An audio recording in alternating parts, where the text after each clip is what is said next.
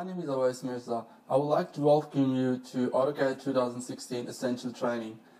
AutoCAD has been around for the last 30 years and it's an industry standard for computer-aided design. People use AutoCAD in many different professions. In this course, we will start at the beginning by drawing lines, circles, rectangles, and many other geometric objects. I will walk you through step by step with topics such as hatching, dimensioning, annotation, attributes, tables, external references, layouts, and create output. In this course, you will create a house project which includes 2D drawing and a 3D model.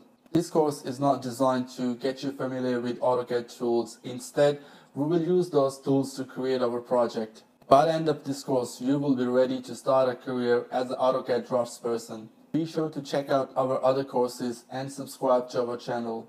So we got a lot to cover, so let's get started. In this video, we will tour AutoCAD 2016 user interface. When you first start a program, you come to this Start tab. In the middle, you have recent documents. On the right, if you are a member of Autodesk A360, you can sign in and store your file on the cloud. You can start by choosing a template. And you can start from scratch. That's what I'm going to do. This launches the full user interface. At the top right corner, what is called, we have the application menu. And move the cursor to these items. As you can see, they automatically change. If you, if you want to find a command, let's say I will find a command called extrude. So as you can see, we got so many panels on the ribbon. We got the draw panel, modify panel. Some panels can be extended by clicking this arrow button and it will give you more commands on this panel. There are many tabs on the ribbon. Some of them have drop down. So you just go and so you can go through here and examine how the content is organized. You can also rearrange the ribbon. Go down here and choose 3D Basics. These are the workspaces we have available in AutoCAD 2016. You can make your own workspace. I'll show you how to do that in the later videos. So for now, I will go click 3D Basics. Now as you can see that on the home panel, we have some different commands. These are the 3D commands used in 3D modeling. So the ribbon is being changed by using workspaces. Now I'll go back to my drafting and annotation workspaces. I'll go back and click draft and annotation. You notice that when I go click on drafting and annotation workspaces, it gives me this palette called design feed. I'll just go and close that for now. You can even add commands to this by clicking this button. Let's say I want to add workspaces. I'll just go click that. As you can see now, the workspaces has been added on the top of my AutoCAD 2016. So now I'm able to change workspaces by clicking this drop down menu. But for now, just leave it. On the right, you can search commands and phrases in AutoCAD 2016 Help Center. So on the top, we have this sign in button. If you want to sign into Autodesk A360, you can sign in through here. Next, we have Autodesk Exchange app, where you can access apps on Autodesk. Next, it will show you if you are connected to Autodesk online community. And last, we have this help menu. So this whole area is called a drawing element. On the right, we have view cube. And then we have a navigation bar which controls some common commands of navigation just such as pan, zoom, and down here we have a command line. You can type commands to access them by command line. Most of the time I'll be using command line to access command throughout this course. On the left we have layouts. Layout 1 and layout 2.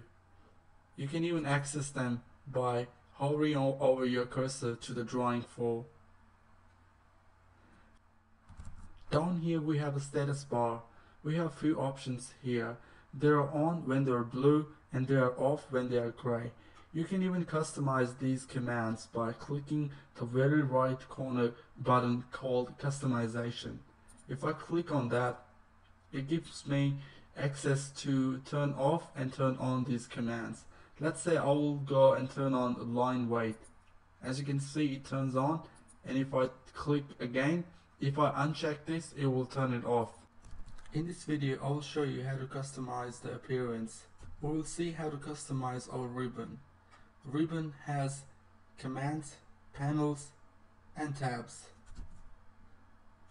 You can change the appearance of the ribbon by clicking this button. Click on it one time and you will change this to panel to icons. And if you hover over to these icons you will see the panel appears down here. If I click this button again we minimize to panel titles. As you can see now if you hover the your cursor to the to the titles it will give you the panel and the commands. If I click it on one more time we go to most minimalistic view. Now we simply see only tabs. So now if I click on the tab it will open the full ribbon with commands and panels. So I go ahead and click that again and that's what I'm gonna use. That's how I'm gonna use it throughout this course. And now I'll show you how to change workspaces AutoCAD user interface is highly customizable to show you so you go to the workspaces by clicking here and workspaces setting. And there's another way to do that is you can go at the bottom here and you can go and click workspaces setting. So I go ahead and click on that. You can select your workspace over here by clicking this drop down menu. If I go and switch workspace to 3D basics and then I'm gonna go and click over here to go back to my drafting and annotation. So as you can see when I go back to drafting and annotation, this dialog box appears. To change that, what you have to do is go to the workspace setting and automatically save changes, go over here and so if you check this dialog box, what it does is it saves your workspace's looks so now if I go click OK and close this dialog box and then I go and change my workspace to 3D Basics. And now we go back to drafting and annotation. As you can see that dialog box did not appear this time because AutoCAD is always saving my looks of workspace.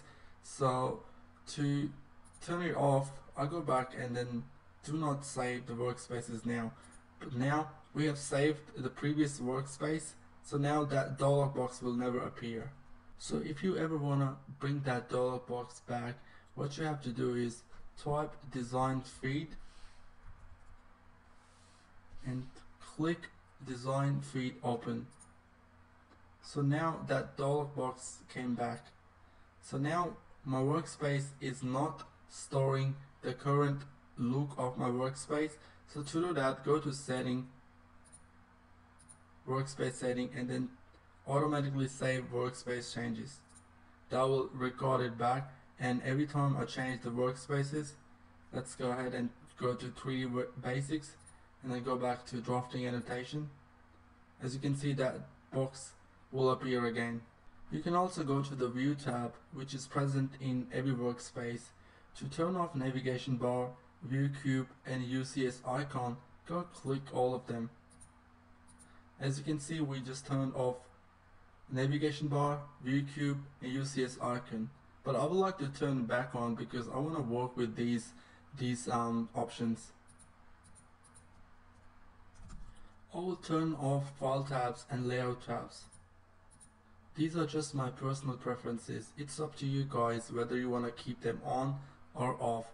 But these are my personal preferences. I would like to keep my workspace clean. So now you know that AutoCAD is highly customizable. You can customize it the way you want it. Okay, so now I'm going to customize AutoCAD the way I want it. It's up to you guys. Even you don't follow along with this customization you will still be able to follow along with this course. So I'll go and click on option and in this dialog box first of all what I have to change is go to user preference right click customization. So I go click and I just turn on the right click. So even if I enter double enter what it will do it will repeat the last command so I'll go close apply and close and then in the drafting I have to um, make my preferable size of auto snap marker size and aperture size so I'll just go and increase that a little bit yep and increase that as well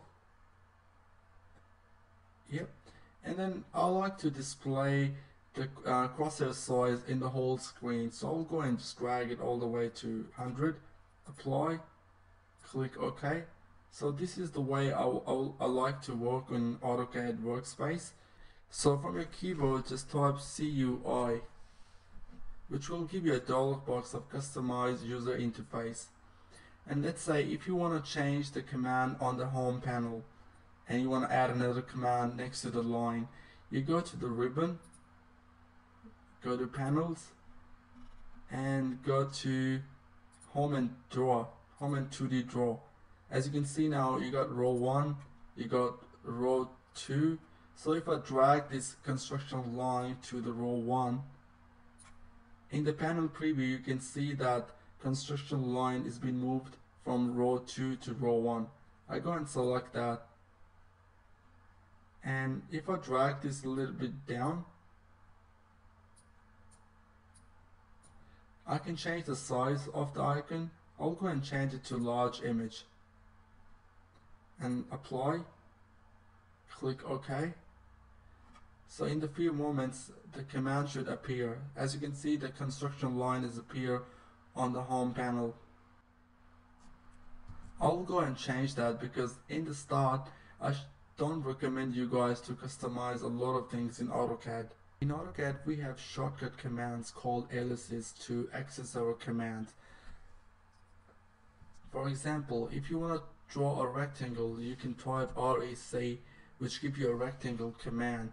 So I'm going to customize my aliases command by typing alias edit and this dialog box let me um, change my commands. The most frequent command I use in AutoCAD is copy command. So the shortcut key for that is CO, but I use it a lot, so I'm gonna change it to C. And click, edit, and change it to C. It's up to you guys if you want to change it, but I like to keep that copy command LSC. So I go press OK. It's it's gonna ask me that the C is already applied to circles but I don't use circle a lot. If I want to use circle I can type circle but copy command I use it a lot so I'll go and click yes. So now if you type C it will give you C as a copy not C as a circle. So in the end of this video I'm gonna talk about finding help in AutoCAD. To find a help, you need to know what you're looking for. If you don't know what you're looking for, that's another story. But if you heard of the command and you want to read about it, you can type the command and type a keyword, a phrase. Let's say I go type circle. Press enter.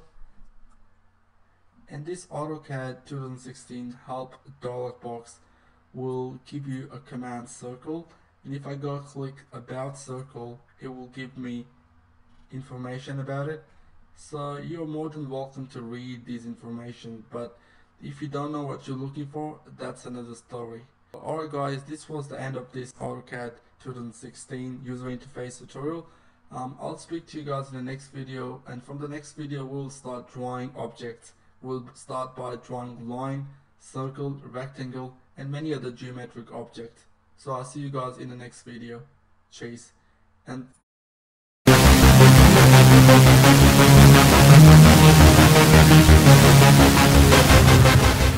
What's going on guys, this is our second video of AutoCAD 2016 Essential Training. In this video, I'm going to show you how you can open files, manage files, save them, create a backup copy, and how you can recover your destroyed files. So I'm going to go and open a few files by clicking this icon. And I will select um, map, room, and architect. You can multiple, uh, you can select multiple files by holding control. And if you click open, it will open these files. So click open. So now you can see that my files are opening and these tabs every tab contains every single file. So I'll go and just go to array 2 and now what I'm gonna do to save this file as you can see that if I go to my eraser tool and click on it and select this line and press spacebar it will erase this line. And there's a small asterisk sign appear next to my array 2 which is basically telling me that the file has been changed so if I go ahead and save my file and as you can see now the asterisk sign has gone. So every time you make changes to your file, you can see by looking at here that your file has been changed or not. You can save files by many ways in AutoCAD 2016 by clicking on this icon button. You can press Ctrl S or you can type QS from your keyboard. I think typing QS is pretty faster for me, so I use it a lot. So now AutoCAD saves these files automatically after some times. You can change that time by going to option, go to this open and save. Here you can see that automatic save is set to 5 minutes. So I'm going to go and change this to, now let's leave it 5 minutes. And down here you can create a backup copy as well. So it's very useful when let's say your system shut down and you lost your file. So the backup copy will always be there. So make sure to click on it and make sure it's checked. You can access option by just typing OP from your keyboard and press spacebar. It'll open the options. Let's talk about how to recover file. There is a command for this. If you type recover from your keyboard, it will open this dialog box and I go and select this room and I go open. So it's gonna take a time and just analyze the file and it says now that auto audit detect no errors in recovery database. So there was no error basically in this file. So that's how you can recover files. Sometimes files give you error but you can always use this command recover to recover your files. If you're signed into Autodesk A360 then your file will always be uploaded to cloud. So if you're not signed in make sure you keep a backup copy of your every file if you've got a big project and try to save it on two places so in case you lose one place like there's an error in the file so you can always go and open the other file. So now I will discuss units. The most important thing you want to do before you start working on a project is to select the unit. So how you do that? If you type unit from the keyboard and press enter you get this dialog box so as you can see that this file is set to decimal, but I'm going to go and change this to architect. So architect system is basically foot to inch system.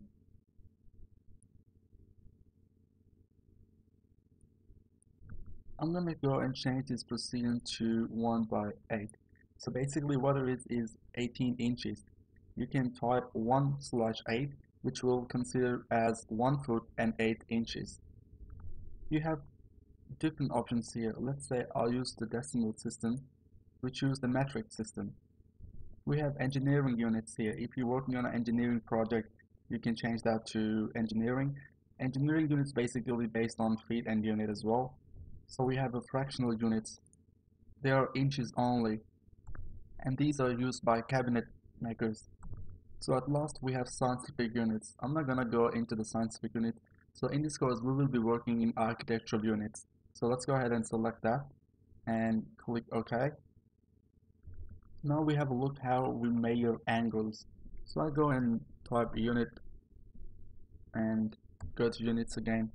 And down here we have a direction button. So if I click on that, so east is zero degrees. So that means from going left to right is zero degrees. From here to top is 90 degrees. That's how the AutoCAD direction control works. So just go and keep east, which is 0 degrees. Click OK. Press click OK. If you want to quickly change between units, down here on the status bar we have this architect decimal scientific so you can change your units from here as well but I keep it as architecture and there's another thing I want to mention that I don't recommend changing your units from here because you can't control your position you can't control your direction.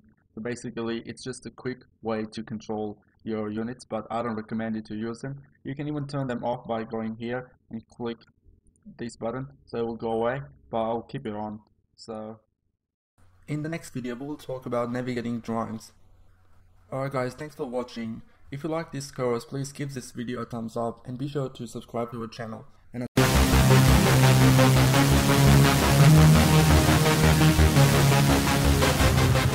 What's going on guys, in this video we will discuss panning, how to pan our drawing. First I will show you the formal way to use pan command and then I will tell you the shortcut key and a shortcut way to do it. So to turn on your pan command, you can type P, press spacebar or enter and as you can see now the cursor changed to hand tool and now you can click and drag. Just want to mention one thing here that we're not actually moving our drawing, we're just moving our camera to view different parts of the drawing. So let's say I'll zoom in and I want to see the other part of the drawing so I can just click and drag and as you can see I can move my camera and see other parts of the drawing. Okay, so we got three options here to get out of the command. Press escape or enter to exit or right click to display. Okay, I'll go and press escape. Just want to tell you guys escape is the universal command to get out of any command in AutoCAD. So I'll go press spacebar. What it does is basically it just toggle on the previous command what we used. You can I'll go and press escape again. You can use enter as well to get the previous command on and I actually set up the right so let's say I'll zoom in and I want to see the other part of the drawing so I can just click and drag and as you can see I can move my camera and see other parts of the drawing. Okay so we got three options here to get out of the command. Press escape or enter to exit or right click to display. Okay I'll go and press escape. Just want to tell you guys escape is the universal command to get out of the any command in AutoCAD. So I'll go press spacebar. What it does is basically it just toggle on the previous command what we used you can I'll go and press escape again. You can use enter as well to get the previous command on. So if I click right you can see we got these options I can just switch to these commands directly from the pan command by clicking right click. Okay if you go to the zoom you see your cursor changes to the zoom and now you can click and drag down to zoom out click and drag up to zoom in and to go back to your pan command, you can right click again and go to pan and then pan around. Okay, now we'll look at the other command, which is old panning command. If you learned AutoCAD a long time ago and then you wonder that is are those commands still exist in AutoCAD, all those commands you can toggle on by pressing dash and then I'll go prod P and as you can see now we got the different panning command. It's asking me to specify base point or displacement. So what I do now is I have to specify a base one. I'll click here and I'll just drag this line to about here. And I click, as you can see that our drawing has been panned to that, that much. So this is the, these are the old commands, but these are not useful nowadays. We've got better commands, like if you use the general panning command currently in AutoCAD 2016, it's work much better. But the best way you can pan in your drawing is by holding your mouse wheel as you can see when I press the mouse wheel, it changes to the hand. The cursor changes to the hand and now I can hold and drag wherever you want to go.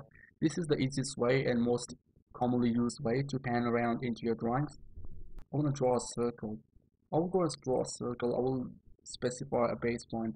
But let's say I want to I'll just find out that I want to draw a bigger circle. So we can use panning command by it's called a transparent panning command basically. If you use the mouse wheel, it will let you pan around to your image while you're making your circles. So that means that any command you're in, you can still pan around by holding your mouse wheel down and drag around. It is very useful. I use it a lot and you're gonna use it a lot. So get your hands on it. Okay, so we look at another way of panning. Type OP to go to the option and then in a display you got display scroll bar. If I toggle it on and apply and now you can see that our we have our scroll bar on the left and bottom so I can actually just move my scroll bar up to pan around now. So let's go, I'll just go zoom out and then I'll just move my scroll bar. As you can see that we're moving our point of view now by penny. So it's not very useful anymore, so I don't really keep my scroll bar on in AutoCAD. So I'll just go ahead and just turn it off. That's it for now guys. If you like my video, click on the like button. Be sure to check out my other videos and follow along with this course. I'll see you guys in the next video. And the next video is going to be about zoom command. And I'll see you guys in that. Cheers.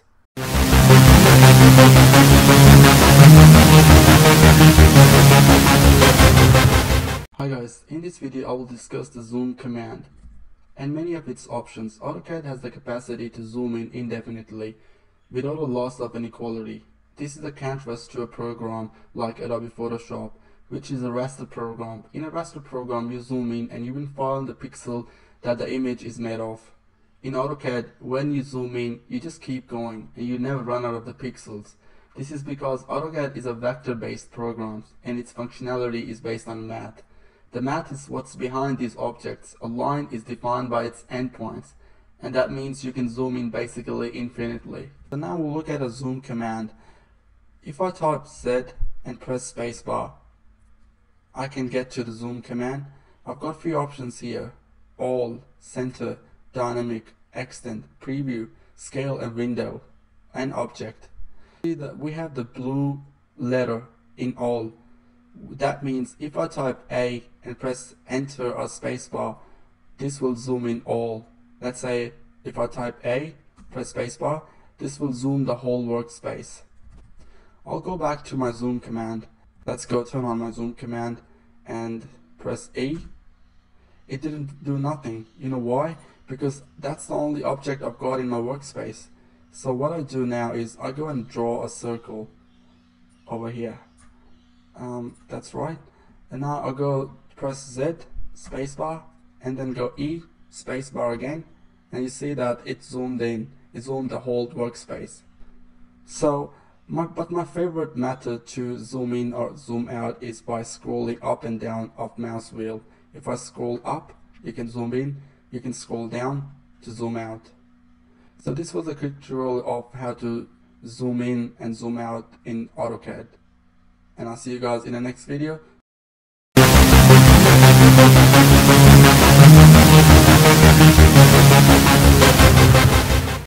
Hi guys, this is Awais again, back with another tutorial of AutoCAD 2016 Essential Training. In this video you will draw an AutoCAD most common object, line. Before we begin, I'm going to make sure that you toggle off anything on the status bar. So toggle off display grid, toggle off your snapping reference, toggle off your 2D reference points, pretty much everything you need to turn off except this icon. What it is basically, it's a hardware acceleration. So if you turn it off, your AutoCAD will not work properly, uh, it will lag a little bit. So I would just recommend that just keep it on you can actually hide it by clicking here and you can hide it yep by unchecking graphics performance it will go away if you check it again it will come back so I'll turn off everything on the status bar so so now we can draw a line without any distraction so let's get started on the draw panel go to the line tool and click on it so now pay attention to the status bar, what it says. It's saying line specific first point. So what it means is basically choose the first point where you want to start a line. So I'll just go and click anywhere on the on the screen. I click here. As you can see that now we got another option down here. It says specific next point or undo. So if I click again here, it will draw a line. As you can see the lines command is still working. So you can draw as many lines you want. As much lines you want. And what it's doing is it's basically creating a separate object. Let's say I'll select this part of the line and as you can see it's a then click here and start drawing my line. As you can see now when I just finish my second object and I get another option here saying close. So what if I just press C and enter or there's another way you can actually come up here and then click on close what it was gonna do is it's gonna actually close the line the way it started So the first object we started making, it's gonna go all the way there and close it. Okay, now we have a look at the time sensitive line. So let's say I'll draw another line. I'll start from here and then I'll finish here. And now I'm gonna go and click right on the mouse. And now you can see I've got close and undo options here, but we've got a few more options here. But I'm just gonna click enter for now time sensitive right click you can go to option by clicking here and going option or you can just type OP on the keyboard and press enter or spacebar it will take you to the options. And now the user preferences there is one option there right click customization. Click on it and turn on time sensitive right click so what it does basically let's say you want to draw a line and then to close the command, you always have to press enter or spacebar. But now we can use right click on the mouse before this 250 millisecond and it will work as enter or spacebar. So let's go and draw another line. Okay, I'm gonna go and draw another line. I'll just click on the mouse wheel, hold it, and I can pan around as well and I've shown you this um, in the previous video so I'll just draw a line now go up go up go up and now to end that line I can press spacebar enter. But now what I can do is if I right click it will do the same thing. As you can see now it gets really efficient by working a lot of um, projects on a big project. So if you have the right click as enter then you can just type it just quickly click on it and then close the command. And to go back to the previous command, you can quickly right click on the mouse and it will start a line again. So that's pretty pretty good way to work on a bigger project. So you don't have to go all the way there to click on the line. So just right click, it will start the previous command. Let's go and turn on this dynamic input. And now I'm gonna go and start a new line. And now you can see when I go down here on our workplace, I see those two interactive elements.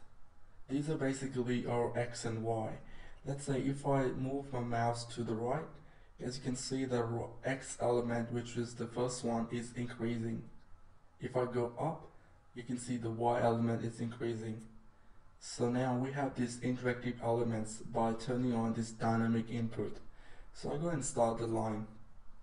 And now, so now as you can see we have different controls we got the angle of the line we got the length of the line and now if I move around you can see that the coordinate system changes as well and angle changes as well so the zero degrees is x-axis to the right horizontally and 90 degrees is vertically straight up okay to show you guys how this dynamic input works, I'm gonna go and change my units to architecture. To do that, I'll just type unit on the keyboard and you get this dialog box. So now change this to architecture, precision, I'll keep at 1 by 8 and our insertion scale is inches. So click OK. And now let's say I draw a line. I start a line by pressing L and right click or spacebar or you can enter as well. So I just go type spacebar and then now I start the line from here, let's say from here. So now if I go to the right, as you can see I got two interactive elements. One specifying the length of the line and the other one is the angle. So what I'm gonna do, I'll just go and say, let's say I'll click here and I want to draw a line about two feet or three feet yep so what I do is but I want to draw it to 45 degrees angle and I can't it's really hard to specify the 45 degree angle by dragging the mouse. So what I'm gonna do I'm gonna type I'm gonna press tab and it's gonna take me to the next interactive element.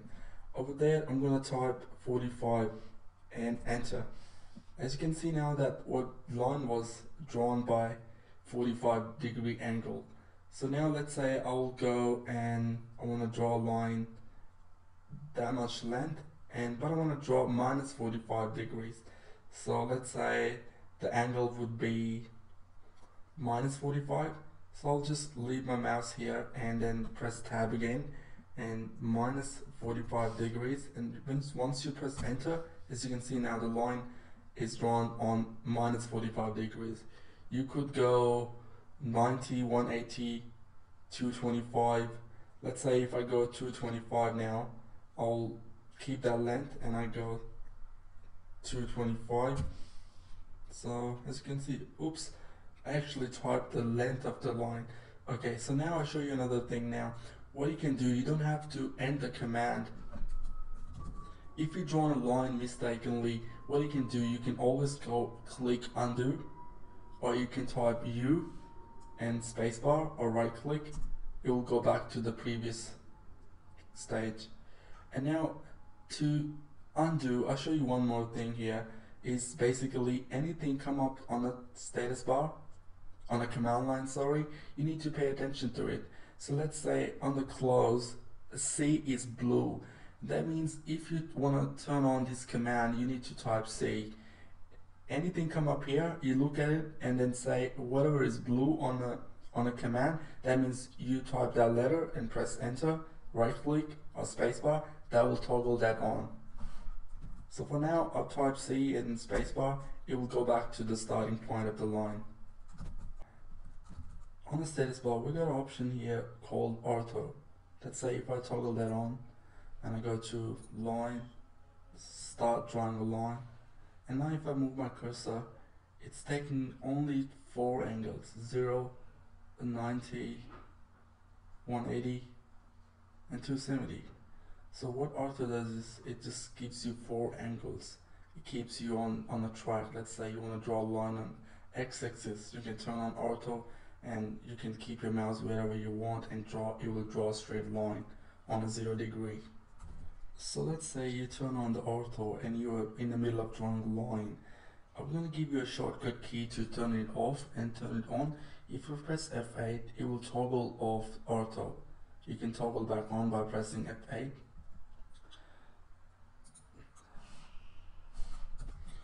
Alright guys, thanks for watching. That's it for line. And I hope I covered pretty much everything about line, drawing lines in AutoCAD. So if I missed anything, just drop down a comment and I will try to answer your question. And thanks again and I'll see you in the next video. In the next video we will look at the circles.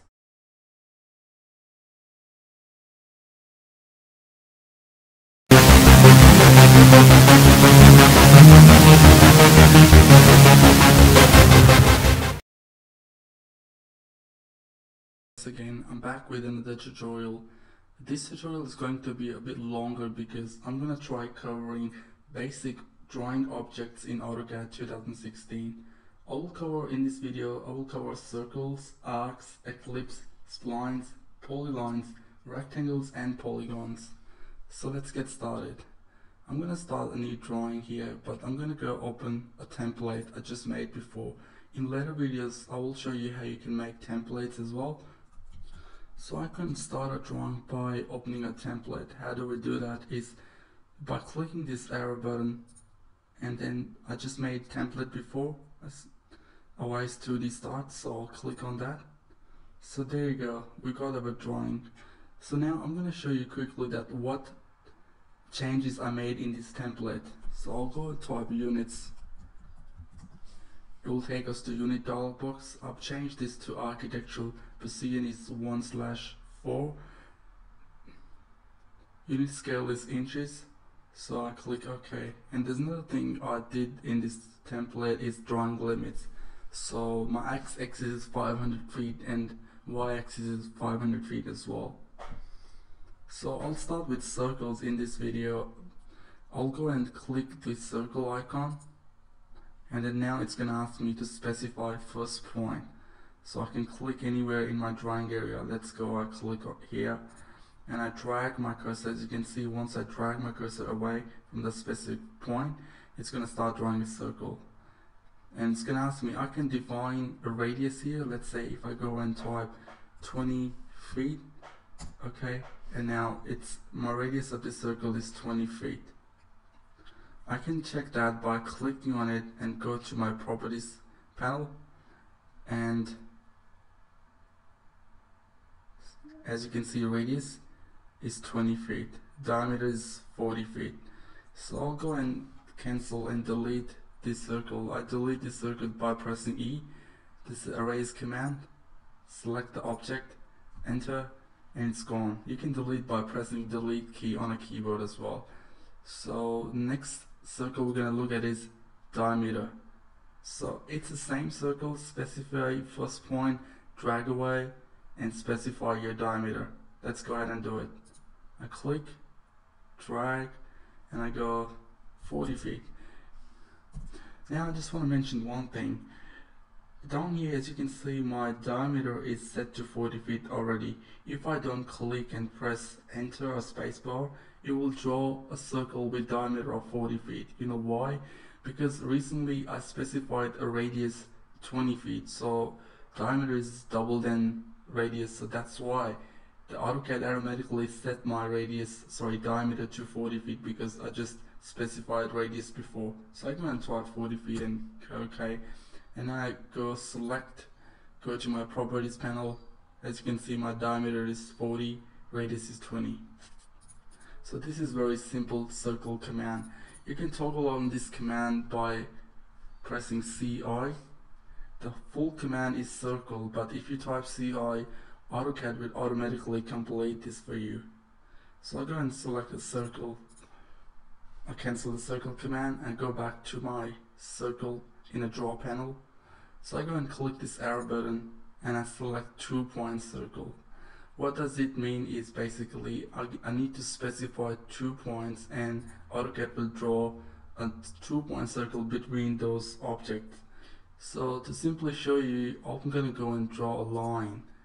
I go draw a line, one line, click enter or click right click to end the command. And remember in the last video we turned on the time sensitive click. So if I go and right click on the mouse it will turn on the previous command.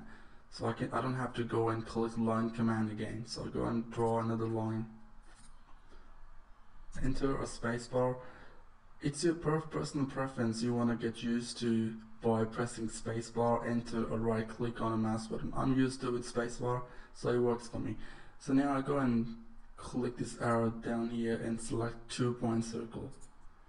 And now it's gonna ask me two points. So it's gonna ask me to specify the first point and specify second point. So I go and click here and then as you can see it's drawing between these two objects. Okay, let's go and draw another line. I'll go draw another line by pressing L it's line command so AutoCAD will complete that for me I'll go and draw a line let's say here okay so now I'm gonna go and select three points circle and go and select that now I to specify three points and then AutoCAD is gonna draw three point circle between these three objects. So I go and select that one and then that one and then you can see that one. So the circle cross those three points where we selected. So that's a three point circle. And let's go I'm gonna delete these three lines and I'm gonna try making a shape with my line command let's go and draw a line okay. So let's say you got a you got a diagram here now.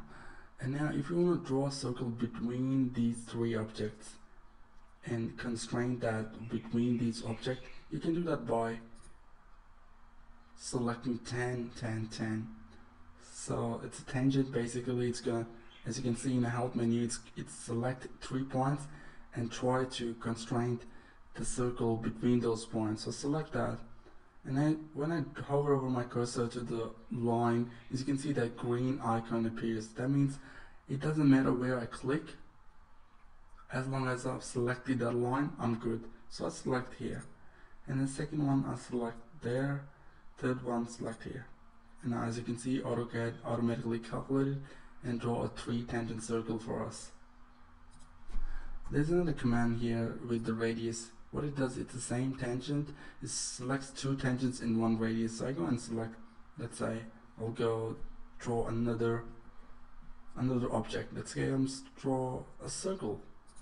Let's go and draw another circle here. Okay. So now if I want to draw a, a circle between these two objects I can go and select 10 and 10 let's go. 10 10 and to radius I'll specify that one there. And there you go. You got the circle there between these two objects. Okay now there's one thing I just want to talk about here. Let's say I draw a simple circle. I'll select that simple circle there. And i I want you to draw a three point circle.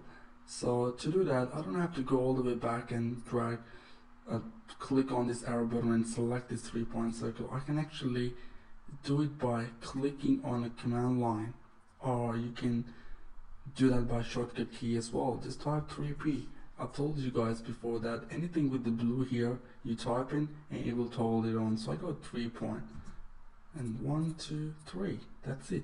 So anything on a command line you need to pay attention to command line anytime you're working in AutoCAD. So I go and select circle again. I can specify two point circle I can specify tangent tangent radius or I can specify TTR for TTR is just T trust press T and one two three you know why? It's not drawing because tangent only work with an object. You cannot draw a circle without any object. So I go and draw quickly, as, let's say, three circles. And I've got three circles here and I draw circles between these three circles. So what I do, once I've drawn the circle, circle command is still there so I can go and type T and then I go and click here, click on the second one click on the third circle. Done. So as you can see why it didn't work because that is too far. That's too far to calculate. That's why AutoCAD just did it automatically for us. It, it was close. It could constrain that circle between these three objects. So I'm pretty sure that I've covered everything about circles now. So if there's any questions about circles, drop down a comment and I will answer your questions. And you can follow me on Twitter and directly message me if you have any questions. Okay, so now we'll look at arc. If you go and click this arrow button down here, you see we got a lot of different kind of arc here. So the first one, the basic one is three point arc. I've drawn a door diagram where you can actually specify a door to show you guys how arc works. So now I'm going to go and select this basic arc and let's say I have to specify three points now. I'm going to specify first point, second point, and then let's say. So that's how you draw a three point arc. Okay, now we look at the different kind of arc here. We look at the start, center, and end. So I'm going to select start, center, end. So I'm going to select start point here, center here, and I go select end point right there. So we successfully made our door swing. So what does that mean basically? You need to specify a start point of the arc, center and end point. And the next one I'm going to talk about is start, center and angle. So select that command.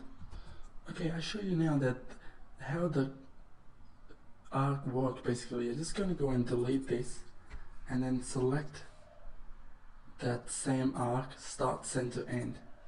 So if I go and select the first one here, center point, that one, and that last one is about here. So as you can see the arc work work as a counterclockwise. That's kind of problem. But in some cases when you're working on drawing, um, you need to work with counterclockwise. So sometimes it's good, sometimes it's bad, but we'll talk about it later videos. So for now, just to let you guys know that arc work as a counterclockwise. Okay, so I'm gonna go and draw three point arc now to show you a bit more about the arc. Let's go and I'll draw this arc. And now I'll go and select this arc. You see these three vertex points we got.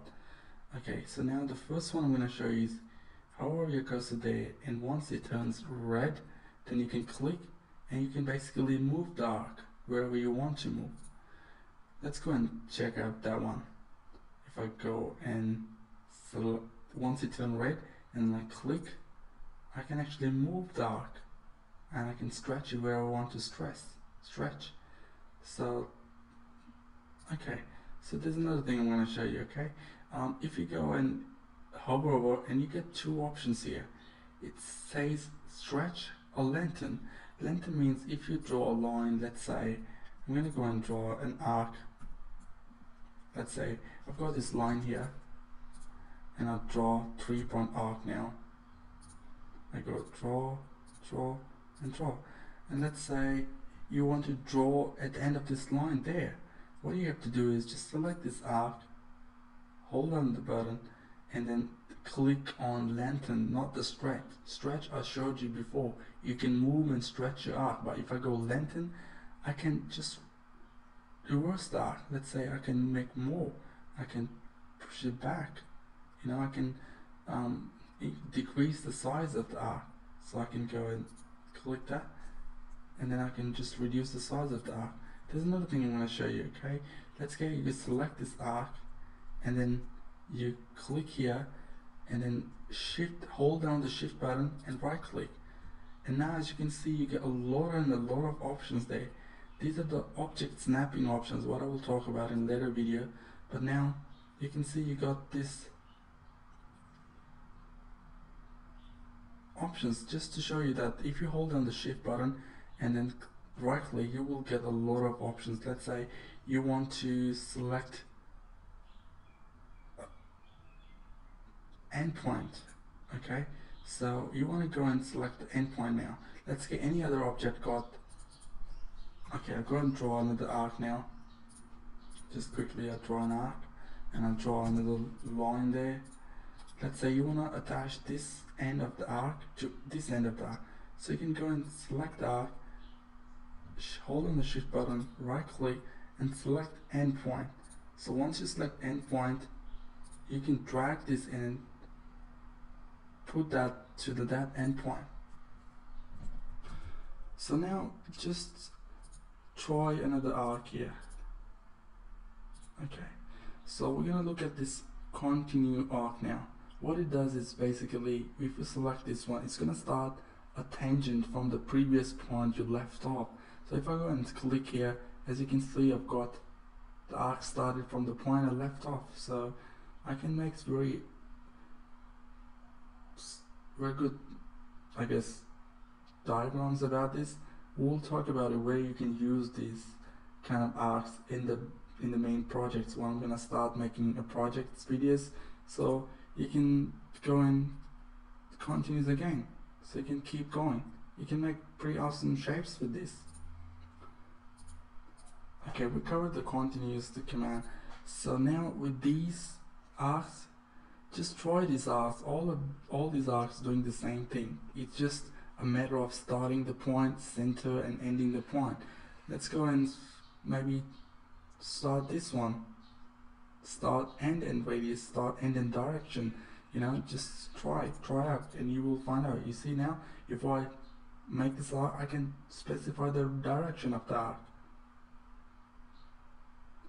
Okay, and the last thing with arc, I'm to tell you guys, let's go and draw this three point arc. And then, as you can see, we keep an eye on the command line. If I go and press C, and it's going to ask me to specify the center point of the arc. As you can see now, it's basically drawing a circle now. Because it's going to draw around that radius what I give it. So now, with these these kind of arcs you can actually change this option let's say center start end yeah so I center start end and now I've got these options I'm gonna change the length I can um, define angle of the arc so just keep an eye and keep trying this out so in the later videos when we're gonna start a project and then we'll look at it how can we use these kind of arcs in our practical project so that's it for now for the arc any any questions put down the comment and I will talk to you about the next object. Okay, so now we look at Eclipse in AutoCAD. I've drawn two lines to show you how eclipse work. It's just like an old shape. It's a circle, but so to draw an eclipse, I go and click on the eclipse command on a draw panel, or I can type ELL, and AutoCAD will complete that for us. And now to to specify eclipse, you need to specify endpoint of the eclipse. Let's go and I go select that point, and I go select this point and then you can see that we can draw our eclipse down here I've got a rotation option. I'll show you in a moment. So if I just turn this on it's gonna rotate. It doesn't really matter in 2D but when we're gonna start working on 3D it does matter. So that's how you draw eclipse. And now we'll try another one. For that but I'm gonna go and show you another command point. So if you go PO you can specify a point. Let's say I will just specify one point here. I go and specify another point by pressing spacebar which toggle on the previous command. So I go specify that and I specify another one center point there. Okay to working with Eclipse you're gonna make sure that you are you toggled on this object snap by pressing F3 is a shortcut key or you can just turn on and make it blue. And then right click this sorry click on this arrow there and then you gotta make sure that you need to turn on the node. What node does is basically let's go if I turn this on and I go and draw a line I can select this endpoint I can select midpoint and I can select another endpoint. But if I go and turn off this node there as you can see if I turn on the line command and I can't see I can't select this point to select the point I need to turn on this node. So once I go and start a line I can select the node now. So for that um, you make sure that you turn on node and then go to eclipse and then start drawing eclipse. And you can specify your center point there. Okay so now I'm going to show you another type of eclipse here is elliptical eclipse what it does is it's pretty much the same but we got a few more options here let's go and uh, define a center point okay? I'll go and define this by pressing C enter and now I have to specify center point. So I select this center point and now I go my take my axis to my endpoint as you can see it drew the Eclipse, but we've got a few more options here. If I just press enter, and after that, it can ask us to define the distance now. So I'm gonna go and select the distance here, and now I can define the parameters. Go parameter, and I can define the parameter as well, and angle of the eclipse.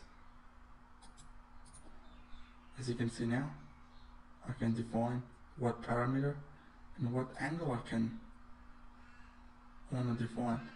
So that's how you work with Eclipse. You will have a great idea when we're working on a practical project. So for now, this tutorial is basically just to give you overview of the basic drawing objects. So the next object I'm going to talk about is, okay, now we'll look at Eclipse. Sorry, now we're going to look at splines. To turn on the spline, I'm going to give you another trick here. To do that, I'm just going to go insert and I'm going to click on attach and I'm going to go and bring this image. It's an island somewhere in the world, but I want to trace the, the boundaries of this island.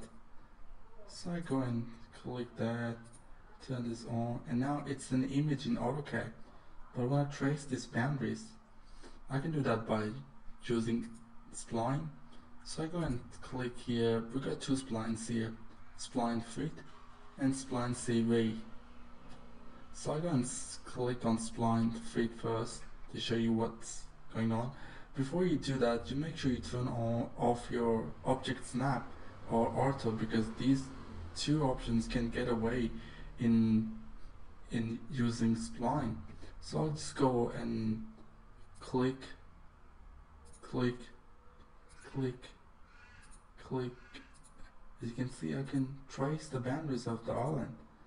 So I'm just gonna stop here now to show you what's going on because if you wanna practice you can keep going with this picture but I'm just gonna stop now. Okay, so once I turn off my command, I'll go and check this spline. You see these grip points there. I can just go and move them around and edit my spline. I can even go and let's say I want I've got this here, but I want to I'm gonna I want to push this here, and I want this to a little bit go outside. So what I can do, I can go up here and add a fit point. So I can just click anywhere I want, and I can add a fit point, and then I just grab and drag it outside. I can even remove my fit point, and I can stretch, which is basically a default command to after gripping these vertex so pretty much that's it. You can use Spline to trace your islands or any drawing any JPEG files. So now you know how can how you bring the JPEG files in there to trace the boundaries. Are you making a 3D model and you want to trace those pictures so you can do that as well. We will look at those options later in the in the course but now this is how you can use spline. Well just go ahead and try the other spline which is spline CV I click that and I start drawing again. I'll go this side this time. As you can see the spline is not actually drawing where I'm clicking it's keeping the radius it's keeping the momentum basically. So I just go keep clicking clicking clicking and clicking and enter. And now what you can do you can click and you can actually drag this out. You can see that even if I'm dragging that all the way there it's constraining the, the position. It's not destroying my spline. So I've got a few more options here just like before I can stretch vertex, I can add vertex to it, I can remove, I can refine vertex as well. So I can just add vertex, refine, you see that now? And if I go and let's say I will select this and shift and right click and now I got a few more options here. I can choose my snapping option. I can turn off and turn on my snapping option there. So this is basically a very simple command spline and it is used to plot a lot of drawings like big drawings. You want to draw boundaries around it or you want to plot a curvy shape things. You can do that by using spline. So pretty much that's it. So let's talk about next object. Okay guys let's talk about this very basic object in AutoCAD a rectangle if you hover over that, as you can see, it's telling you that you need two points to draw a rectangle. I go and select rectangle and I specify my first point and I drag it down and I'll specify my second point. So that's how you draw a rectangle. But let's talk about it a bit more. So I select that and I can just change and I grip my vertex and I can move around. If you want to change this line to arc you can do that as well. You can just go and then click on convert to arc. It will convert convert that line to arc. That's simple. I can bring my arc back to line. Hover over convert to line. I can drag and stretch as well. So that's how you can draw arcs and make the shapes whatever you want. So let's go, I'm gonna go delete this arc and I'm gonna go and select the arc, sorry, select rectangle again. I can type REC to turn on rectangle. And now before I specify my first point, as you can see I've got few options here. Chamfer, elevation, fill, thickness and width. So if I press down arrow, right click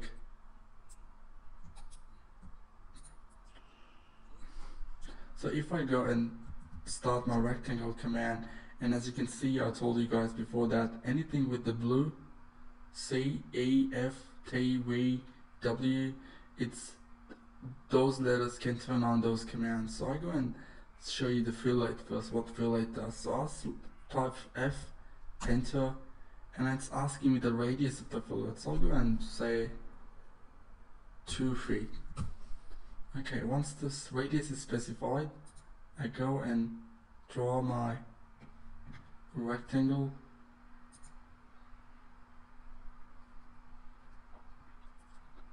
And then I'll delete and draw again. It didn't work actually. Okay I go and fillet and I go let's say 10 feet it's still not working you know why? Because rectangle is way smaller than 10 feet.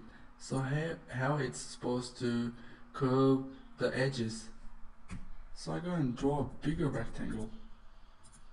And I go and check my dimensions here with going by going to the properties panel. So it's 5 by 10 so it's pretty okay now. So what I'm gonna do I'm gonna go delete this draw rectangle go to fillet and I'm gonna go on 2 feet through it and now as you can see our rectangle corners around it. This is the radius of the rectangle basically. So to round the rectangle you can do that. You can click and you can convert these two lines. You can convert these back to arcs. You can stretch any of the vertex you want as you can see. You can make any shape you want with these so just go and just gonna show you a chamfer now. I'm going rectangle. And before you specify a chamfer you need to turn off fillet because the fillet command is sticky. If I go press F fillet you see that 2 feet is already there. It's still there. So I need to make it 0 so I go and press 0 and now our fillet is 0 so now I can go and select chamfer by pressing C. And let's go and do 2 feet for this as well.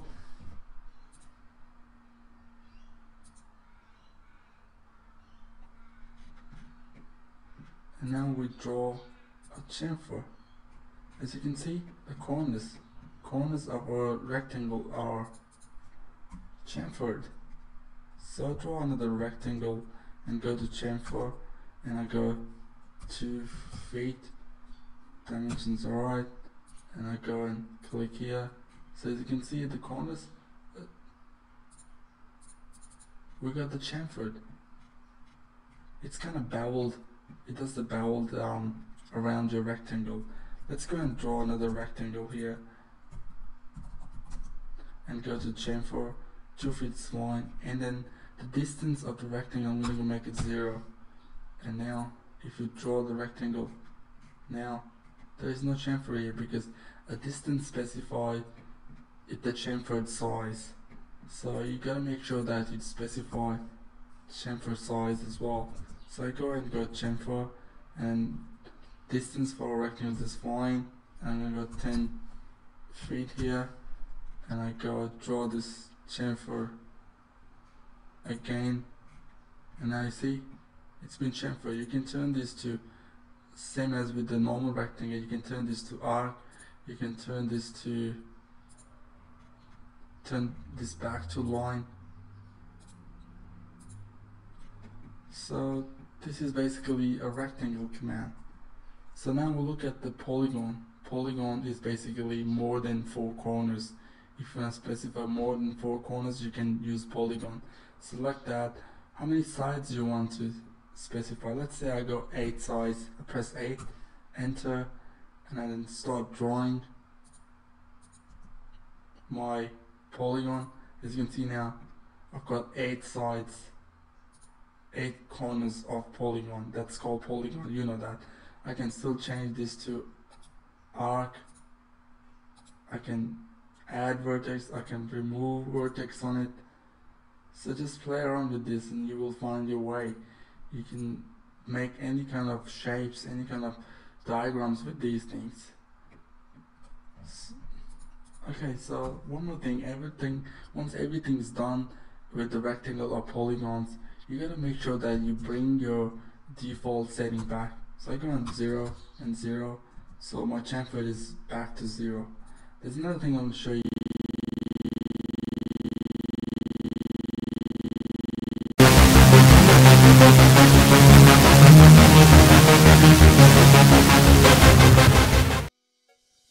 In this video I'm going to discuss polyline.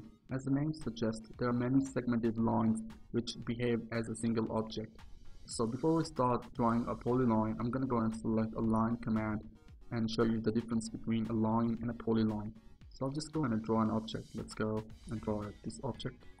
And then I'm going to go and select polyline. So select and draw a polyline.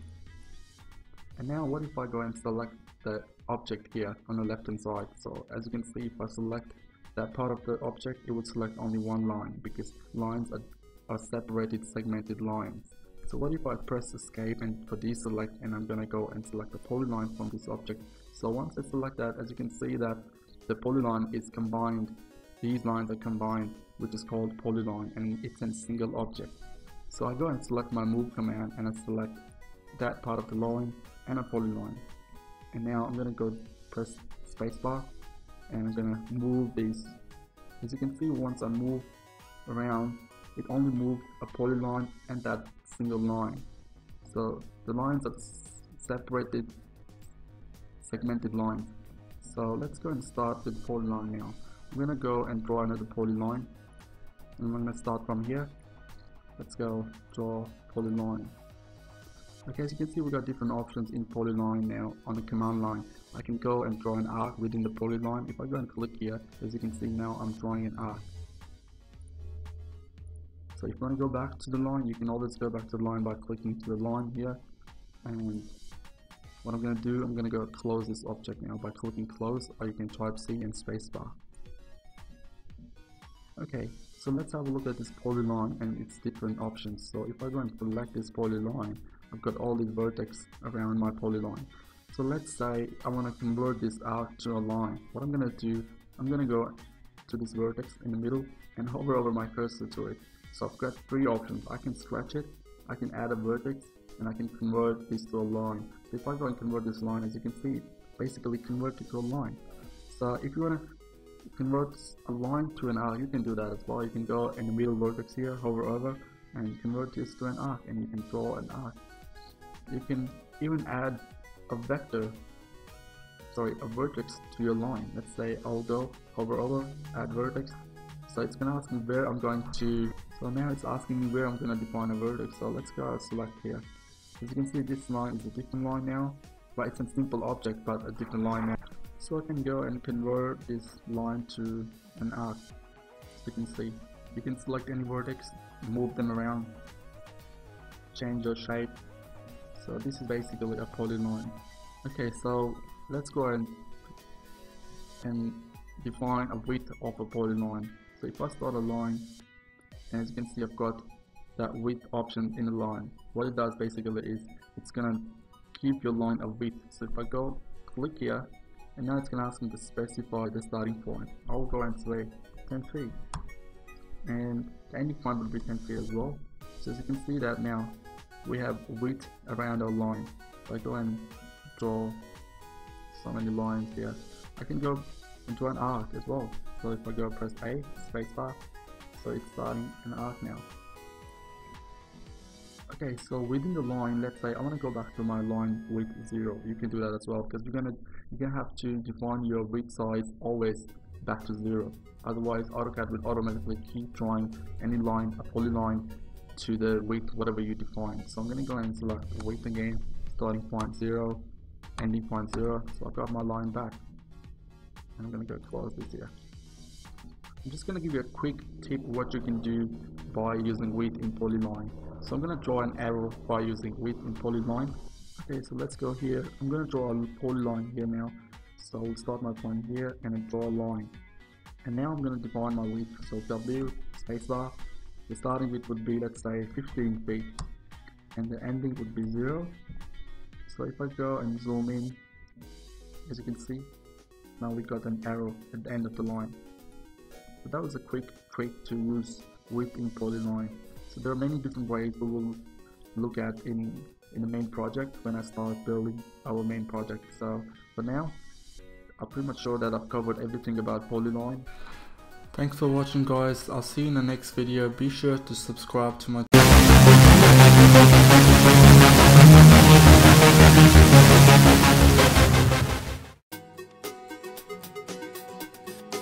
Hi guys, this is Awais again with another tutorial. In this video I will discuss points and donuts. Points are basically one pixel on your screen and donuts can have a larger size. So to turn on the point command, just type PO, enter spacebar, enter a spacebar and then you can start pointing. So I'm just going to delete this and I'm going to show you a multiple point command. If you go click on this arrow in a draw panel, you get this multiple points command there. So I can just click and put my points on your screen. So what does it mean? What we need, what we need um, these points for are basically these points can be used as a placeholders. So, so let's say you want to draw an arc, so you can specify placeholder or a point on your screen and define the path up the arc. So I'll go and just go multi-point, just one point here, the other point I'll go there.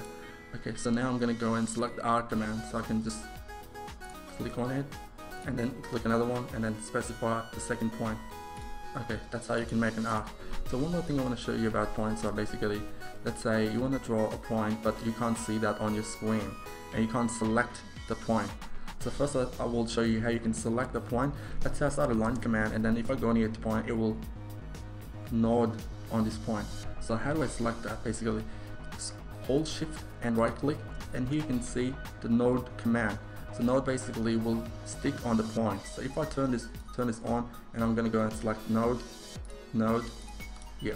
So let's say if you want to turn it on permanently, what you can do is go to this object snapping, right click, and you can turn off. And now if I start a line command and I, you can see that I cannot select this point. It's because the node command is not selected. So I go shift, right click, and then select node. And then as you can see, I can select these points. Okay, so now if I delete this line, and as you can see it's very hard to see the points on your screen. So to change how they look, you can type this command ddp type, ddp type, press enter, and now you can select any of the point style. This one will totally disappear the points on your screen, but these are the other options you got, and you can specify the size of the point as well. So it's now 5%. So I'll go and select this, or maybe this one, click OK, as you can see now, our points are way bigger now because it's 5% size, so that's how you can change your points, how they look. So I'll go into like that one. So points will change there. So now let's talk about donuts. So donuts are located right here in your draw panel.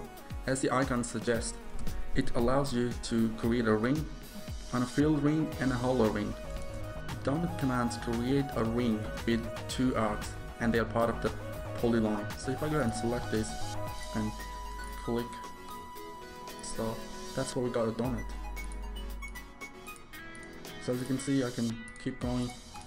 Okay, I'm gonna end this command. And now I'm gonna specify inside diameter of a donut. So let's get let's say I'll go maybe 5 feet.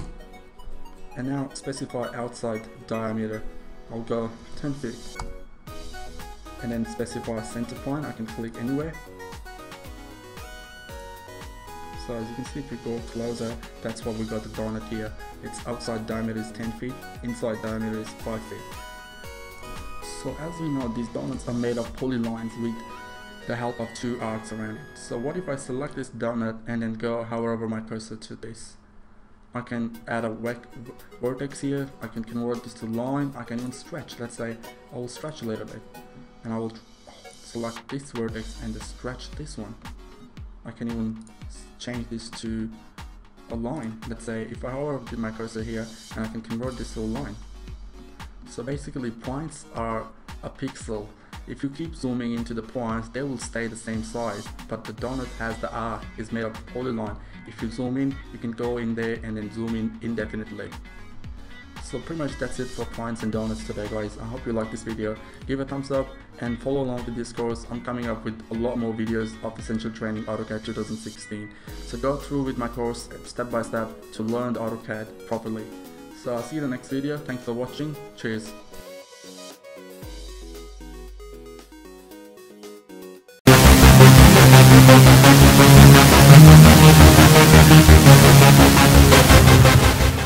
Hi guys, this is Awais again, back with another tutorial of 2016 AutoCAD Essential Training.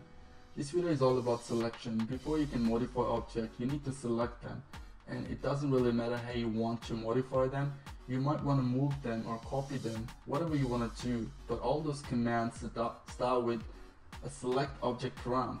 So to show you guys how does that work, I'm gonna go and open my drawing, what I was working on. Okay, so first thing I'm gonna do is I'm gonna select my move command. And the very obvious way to select anything is just by clicking on them. It's a very common way to do it, but it's not very efficient. We got better ways to do selection. Let's say if I want to select these stairs, I don't want to sit down and select all these lines.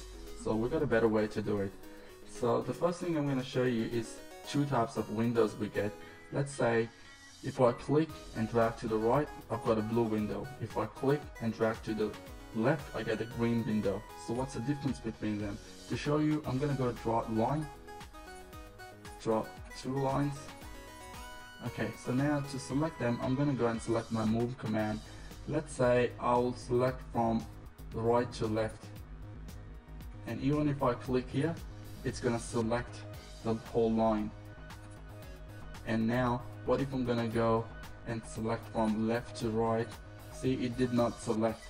This is because the difference between green and blue window is the green window touches anything, it will be selected. But the blue window has to be as completely over the full object. The full object has to be in the blue window for selection. I have to go all the way and select it to select this line. So let's go and try this on the stairs. What if I want to select the stairs? What if I start from right to left? As you can see, everything what green window touches will be selected. But I want to select the only stair object. So for that, what I'm going to do, I'm going to zoom in a little bit and I'm going to go and start from here to the right and I will click all about here. So as you can see, only the stair objects were completely in the blue window. That's why they're the one only selected. So now we know that what how what's the difference between green and blue window. So let's go and try this move command. If I select only this part, the window uh, stairs will be selected. But if I go and from move command, if I start from here and I leave here, so as you can see these lines were not in there, so that's why they were not selected. I'm going to show you another way of selection if I go and select my move command, as you can see there is nothing on the command line. So I've got another command for you which is called fence selection. So if you type F and enter, it's going to give us a line. So I can draw a line. Anything comes in this line will be selected. So this is a pretty good way to select these kind of objects. Let's say we got a lot of stairs, we got a lot of objects in a line so all we're gonna do is just make a fence selection and do it. It works with a lot of commands let's say I'm gonna trim something then I have to use fence let's say I want to trim these lines. So what I'm gonna do I'm gonna tr to start a trim command fence. All these lines are trimmed. So I go and type U spacebar to undo that. One more time so let's have a look at lasso selection. It works the same way as green window and a blue window. So if I go and click and drag, I can make a lasso. Anything this green window, window touches will be selected. So I go, you can drag this anywhere you want. So I click, see all these things are selected. And I go from the left now. So anything completely in the blue window will be selected. So this is the, another way to do it. This is called lasso selection. There is another command which we can use to select the previous object we were working on. So I'm gonna go and select move command and I'm gonna go select them and spacebar, select my base one and move them. Oh, I just realized that I wanted to copy them, not to move them. So what I can do, I can select copy and now instead of selecting them, I'm just gonna go and type P spacebar and the previous object I was working on will be selected. It's very useful when your selection are very huge and you're selecting very small objects and you didn't want to go all the way and select all of them. So you can use this command by pressing P it will be selected. So all the previous object will be selected. So I'll show you another example for selecting a previous command. I'm gonna go and select copy and go P spacebar select my base point and then copy them. So now if I go again and try to move whatever I copied and I go select move command press P spacebar as you can see it did not actually selected those objects because we were copying them but we were the, the object we were working on was these two lines. So you got to keep in mind that whatever you were working on those will be selected. Let's say you want to select everything in the drawing so what you can do is move command and type all hit spacebar and everything in the drawing will be selected. Okay let's go have a look another way. I'm gonna go and click on this line and now what I'm gonna do I'm gonna just go right click and I've got these options here now. What if I want to select all these lines in the stair? So by right clicking up I've got these options and I can go for this command say select similar if I click on this it's gonna select all the lines in the stair so what this checks is it checks whether the all the same objects were on the same layer and their types as well. Okay, so now we're gonna go and have a look another method of selection. We're almost done here, but I want to make sure that I give you everything about selection. What I'm gonna do is I'm gonna type properties. You can get your properties by typing properties, or you can go and click on the view and click properties. Okay, so now I'm going to go and click properties. So here we got three options. First, I'm going to talk about quick select. Okay, so now we'll get this dialog box and it's asking me if I'm to apply this to the entire drawing. Let's do that. So I'll, keep that entire drawing and now it's going to ask me what kind of object type I'm looking for. So I can go and select line, polyline, arc, anything you want here. So I'm going to go and say multiple. But if I want to select by color, I can select by color. If I want to select by layer, I can click here and select by layer. I want to select by line type, I can select by line type. So for now, I'm going to go and select by layer.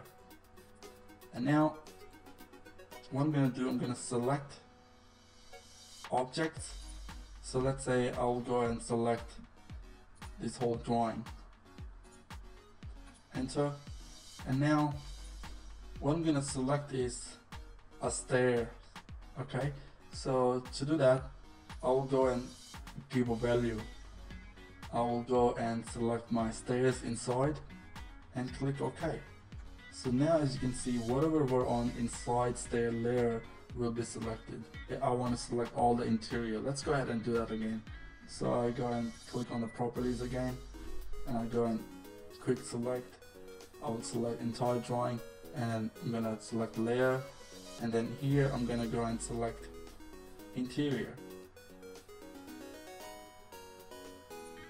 Yep and now I'm gonna go and select the whole drawing enter select interior click OK so as you can see whatever were interior in my drawing it will be selected selection is what you do every time you work on AutoCAD so it's very important that you know how to select your objects and how to work with them. Alright, thanks for watching. I'll see you in the next video. Follow along with my course for the in-depth training of AutoCAD 2016 Essential Training.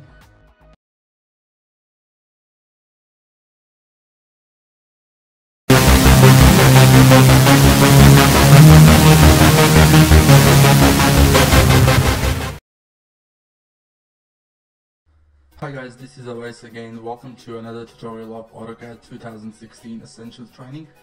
In this video, I'll talk about how to move objects and copy objects. To do that, I'm gonna go and open my portfolio drawing one. Okay, so now I'm gonna talk about move command. What I'm gonna do, I'm gonna go, go back to my home panel and I'm just gonna go and zoom in. Let's say I wanna move this, so I can do by pressing M, spacebar, select an object. Now it's gonna ask me specify object here, so I've selected that. Hit spacebar again, and now you need to specify base point. It could be anything, just just um, select any arbitrary point. So I go select here, and let's say I'll pan around and then just go put it somewhere here. So the move command basically does ask you three things. Select an object, specify base point, and just move around. That's how you can move objects. So the move command is pretty simple. All you gotta do is select object, specify base point and just move around. Now let's look at the copy command and I'm gonna explain the copy command array in this video as well. So let's say I'm gonna go and select copy and now it's asking me to select an object. So I'll go and select this object. Hit spacebar. Now it's asking me to specify a base point. I'll just go and select this node there and if I move around let's say here and then I click so as you can see I've got another copy of this TV so as you can see the um, copy command doesn't stop itself so you can keep going copying wherever you want to copy. So I'll just keep going. To exit the command just hit spacebar enter or right click. Or you can try E enter. Now let's look at the array option in the copy command. I'm gonna delete some of my TV objects here, delete that one as well by pressing delete button on the keyboard and just zoom in a little bit. Okay, I'm gonna go and select copy command. You can select from the modify panel or you can just type CO for copy, hit spacebar and now let's have a look at the array commands. So select this TV now specify a base point. You can turn on ortho by pressing F8. So now I'm gonna go type A, hit spacebar, and now what it's asking me is enter the number of items to array. So I go and say 3. So as you can see I've got 2 but the thing is that you gotta add your main object as well so it could be very confusing for some people, but it's just like if you want to drop, let's say two objects, you need to add the main object in that as well. So let's say I want to draw three of them, yeah? So what you do, CO, hit spacebar, enter, click to specify base point, and then you can select array, and now I'm gonna go, let's say six but it's gonna make five more copies of it as you can see here. So you can click anywhere and then see the copy command is still going. So you gotta hit spacebar enter or right click to end the command. Let's go and have a look at the freak point. I'm gonna go and drop a line here. Let's say I draw a line for 50 feet. Okay. Um, it's a bit a little too much so I'll go back and then change it to 20 feet. 20 feet. Hit enter. And now what I want to do is I want to make four copies of this in a column in a row sorry um, but I want to fit that in this 20 feet so how can I do that I'm gonna go and select copy command select all these objects by crossing window and now to specify the base one, what I'm to do, I'm to click here. If this green um, icon doesn't show up, what you have to do is hold shift, right click, and then select endpoint. So I'm to go and select this endpoint of the line, and I'm to make, let's say I want to make like three more copies, or four more copies. Let's say type array for A, type A, spacebar, say four copies, four, spacebar, and now as you can see that it's if I drag my mouse down it's making a lot of space. It's keeping a lot of space between that. But I want to fit that in 20 feet. So what I do is click feet or type F, enter, and as you can see it's keeping the same distance between these objects. So I'll just select this. As you can see it actually fit those objects in 20 feet with the same distance between them. So I want to recommend you guys to practice about these commands, try to move around and but like at last you will get better with these. These are basically a simple command so not to worry about anything. Alright guys, thanks for watching this video. I'll talk to you guys in the next video and I'm gonna explain to you guys rotate and scaling in the next video. So be sure to watch that video and follow along to my course and subscribe to my channel for more tutorials on AutoCAD, 3D Studio Max and a lot more coming. Alright, see you in the next video.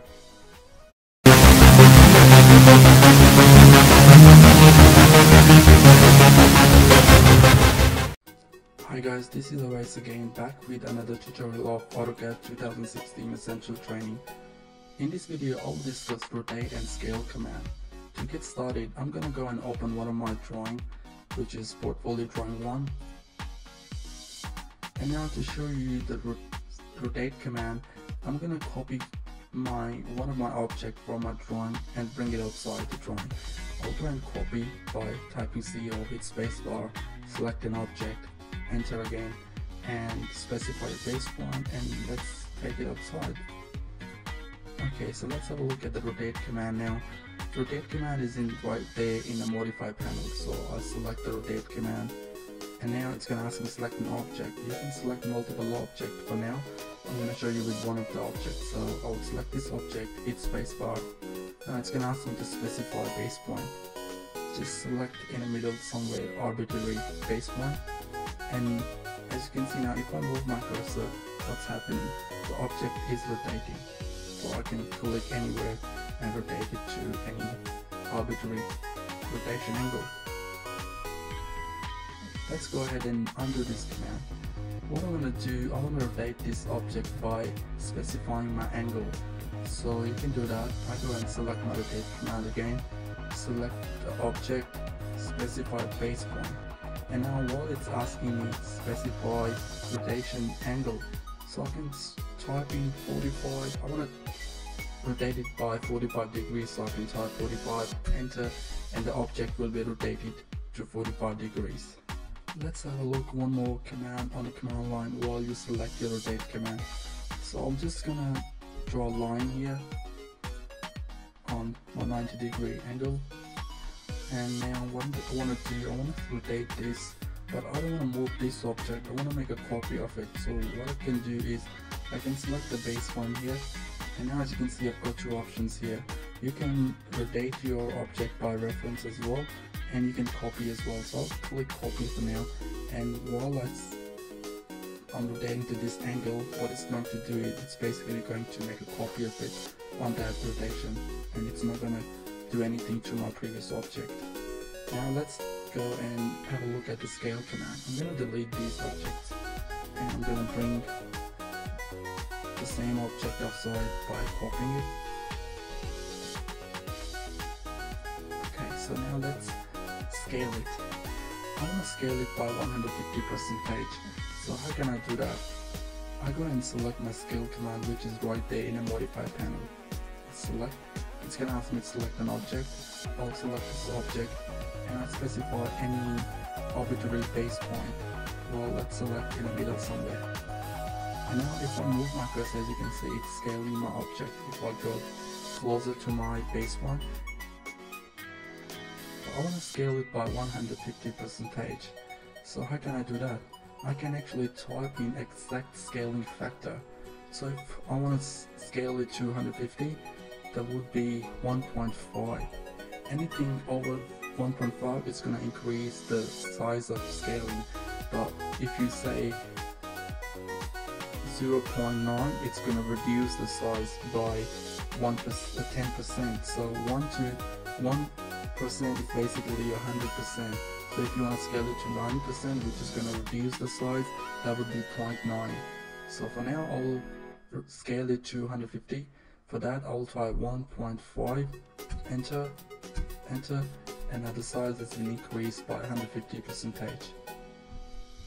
Now let's have a look how can we scale our object by giving them a reference. For that I'm gonna select this object by using a move command and I'm gonna take this to this object because I'm giving a reference for this object. So let's go and select my scale command. Select an object, whatever you want to scale to it. And now press spacebar and now for the base point select this endpoint. And now I've got two options here, copy and reference. I'm gonna go and select reference. For the reference, it's asking me scale the specified um, length. So the reference length would be start from here and then the second point will be there. So as you can see if I move, the object is scaling. So I've got the reference there. So what I'm gonna do, I'm gonna hit um, shift button, right click and select endpoint because I want to snap my object to this endpoint. And I'm gonna click here and this object will be scaled to the reference of the other object there. Alright guys, this was pretty much everything about scale everyday command. And I will talk to you guys in the next video. Thanks for watching. Follow along with my course and soon I'm gonna I'm gonna make a project by using these commands. Alright, thanks for watching. See you in the next video.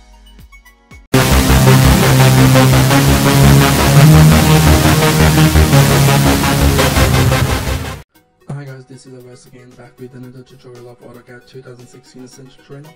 In this video I'm to discuss array. So I'll go and zoom into this object here and I will go select my array. As you can see we've got three kinds of array here, rectangular array, path array and polar array. We will go through all of these step by step. So I'll select rectangular array. It's going to ask me to select an object. I'll select this object and I will enter as you can see the default array has been applied. So this panel is temporary, it's an array panel. So you can always go and change these array graphically, I'll show you in a moment. But here you got a panel, you can specify your columns, let's say I'll type 6. I've got 6 columns here. I've got row, I've got say, let's say I've got 6 rows as well. So now I've got 6 rows as well. So here you can see that you can change your array by giving them values. So I'm gonna go and type 1 for now for my rows and now I'll show you some graphical options here. So let's say I've got three kind of grips here. Let's say I will select this grip and move around. What it does is that it basically add more columns to the array. I'll choose this grip. It basically change the distance between columns. So this is same as these panels, but you can do it graphically and I prefer doing graphically as well. Okay, so I'll go and change the distance now and I'll show you where one very important option. So I'll go and add some more rows to it. Let's say three.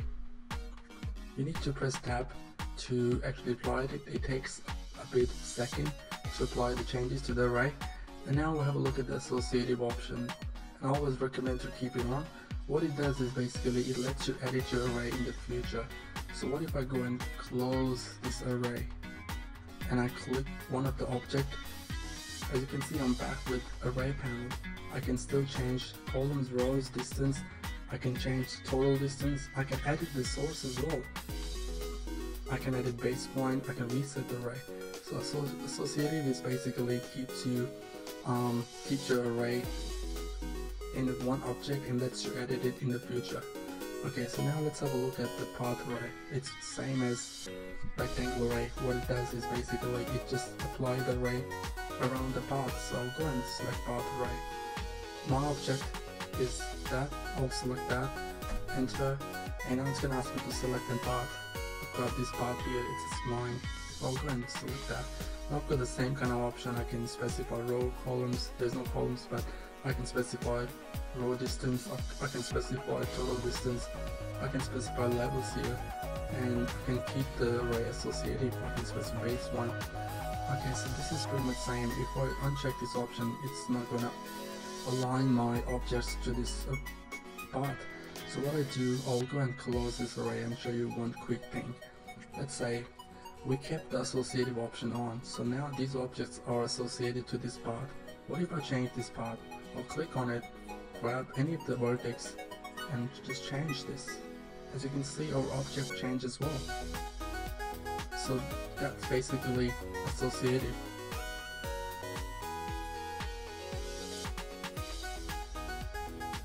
okay now let's look at the polar array. It's the same array.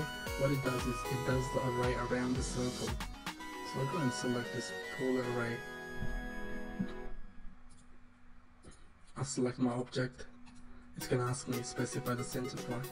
That's my center point you can always press shift hold and right click to get the center point option. Or you can keep your snapping option on. Object snapping option sorry. And I can click and as you can see I've got my array down here. I can have more items to it. I press 10 and I'm gonna get 10 items around this circle I can specify row I can specify distance between them I can actually specify the full column. Let's say this is 360, yeah? So what I do, I'll go and say 180. And you can see, I've got only 180 degree. I've got 10 items in 180 degrees. So this is pretty much about array topic. In the next topic, I'm going to talk about offsetting and mirroring. And I'll see you guys in the next video. Be sure to subscribe to my channel and follow along with this course for the in-depth training of AutoCAD 2016 Essential Training. Thanks again, I'll see you in the next video.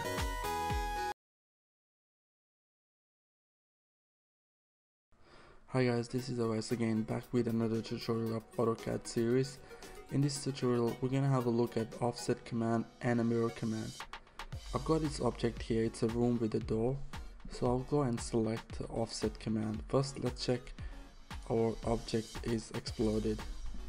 So we got offset command here in the modify panel. What I want to do is I want to start the offset command by pressing O enter and as you can see that this command doesn't start by selecting an object. Instead it's asking us to specify the distance.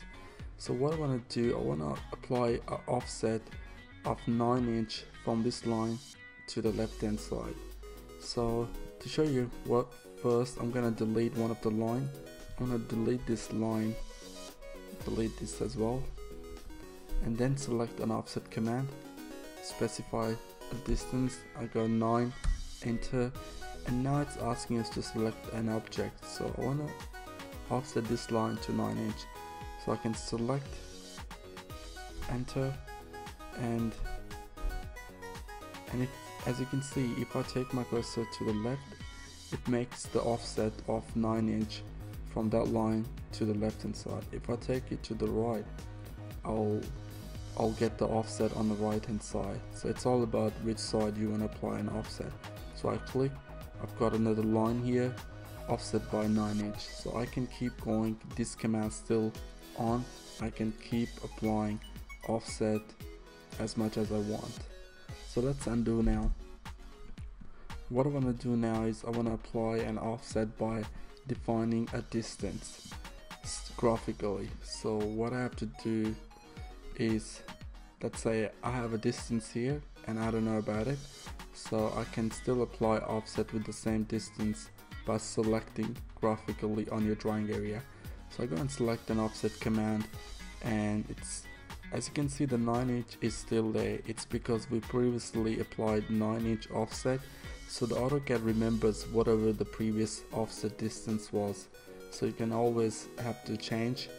And now what I want to do I want to select from here and perpendicular that.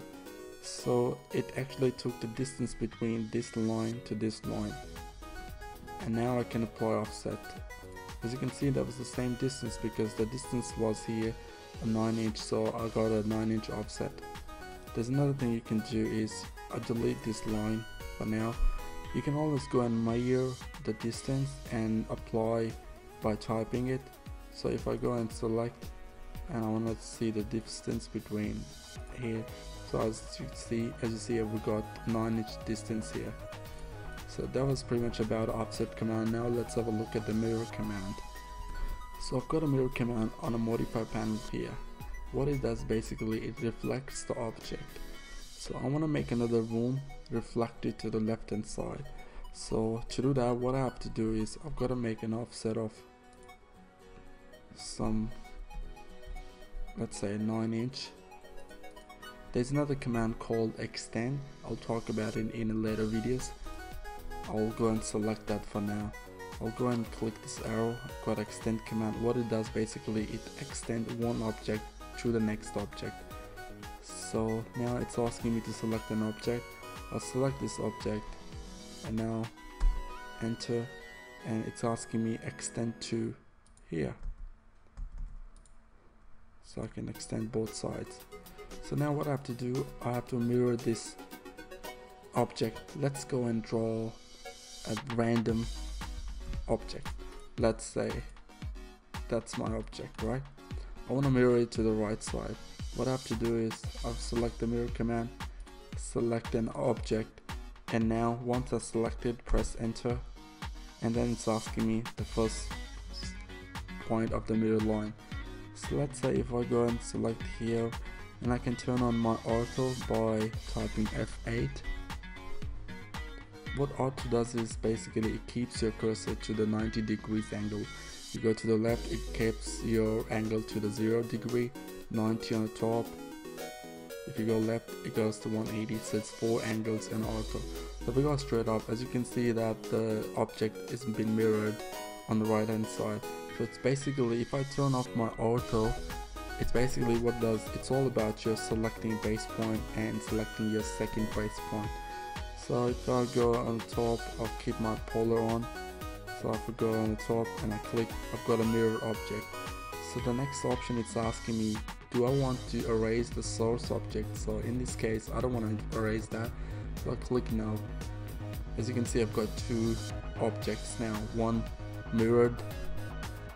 So now let's go and make another room next to this one. So what I have to do is I have to let's say I'll delete this line and now I'll select my mirror command select the whole object enter and now it's asking me to select the first point.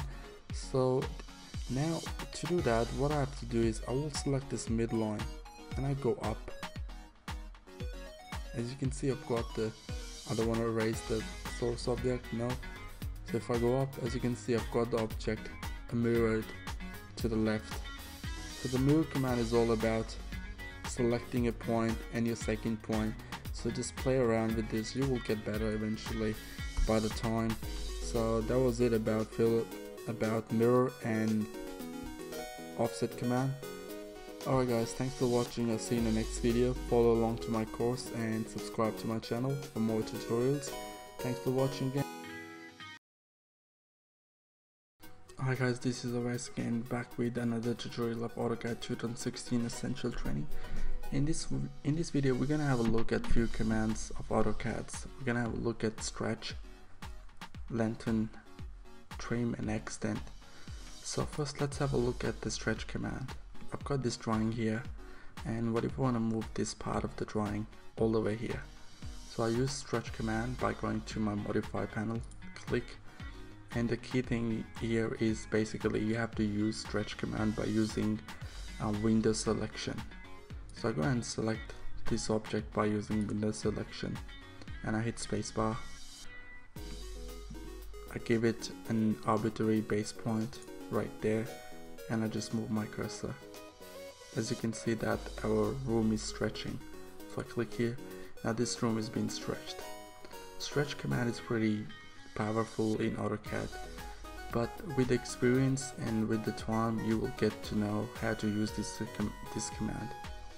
So just gonna show you quickly one more thing that it's all about selection, the way you select the object and use stretch command. You will gain the experience by the time. So I'll go and select this stretch command again. And now I want to select this part. Hit spacebar. As you can see I've got these two objects selected on the right hand side these two lines are selected, these doors are completely selected. So give it an arbitrary base point right there. And I move my cursor. As you can see I can move the doors and the middle wall in these two rooms. So if I turn off my ortho by pressing F8 I can even stretch wherever I want as you can see stretch command is pretty powerful but I turn on my ortho and I just stretch it a bit here. So that was it about stretch command. And now let's have a look at the lengthen command. So I'll draw a line to show you how a lengthen command works. So I draw a line about here. I measure the distance of it. So I've got distance about 25 feet 4 inches. Yep. so the lengthen command is in the modify panel. If you click that arrow and you get the lengthen command here. And now it's asking me to select an object.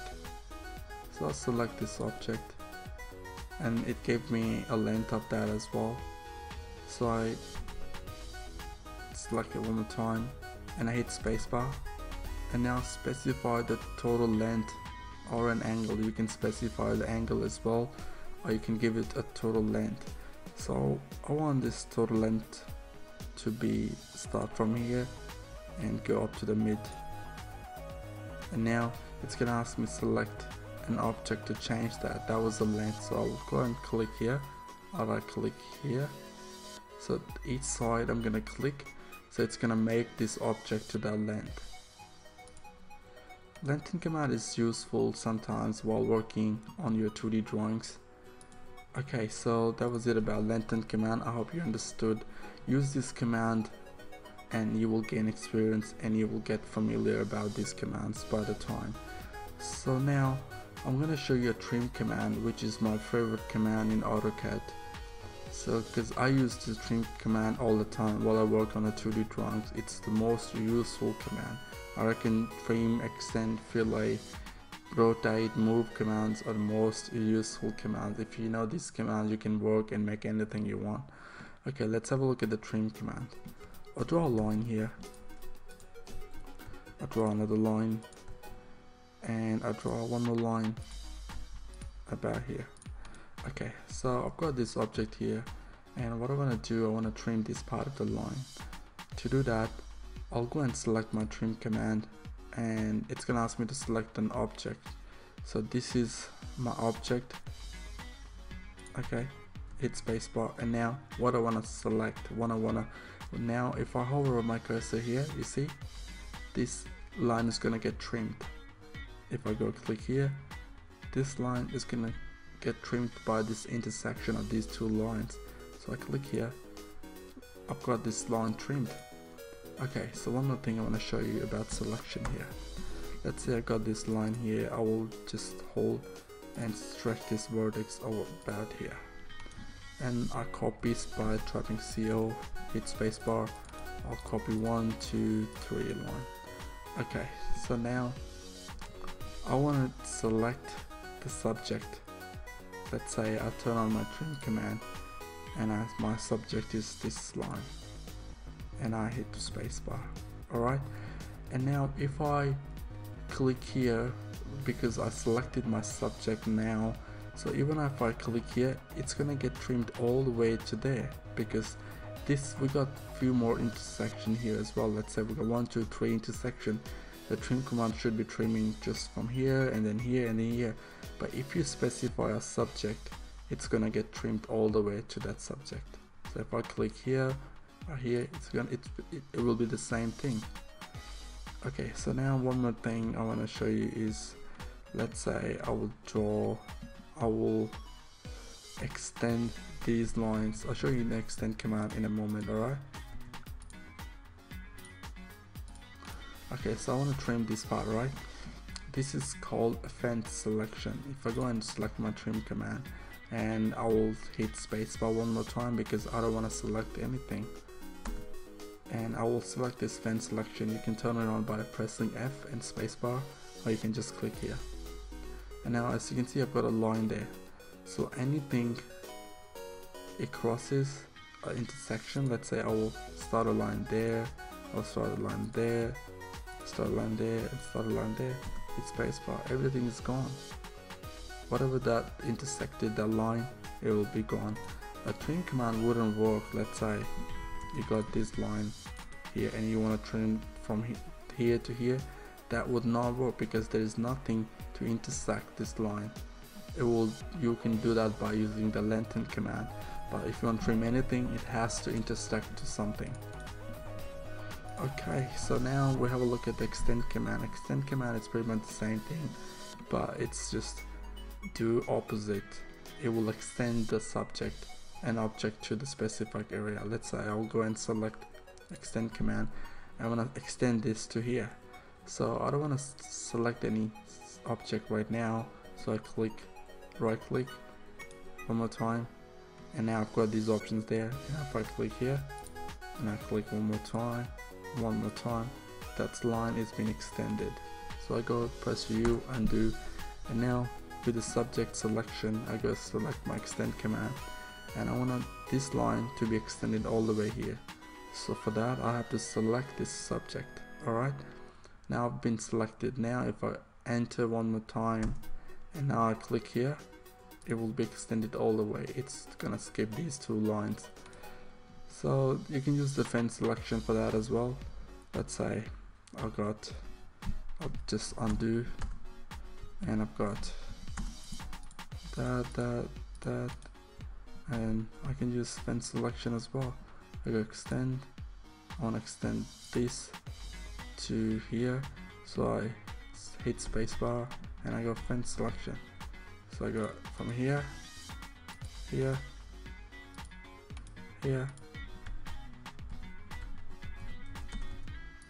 So you got the extend selection there. Alright guys that was about um, it about these commands. I hope you liked the tutorial and drop down any comment if there's any questions about it. And I'll see you guys in the next video. Thanks for watching and be sure to subscribe to my channel. Hi guys this is Awais again back with another tutorial. In this tutorial I'm gonna talk about two commands. First one is the break and the second break at point. So the break command it actually break any object between two points. Break at point it breaks any object at the point. So let's have a look at the first break command. I'll click on that and now it's gonna ask me to specify my object let's say I want to break this line. If I click here and move my cursor as you can see it started breaking from there. The problem with this method is it's not accurate. You cannot specify the accuracy. So I'm gonna go and undo this. I'm gonna show you how you can break between two points with accuracy. So start a command br spacebar select the object. And now down here on the command line as you can see I've got option here first point. So let's say I click here and because of my object snapping is on so I can snap to this endpoint. So I start from here and I can go to the mid okay to select the midpoint press shift hold right click and go midpoint. And now you can see that you got the midpoint there and I click here. So that's how you can break with accuracy. Let's undo this. I'm gonna draw two lines. There's two ways to get rid of these two middle lines. I can trim and I can use break at point. Well there's a lot of ways to get the job done but in this video I'm talking about break at point and break command so let's do that way. I'll select this object and I'll stack my first point. It's because that line is intersecting to my main object so I can press shift right click select intersection zoom in a little bit and I can just start from here to there. And I could trim that. I can show you how to trim this command easy but there's a lot of ways to get the job done. The main point is you need to get the job done. Doesn't matter how you do it. Okay now let's have a look at the break at point command. I'll go and select break at point and I'm gonna break this line. It's gonna ask me select the object.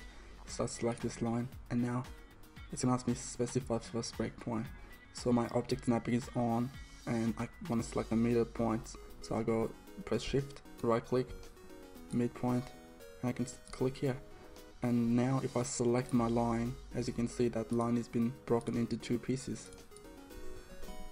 Okay so now let's have a look at the break command again. I'll go and select the break command and I want to break this line. If I click about here and move my cursor as you can see it started breaking the line. But there's a shortcut key if you don't want to leave a gap. Let's say with break command I can even break at point as well. So I'll type shift at symbol and then enter. And now I'm gonna go and select my line. As you can see that break command didn't leave any gap but it still broke my line into two pieces. Okay so now let's have a look at the join command. What it does is it rejoins the object. If let's say I broke this line between these two pieces right? I'll go and select this line. As you can see I've got two pieces. I have to select them separately so go to the modify panel and there you go. You got the join command there. So I click here and now it's gonna ask me select a source object or multiple objects. So I select this line. I want to join this line to this line.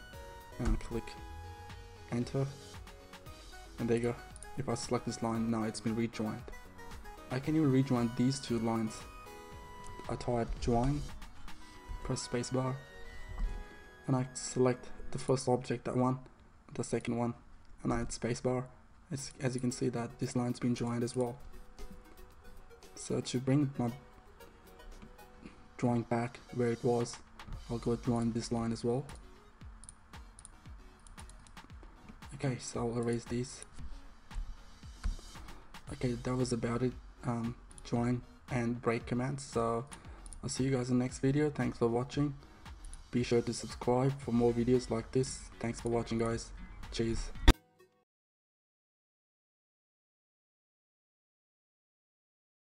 Hi guys, this is Awais again. In this video, I'm gonna talk about editing with grips, creating boundaries, and cleaning up our drawing.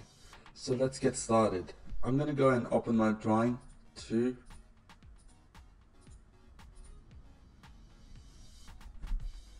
So let's talk about grips. If I go and select this line, I get three kinds of grips here. Every object has grips. Grips provide six different modifier commands and an alternative interface to edit the object. If I select this middle grip and I move my cursor, I've got ortho on and I'm gonna turn it off by pressing F8 and as you can see I can move the object by selecting from the middle grip so if I go and click here I actually move the whole object. If I select the corner grip let's say I select this grip and I move my cursor as you can see it's more like stretch. So let's say it's more likely stretching an object. I go and select the stretch command select my object select from here and still as you can see I can still stretch. But grips are more efficient let's say I'll go and select the corner grip and I'm not gonna click on it I'm just gonna hover over it. And I can two kinds of command here. I can lengthen the line I can stretch the line. So we just seen stretch so the advantage with lengthen is you can't change the angles. You can shorten the line and you can increase the line. So if I go click here it's going to shorten the line with the same angle. I'm to show you one more thing that if I select this grip and this time I'm to click on it. And now on the command line as you can see that I'm in the stretch command with asterisk so I can cycle through with different commands.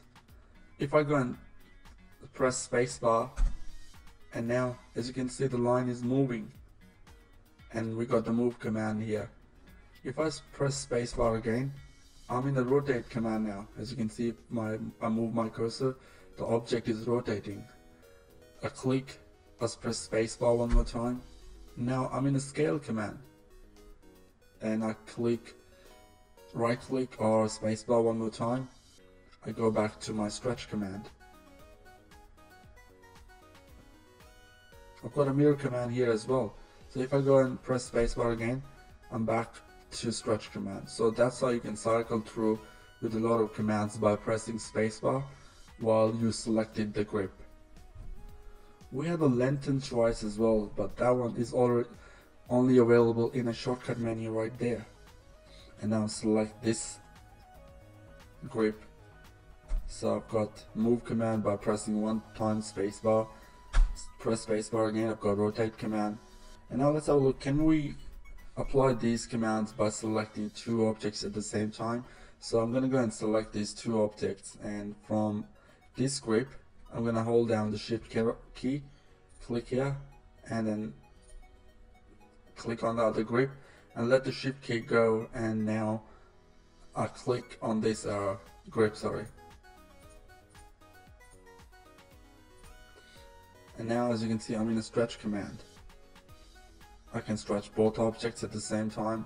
I press spacebar, now I'm in a move command, spacebar again, I can rotate these two objects.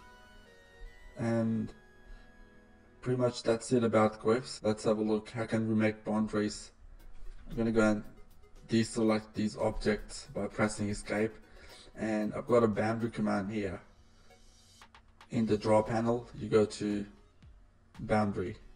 I'm going to select that and it's going to ask me to pick a point. I have to click this icon. I click here and it's going to ask me to select a boundary. So what if I click here? First I want to show you that I've got these objects are separated. What if I want to join?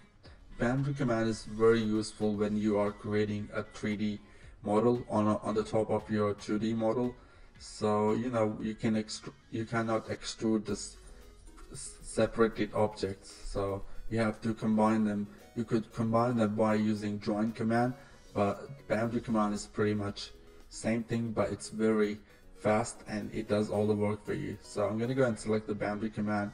I'm gonna pick this point and click here and press spacebar. And what it did is basically I select this object. Now this object is combined. So what if I select this group here and I press spacebar one more time. Now I'm in a move command so I take my object all the way up. So as you can see that what boundary command did is it did not basically join those objects. It actually created a new object between that boundary. So let's say if I make two lines here.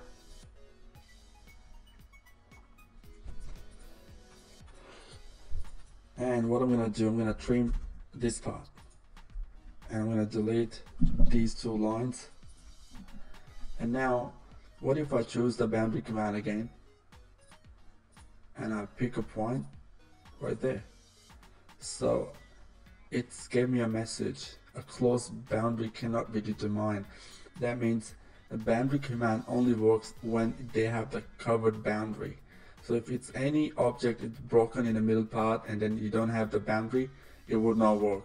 So use the boundary command, you have to have a proper object for it.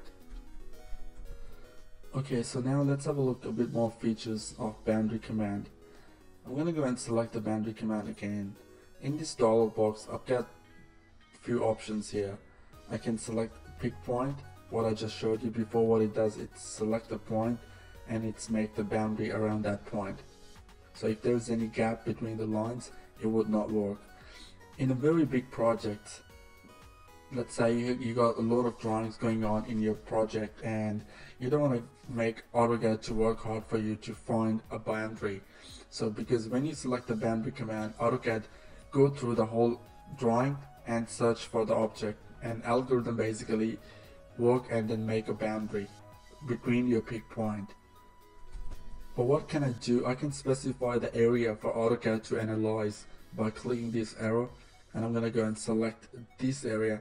So what I get AutoCAD gonna do is it's gonna skip the rest of the drawing and just gonna analyze this part of the drawing and make a boundary.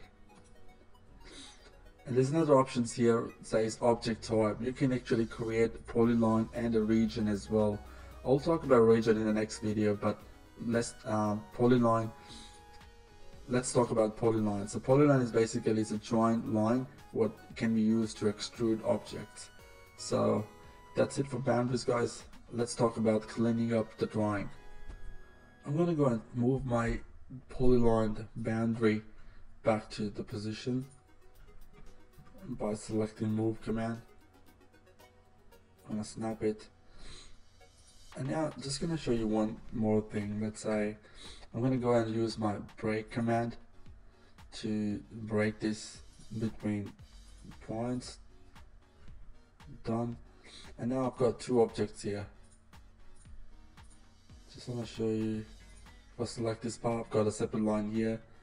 I've got a separate line here. And I've got a middle line on the top of um, these two lines. So I've got basically three lines. It's not a good drafting practice. So there's an automatic command what basically it does. It cleans up your project. So I've got this line but as you know I had a pro, um, I had a same object at the back of this polyline. So I'm gonna explode this object as well by pressing X and select the object hit spacebar and I've got two same objects. If I go and group this from here and move the object as you can see I've got a line at the back of this line. So I'll move this back to the there so what I'm gonna do I'm gonna get AutoCAD to clean up this object for me so what it's gonna do it's gonna clean up everything behind this object so anything the same object exists on the top of the same object it will be erased so let's have a look so there's a cleanup command. If I go to my modify panel, I've got a command called overkill. It's in the modify panel. So I'm gonna go click on this command and I'm gonna go and select this object and I'm gonna press spacebar. So got this dialog box. So it's asking me basically what kind of object I have to delete. So I'm gonna I'm gonna ignore it says ignore object properties. I'm gonna ignore layer and rest all I'm gonna go get them to clean so I press OK and now if I go and select this line so let's say I'll go and select the erase command and I select this object and now down here it's telling me one object found so that means the duplicates on this object were deleted so now our drawing is basically more streamlined about region in the next video. Subscribe to my channel and I'll talk to you in the next video. Hi guys, this is Awais back with another tutorial of AutoCAD 2016 Essential Training. In this video I'm going to talk about performing boolean operations on region. So let's get started. I'm to go and draw a circle, size doesn't matter, and then I will draw a rectangle next to it. And let's draw a ellipse. about that and then I'm gonna draw a pentagon as well draw a pentagon about that and now at these points these objects are defined along their perimeters so now let's go and convert these objects to regions go to your draw panel select the region command select these objects and then press spacebar and now on the command line, as you can see, four regions created. A region only being created on a, on an object which has the boundary. So let's say I will draw a line about one, two, three points, and I don't close this line, so it does not have a boundary. So what if I perform a region command on this line, and so as you can see that it's telling me that zero region created. So the regions command can only be applied on an object which has the boundary. So let's go and delete this object. So now we can use boolean commands to manipulate these objects because these are regions now. To perform a boolean operation, what I'm gonna do, I'm gonna move this circle to this rectangle so now it's overlapping.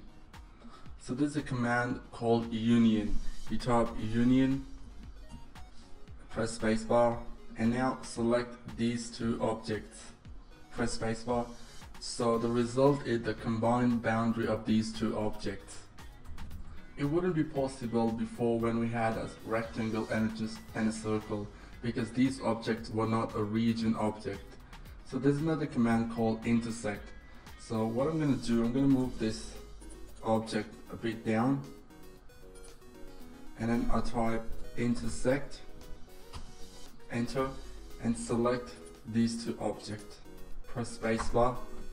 So the result is their common area, the area that they both share. So finally there's another boolean command called subtract. So to do that I'm gonna move this pentagon about here and type subtract from the keyboard press spacebar and now in the subtract boolean operation, with subtract command, the order you select the object is very important. You need to select the object you wish to have remain first. So in this case, I would like to pentagon to remain. So I select this pentagon first, press spacebar, and I subtract this object to be subtracted from the pentagon. And I press spacebar again, and the result is so the other object was subtracted from pentagon. So Boolean operations allow you to manipulate the regions. It's quite interesting because you can use object as tools to come up with these complex shapes. Boolean operations are very useful in 3D modeling. So that's it for Boolean operations. In the next video I will cover fillet, chamfer and blend commands. So see you guys in the next video. Subscribe to the channel and follow my in-depth training of AutoCAD 2016 Essential. Alright guys, thanks for watching. Hi guys, this is Awais back with another tutorial of AutoCAD Essential Training. In this video I'm going to talk about three commands, fillet, chamfer and blend. So let's start with the fillet command first. The fillet command is on the modify panel. If you click on the fillet command and hover over your cursor, the icons actually tells you what these commands do. So I hover over my cursor to fillet command. What it does is rounds and fillet the edge of the object. Let's see the chamfer command. It basically applies a beveled and edge of object. Blend command create a tangent or smooth spline between endpoints of two open curved objects. So let's select fillet command. Now what I'm gonna do, I'm gonna show you how you can apply a radius because fillet command can make an arc as well. So I'm gonna go and select this radius and I can actually specify values by typing but I can even click on the screen and specify my radius. So I'm gonna go and click two points. I'll click here and then the second one would be about here. And now if I select this first line and I hover my cursor to the second line, the preview window shows that what's going to happen. So what it's doing is basically it's making an arc with that radius we just selected on the screen by giving it two points. So I'll select this and now we got an arc. Okay, so now let's have a look at the fillet command one more time, but this time I'm gonna delete the radius back to zero. So I click on the radius and I press 0, enter, and now our radius is 0. So now select this line and hover over your cursor to the next line. So what it's going to do, it's basically going to trim away on the top of the object. So I click here and now fillet command has been applied and those two objects, you know the two lines were there, were trimmed away. Okay, so let's have a look one more time of fillet command and I'll tell you about selecting the object while using fillet command. So I go and select on a fillet command. And now let's say if I select this line and I hover over my cursor to this line, what this command is going to do, it's going to trim away the bottom of two lines. And if I take my cursor over here, so it's going to trim away on the right side. So it's very important the way you select the object, that's how you're going to work. So always try to select the object first, what you want to keep. So I click here and these two lines are trimmed away. So that's it for fillet command. Let's have a look at the chamfer command now. So click on this arrow button and select chamfer command. And now chamfer command basically work with two distance.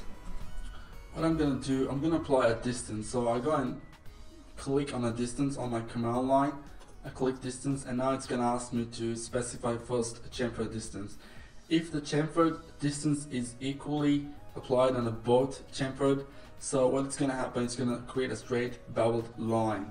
So I'll go and maybe click here and then click about here. That would be our distance.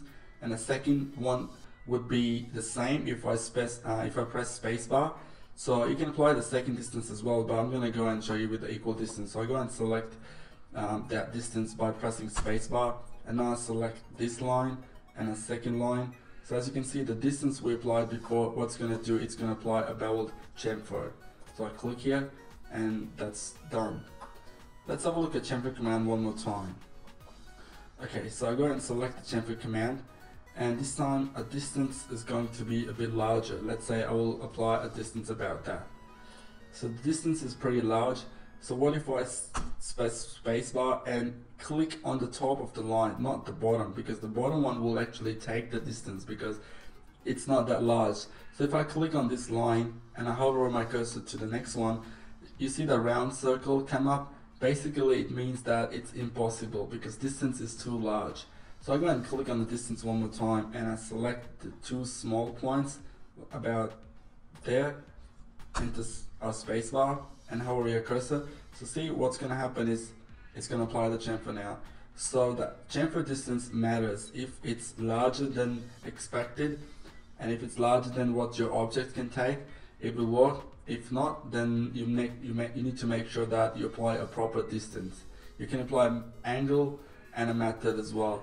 So let's say I wanna chamfer this line. I click on this object and those other right side object will be trimmed away. Now let's have a look at the bevel command. So I click on a bevel curve. What it does is basically give you a spline between two objects. So you don't have to specify any values here. So you select first line and then second line. And I'm gonna zoom in by scrolling up my mouse wheel and I select this line. As you can see, it's basically a spline with these vertex. You can actually edit them as well. So I go and hover over my cursor and I can actually add vertex, I can refine vertex, I can remove vertex, I can even stretch. So I can select stretch. So as you can see, if I move my cursor, I can stretch this. I can select this vertex and add vertex as well. So as you can see, the vertex has been added as well. I can even change this to a line. I go hover over this part and I can change it to a line. Hover this one and then maybe add another vertex. So you can actually keep going. There you have it guys. Um, these three commands are very useful when you draw a 2D drawing. So get your hands on them. You will get better by the time. And thanks for watching and I'll see you guys in the next video. Hi guys, this is Awais back with another tutorial of AutoCAD Essential Training. In this video, I will discuss divide and measure command. Divide and measure command, both of them outputs a point object. You can use this command to lay out objects. So I've got my drawing opened and let's say we want to add a stool to this kitchen island. And I've got a stool outside my drawing. What I want to do is I want to select this tool and move it to this drawing. So I'll use move command and select this tool, select your base point and then just move it to your drawing. So now I would like to have three stools on this line which are all equally spaced on this line. I can use divide command to help me determine how can we do that. So type div spacebar now it's asking me to select object to divide. So I'm gonna go and select this line. Now it's asking me to enter the number of segments. So I'm gonna go and type 4 press spacebar now the command is done as you can see pretty much nothing has happened but actually divide command has been created three point object these points are displayed at single pixels and they are hard to see. It will be hard to see if the uh, layer will be the same as the object. So what I want to do is I want to change the style of the points so we can look at them. So to look at the pixels, what I want to do, I want to type a little noun command which is ddtp spacebar. So I've got a dialog box here. I can select any shape to represent the points. So I like that one, so I'll select that one and press OK. And now as you can see, we got three points divided with the same space on this line. So while I want to choose um, this line and I want to snap this stool to these pixels, so I'll leave the style of the point the way it is. So what I'm going to do, I'm going to select a copy command and then select this object. And what I want to do I want to select the midpoint of the stool here. So I will hold down shift key right click and choose midpoint and I will select midpoint and then what I want to do now as you can see I've got no object snapping here so the points commands accept a node object snapping so what I want to do I want to hold down shift key right click and select node and now if you go next to the point you will see the object snapping now. So I'll click here and then I'll click on it. I'll click, oh, you gotta go and select the node command every time you wanna copy it. So I'll go and select again, hold down shift key, right click, node, and now you can note that there, hold down shift key, right click, select node, and then click on it. So as you can see, I've got three stools equally divided on this line. And now I can go back and change the point style. So I go DDP type command, enter, and then select this one single pixel style of the points, press OK. So these ones are basically there, but they are disappeared for now because the point style is a single pixel style. Let's say I'll change the color of this line. I'll change the color of this line by let's say red and now I will move these tools a little bit up as we go zoom in and then you can see the single pixel are shown on this on this line. So the points are basically there but we can't see it because of the point style. I'll zoom out for now. Just want to mention one thing here. If you don't want to hold down shift key and then right click to select node while you are copying those tools on the line you can go and turn on object snapping. And if you click on this arrow and you can select which one will automatically work. So I'll go and ch check this node and I'll highly recommend this perpendicular as well. And then if I go and select my move command now and select this and go to that as you can see now I got the automatic object snapping is on now. So that's how you can work with it. Let's talk about measure command now. But first what I want to do I want to get rid of these points. So what I do I will start my selection from left to right by selecting window and I click and then I press delete. Or you can use erase command there. And now I'm gonna delete these stools as well. So the measure command basically lets you set distance between the objects. So what I want to do I want to select this tool and set a distance for that I'm gonna go and select the measure command by typing MEA S-U-R-E spacebar and now it's gonna ask me to select the object. So what I want to do I want to select this line. And now it's gonna ask me the length of the segment. So let's say I'll type 5 feet. And I press spacebar and now what I'm gonna do is select from crossing window left to right. As you can see I've got this point there which is which has 5 feet distance between from the starting point and this node. So what if I select this whole line? Now I've got 5 feet distance here 5 feet distance in the middle and rest it whatever is left it will be there. So the measure command can create this type of measurement but the problem with this, you're gonna have a leftover, whatever is there, it's gonna be there. So this is the remainder here, that distance after that point. So in this case, when we're trying to get three stool on this line, divide command is way better than the measure command. But there will be some circumstances where you will be better off using measure command rather than divide command when you need to make sure there's a set distance between objects. So there you have it, these are two commands. There you have it, there are two commands which are really useful to layout objects. Alright guys, thanks for watching. Um, make sure to subscribe to my channel. Hi guys, this is Awais back with another tutorial. In this video, I'll talk about grid and snap. So I'm gonna go and open a drawing Let's start a new drawing. So grid and snap allow you to draw object constrained in space. So go down on the status bar and toggle on these two features, grid and a snap. To control this spacing, right click on a snap and then choose snap setting. This opens up the drafting setting dialog box and we are on the snap and a grid tab. So you've got a shortcut keys for snap-on is F9, for the grid is F7, so you can turn them off and on by pressing F9 or F7 for grid. So as you can see that snap X spacing is half a millimeter and Y spacing is half a millimeter as well. And grid is the same. So what I'm gonna do, I'm gonna go change grid spacing to one millimeter. Press one, press tab, changes to one as well. And the major line, I'm gonna change it to 10. So if you were using inches and feet, it would be best to use 12 inches every major line. So on the right as you can see these lines are the major lines and inside them there are the minor lines.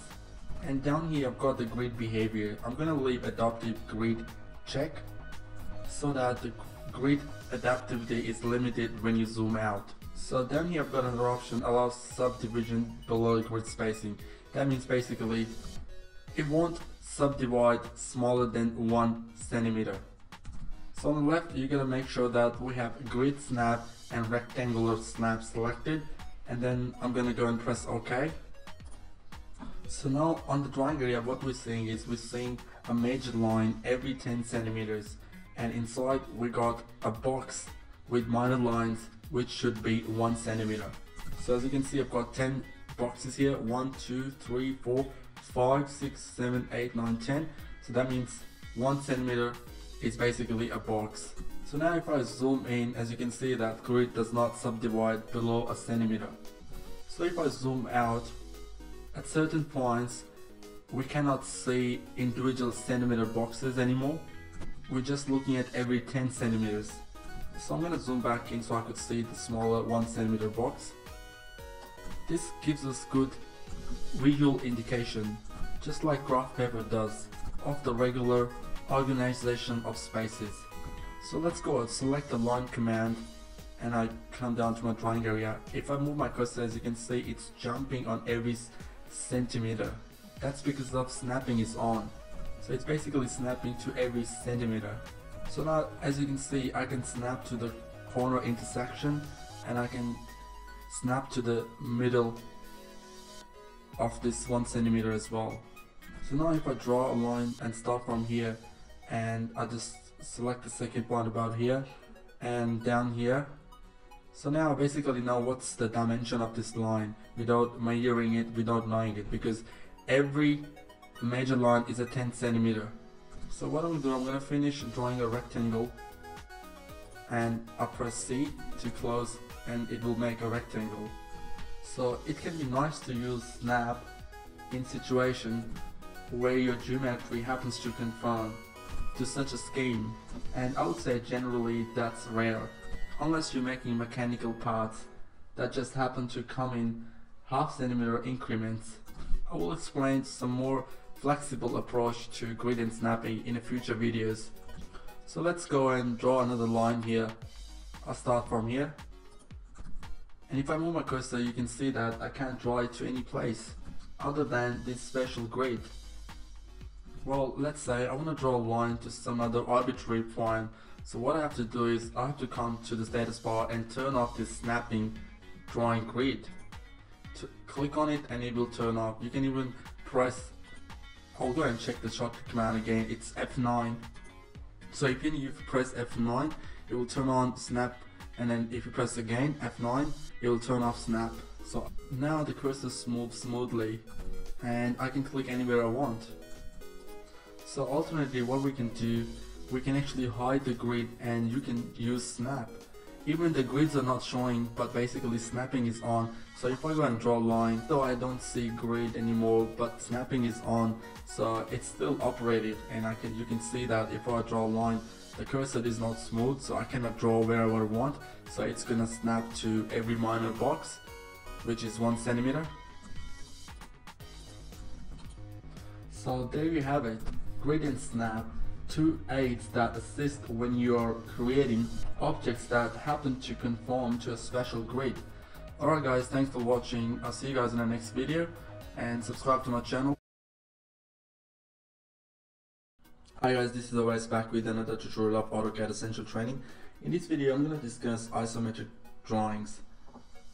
So, isometric drawings are two-dimensional illusions that represent three-dimensional object, but they're not 3D models. This is perfect for AutoCAD LT which doesn't support 3D modeling. So you can actually represent a 3D object in isometric. So to enable isometric drafting, you need to turn on the toggle on status bar called isoplane. So go to the customization menu on the right corner, click on it, and then here we got isometric drafting. I'll make sure it's checked. And now we got an icon on the status bar called isometric drafting. It's got three options here, isoplane left, isoplane top, and isoplane right. So what I'm gonna do, I wanna turn on my isoplane left and just turn on my ortho as well by pressing F8. Now let's draw a line. I'll start from here and then as you can see it's drawing on a 90 degrees and 180 degrees because our US, UCS is on the same on the wall for now. To turn on the isometric drawing, what do you have to do? You gotta click on it and make sure it turns to red and green. So if you look at the cursor now, it's in two colors, red and green. So red color represents x-axis and green color represents y-axis. So I'll go and click this arrow and make sure that I want ISO plane left. And now let's draw a line. So I start a line from here and I go on left. It's drawing on 150 degrees and 90 degrees. So I draw a line about here and I go on top and then I come back and I go down a little bit and then I go about here and I just move all the way down. So now to clean up this drawing, I'm gonna go and select my trim command, press spacebar to select all and get of these, get rid of these ones. So now let's select top isoplane to make the top part of the drawing. So I'll go and select the line again and then start from here. So if you wanna, if the intersection doesn't show up, what do you have to do? Hold down shift key, right click and select this endpoint. Go to the right a bit here, go back and just draw a line here. So what I'm going to do is I want to clean up this drawing because this line is not actually what I wanted. So I'll go and select my erase command by pressing E, spacebar, select this line, press spacebar again to get rid of this. And I'll start a line from this endpoint now. So hold down shift key, right click, click on the endpoint, select this endpoint and go all the way there. And now let's draw a few more lines on the same isoplane which is a top. So draw a line about here, like one more, draw another line. Alright, so now what I'm going to do, I'm going to draw a line on the right side. So select this intersection and I go, see, as you can see, I cannot go down because my isometric is on the top. So I'll go and change this to either right or left. Let's draw it right first. A line, a random line basically. And then I select this intersection point and go all the way down. And now I use the trim command to clean up my drawing. And I click this part and I get rid of that line. So now I can copy this left part of the drawing. Let's say I'll select my copy command and I select these objects. And now for the base one, I select this intersection, take this to the next intersection. I want to select one line, so I click on it and delete. Now let's clean up a drawing. Select the trim command by pressing TR and spacebar and get rid of these corners. You need to press spacebar one more time to select the whole object. So I get rid of these lines.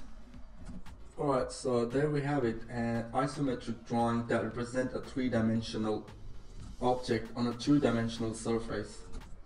If you want to go back to the coordinate system which was before, so you need to make sure that you toggle off this icon isometric drafting. Alright guys, thanks for watching. This was about isometric drafting. The isometric drafting is, is very useful if you want to represent a 3D model on a 2D surface. And thanks for watching guys, that's it for now. I'll talk to you guys in the next video. Subscribe to my channel for more videos on AutoCAD Essential Training and be sure to check out my full playlist on this course. Hi guys, this is Awais back with another tutorial of AutoCAD Essential Training. In this video, I will discuss coordinate system. We have two primary coordinate systems, Cartesian and polar coordinate system. AutoCAD also support cylindrical and spherical coordinate system, but they're only used in 3D modeling. We use Cartesian and polar coordinate system all the time. Even you draw a simple line, then you're gonna use the Cartesian and polar coordinate system. So now just turn on your dynamic input on your status bar, click on this icon, and then your dynamic input is on now and I'm gonna go and start a line and now we got two values here first value represent x-axis and second value represent y-axis so if I go closer to my 0 comma 0 so you see that values are basically decreasing. So if I take my cursor on the right which is x-axis so the values are basically increasing. If I move my cursor up you know the y-axis values are increasing. So this is basically a Cartesian coordinate system. While your dynamic input is on, you can see those numbers next to your cursor. You can even type the values as well, even if your dynamic input is not on, you can still type the values and it will take you to the specific point.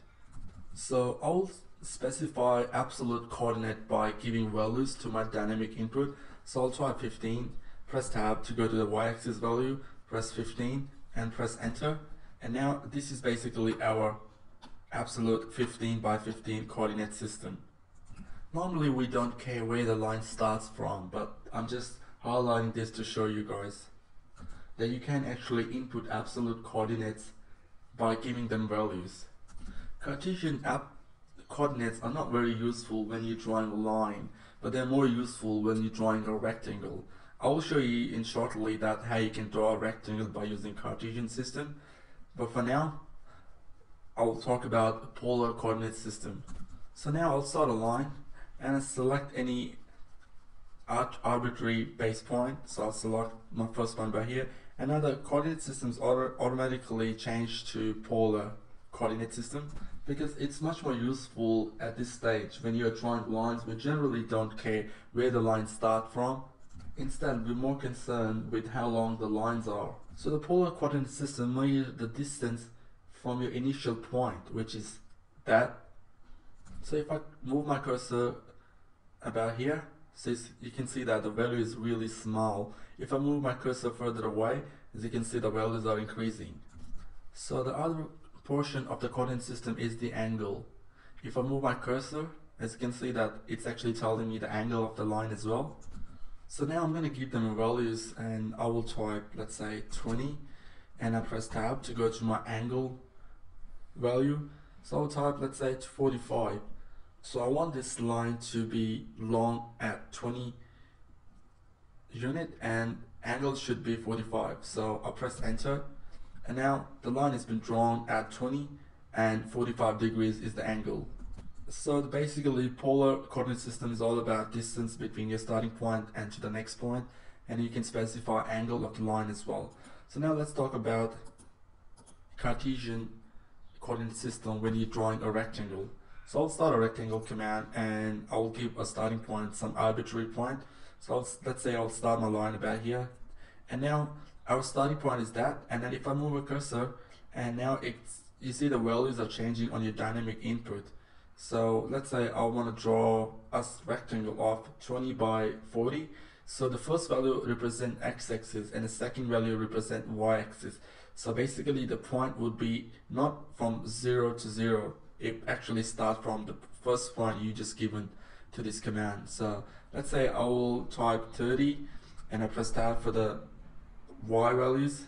So 30 is about from here to here. As you can see that if I type 50 and now the rectangle is basically drawn. So all I have to do is press enter and then as you can see that we got the our rectangle so if I measure this by using a measure command and I start from this one to this one which is 50 and I will go and start this command again.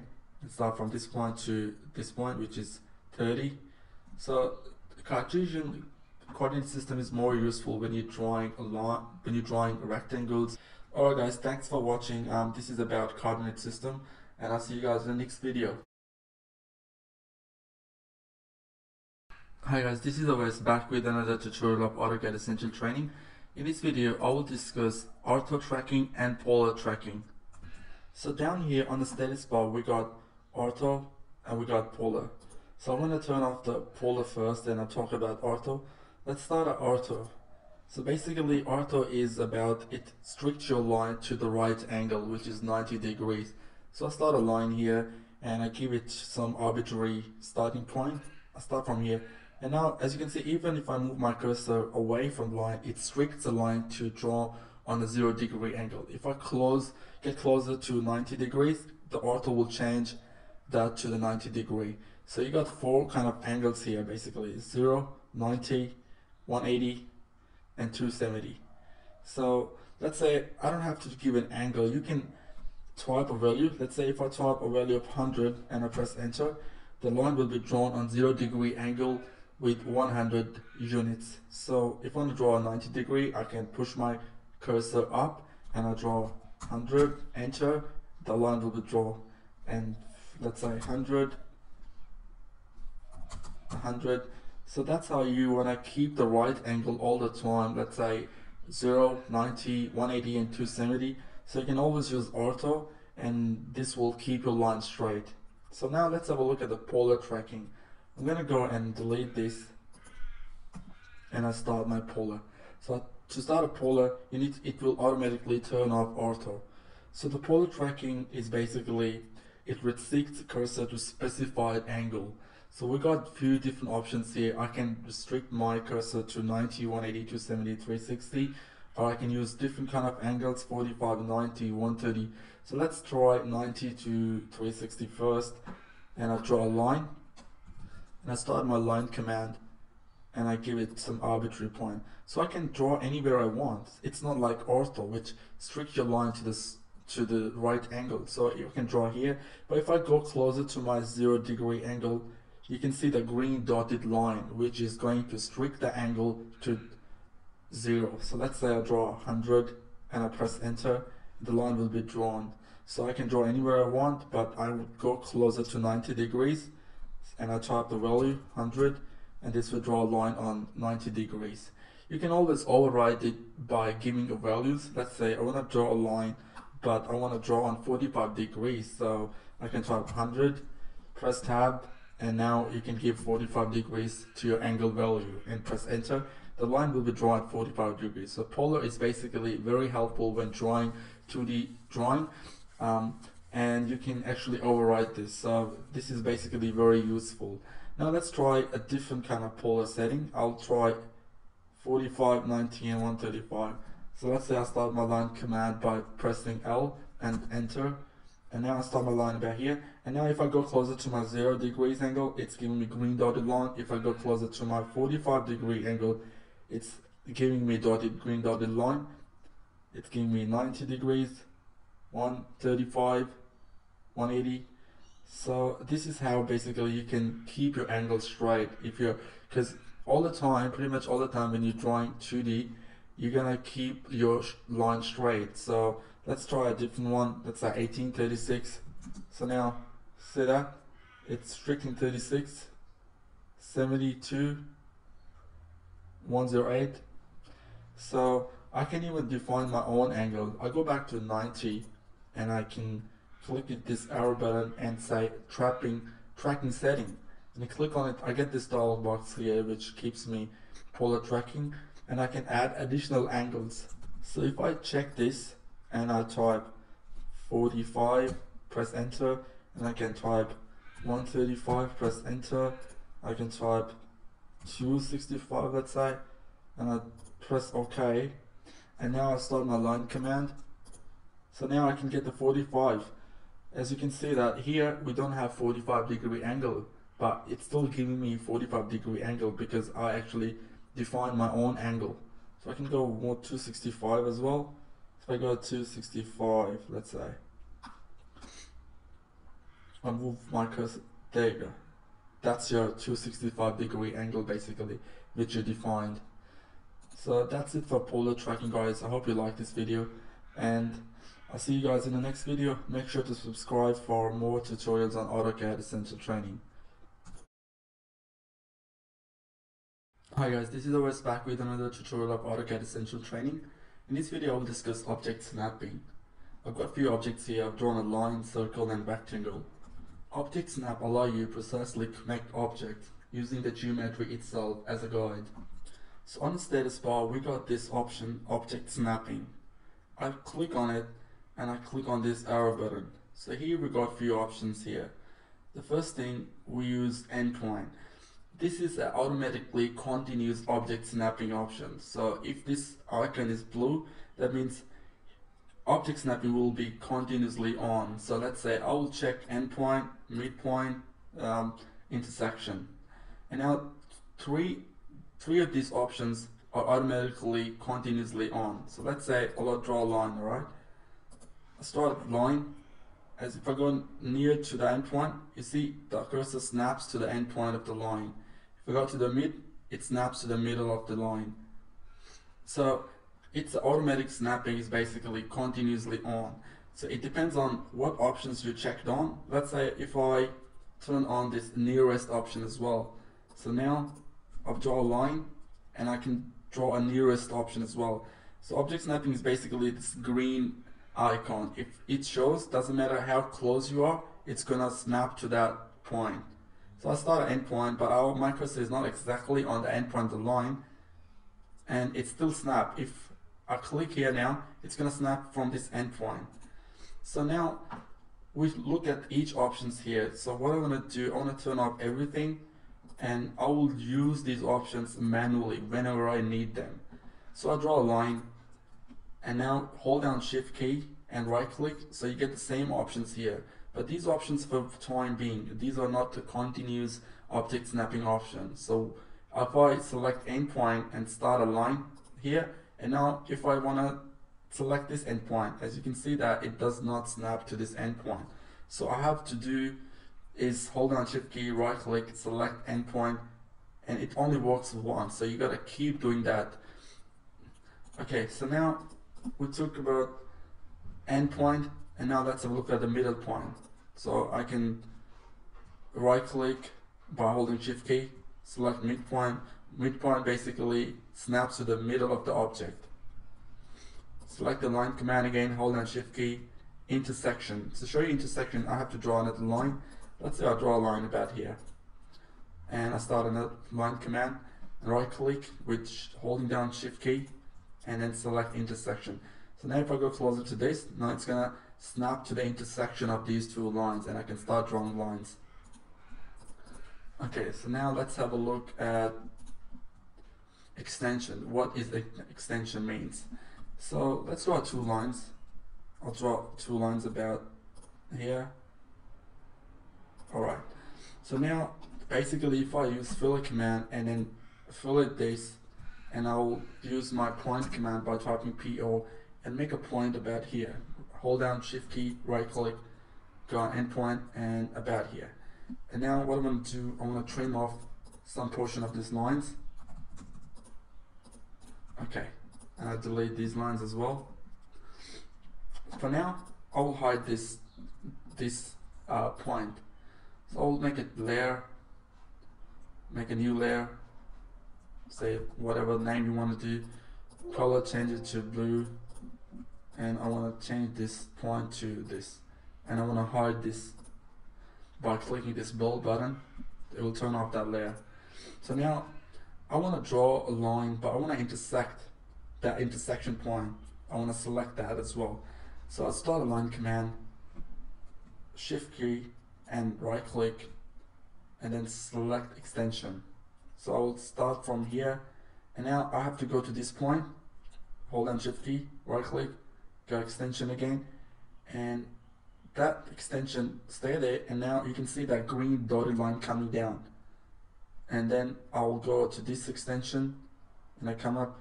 So the point's gonna be there. As you can see that it's snapped to the extension. We use the fillet command to show you that what does it mean basically. So I can click here so that endpoint is basically on the top of the point because that extended that point. Alright, so let's have a look at another thing now. I start a line command and hold on shift key. Let's have a look at the center. So to center, you have to use a circle. So start a line command. I want to start a line command from the center of this circle. What I have to do is hold down shift key, right click, select center, and now as you can see, I've got the center.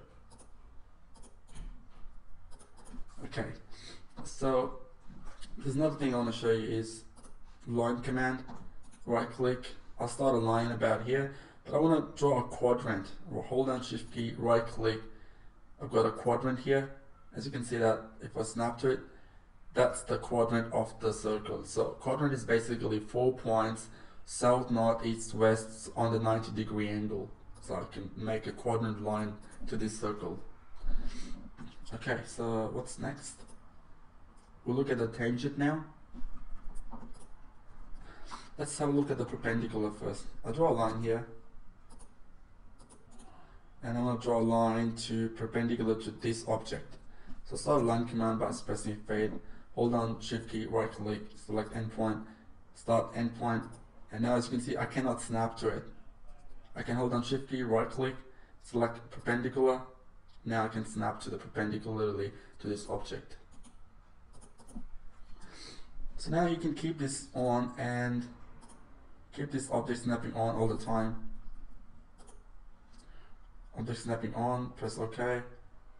This will turn it on. I'll check this, check this. So basically what I recommend you to keep on automatic object snapping from endpoint, midpoint and center because these are the most useful object snapping you will be using. You can keep it on perpendicular as well and intersection. These are the main basic object snapping used in AutoCAD 2D drawings. I've shown you nearest, nearest, keep it off because it's going to distract you by snapping to the main points. So that's it for about object snapping. You can, you can actually go and click on object snapping setting and you can choose these options as well. But it used to be in the older version of AutoCAD that you had to select by going drafting setting. You have to select all these options snapping mode. But now AutoCAD 2016, we get these options outside on the status bar by clicking this arrow button. So I'll show you a node as well. One thing about node. Let's say I'll draw a point. I've drawn a point before and I'll turn back on by clicking this ball button. And now I've got a point here. If I go DDPTYPE command, I get this dialog box. So I change my point style to this. As you can see, I've got a point here. So if I go start a line command and I want to start from this line, what I have to do is, because node is off, I can check this on here. It will automatically start from the center of this point. So I can start it. But in other ways, if you don't want to keep this on all the time, you can turn it off and you can use it at the time where you need it by holding down shift key, right click, select node, and you can start it from there. There's a few more options here. Let's say insertion. It's all about text. When you type a text, text, text, sorry. Um, when you type a text in your drawings, that's where you need to use insertion. I've shown you quadrant. I'll show you tangent as well. So turn this on and now draw a line to, I'm gonna draw a line about here but I'm gonna select, see, that actually snapped to this circle, to endpoint circle. So object snapping, one more thing I want to mention here that object snapping is about this green arrow. Once this green arrow shows, doesn't matter where your cursor is, if you click on it, it's to snap to that tangent point or to any object snapping. Alright guys, thanks for watching. This is all about object snapping. While I start my practical project, I will use these object snapping and explain about this more in a later practical project, which is a host project. And for now, be blessed. And for now, that's it. Thanks for watching. Subscribe to my channel. I'll see you guys in the next. Hi guys, this is Awais back with another tutorial of AutoCAD Essential Training. In this video, I will discuss user coordinate system. By default, AutoCAD uses World Coordinate System. In short, it's WCS. It's possible to create your own coordinate system, which is called UCS, User Coordinate System, which can have different origin point. In this video, I will show you how you can create a user coordinate system and draw according to that UCS.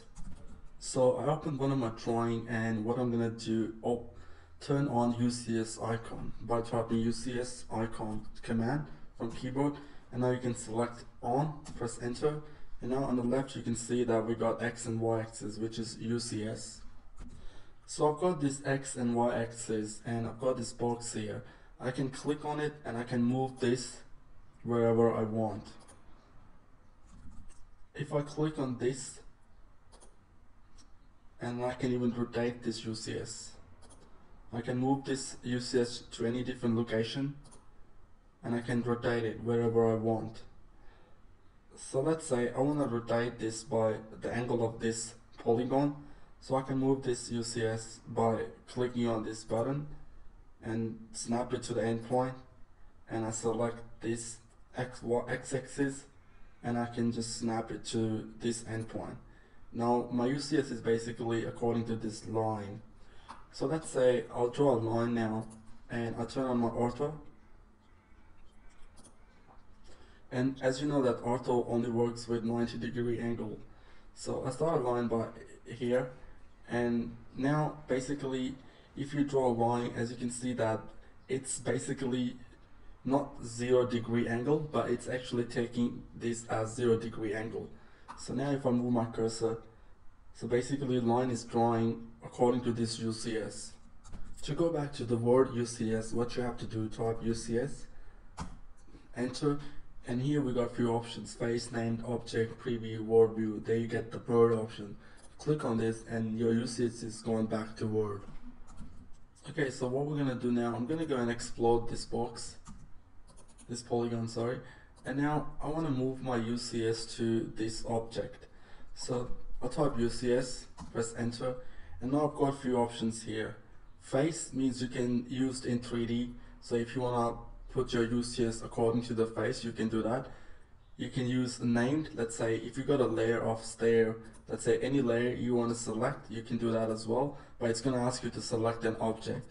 But for now I'm going to show you one thing that ob about objects. So let's say I want to move my UCS according to this object so I'm going to click on this object and now select this line. If as you can see that when I'm hovering over my cursor to each line my UCS is changing. Okay so I'll click here. And now while my UCS is according to this line what I have to do is I can select my stretch command. I can select these objects. And I can even stretch. So if I turn on my ortho as you can see that it's stretching according to x-axis so my angle will not be changed. So these are the benefits of using UCS okay now let's have a look. I'll go by I go bring my UCS back to World by typing UCS click on a world and I will select my UCS and I click on this box and I move my UCS about, I turn off my ortho by pressing F8 and I'm to snap my UCS about here. Now I'll show you that how you can rotate your UCS or any axis according to the angle.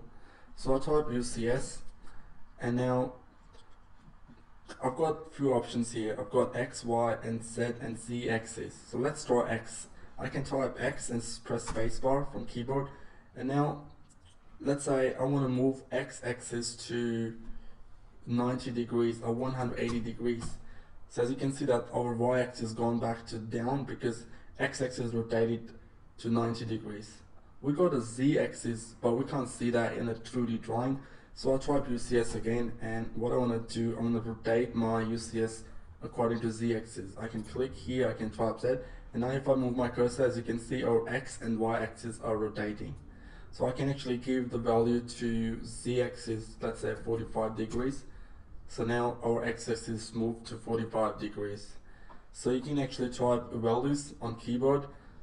And now let's have a look another thing about UCS. I type UCS command and what I will do is take my UCS back to World and then I type UCS again.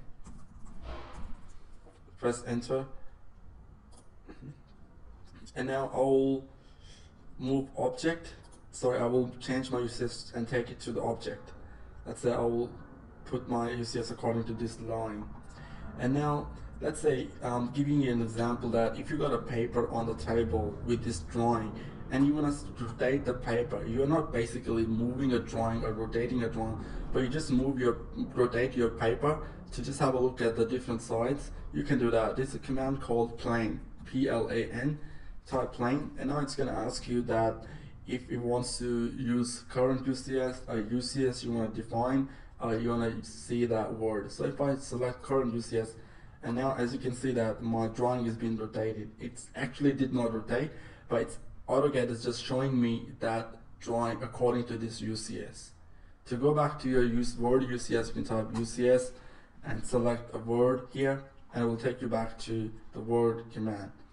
And now go to plane and select world to go back to your normal UCS.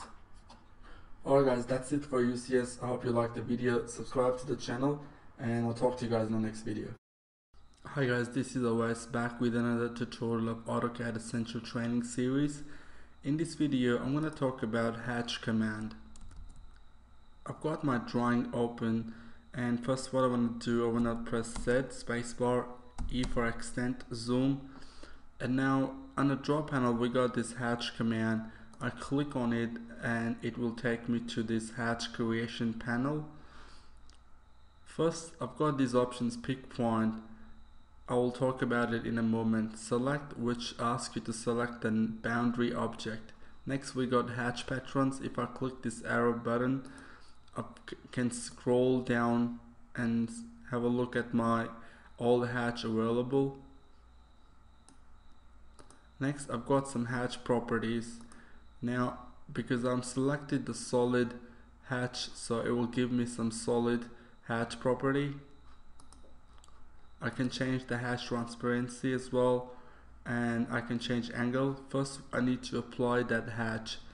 So a few things I want to talk about is hatch command only work with the boundary and hatch command only detects whatever is on your screen. So let's say if I zoom in to this part and I track my pick point to my wall.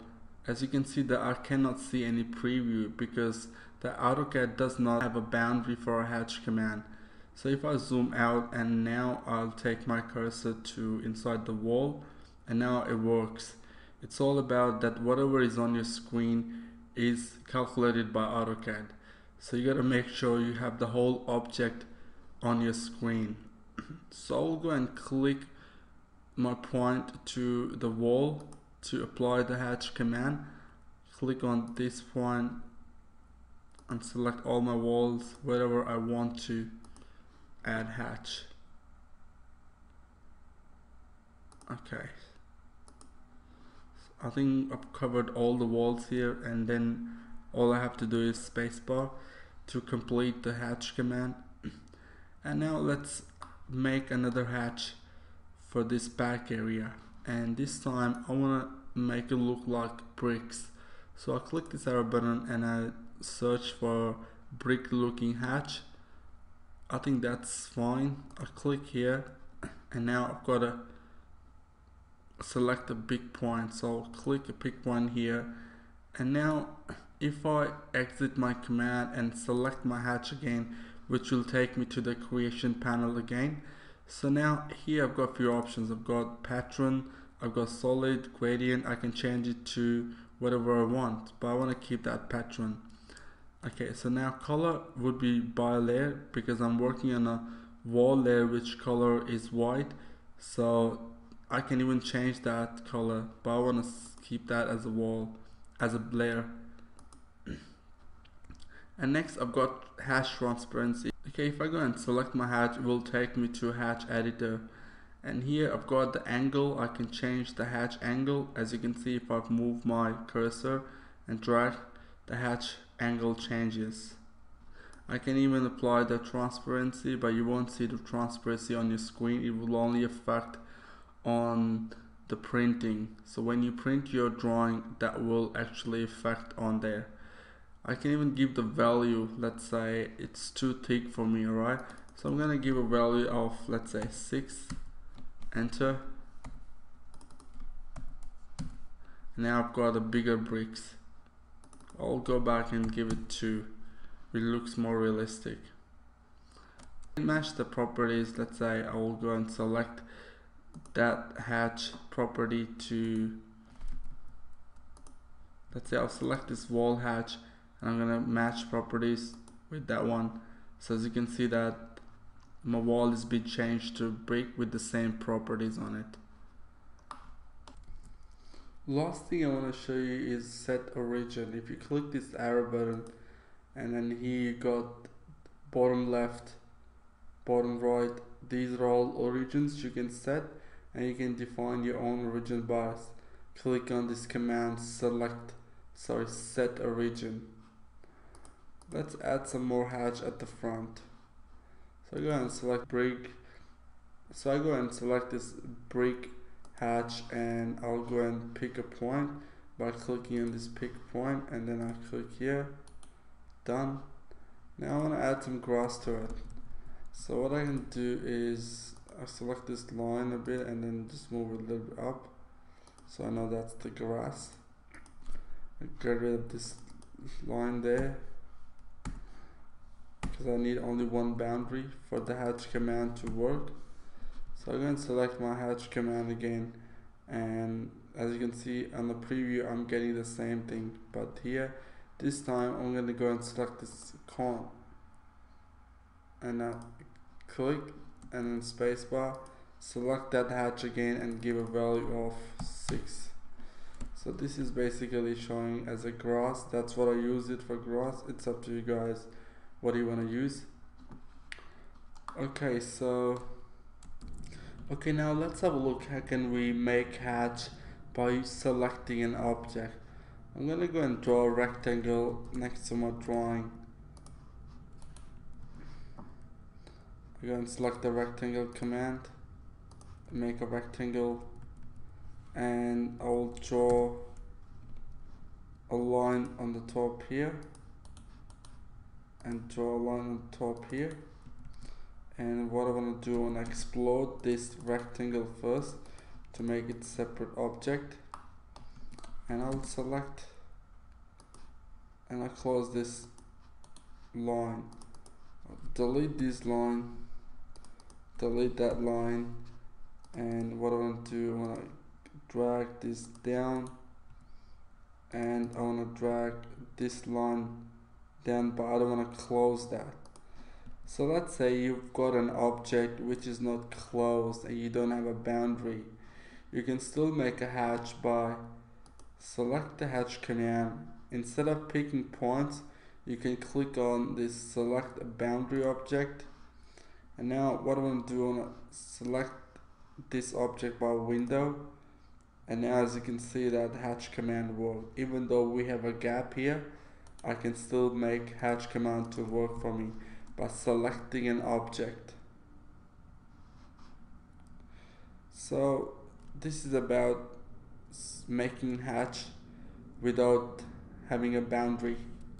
Alright guys this is was it about hatch command? Thanks for watching the video. Check out my full course on AutoCAD essential training. I'll drop a description uh, I'll drop a link in the description below and I'll see you guys in a Hi guys, this is Awais back with another tutorial of AutoCAD series. In this video, I will make a gradient hatch and I'll show you how you can re-edit your hatch.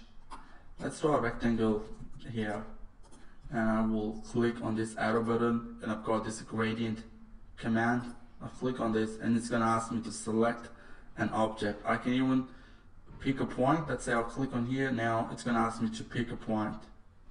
So I'll pick this point and I press enter now I've got this gradient in the rectangle and now as you can see I've got a few options here it's same as a hatch but it's just a gradient if you click this arrow button you can even change this gradient to any of these hatches available here but keep that for now and I've got this color options here I can mix two three whatever I want to color this hatch I can change that alright and then I've got this transparency it's about the same options you get with a normal hatch so I'm gonna go and close this hatch editor. That's how you can basically make a hatch gradient hatch. So I'll close this editor and I'll get rid of this.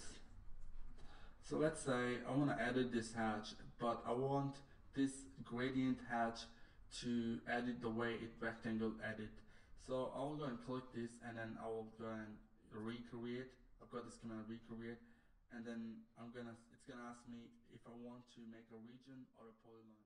Region is mostly used in 3D modeling, but I will click on polygon for now. And now I've got this option here. It's asking me reassociate hatch with the new boundary. And if you want to reassociate this, ha this hatch with a boundary you type Y press spacebar and now your hatch is being associated with the new boundary. So let's say I will select this boundary and I will move this vertex about here. As you can see that even when I move my boundary my hatch will move. So that's how you can re-edit your hatch so I've got this boundary outside the hatch command you gotta and then if I hold and cursor on this vertex I can convert this to arc. See? So this is pretty good. Um, alright guys that's it for hatch command now. I'll talk about writing text in your drawing in the next chapter.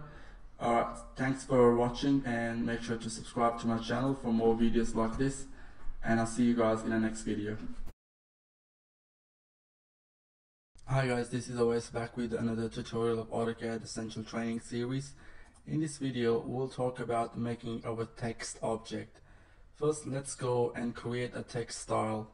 So type style from the keyboard, ST is enough to complete the command press spacebar and now you get this dialog box here so I've got this view text style already been made but what I want to do I want to make a new text style so I'll go click on new and I give a name to mine press OK and then with the mine uh, the reason why the simplex text is selected because my current set text style was set to style 1 so it inherited from the style 1 so I've got this list here for text styles. If you got some different programs installed in your computer, you might see different kind of text styles here. So I'll keep that as simplex. And one thing I want to show you is you got this A symbol next to your text style. That means that that text belongs to AutoCAD. So the simplex text is good enough for anything you make in AutoCAD.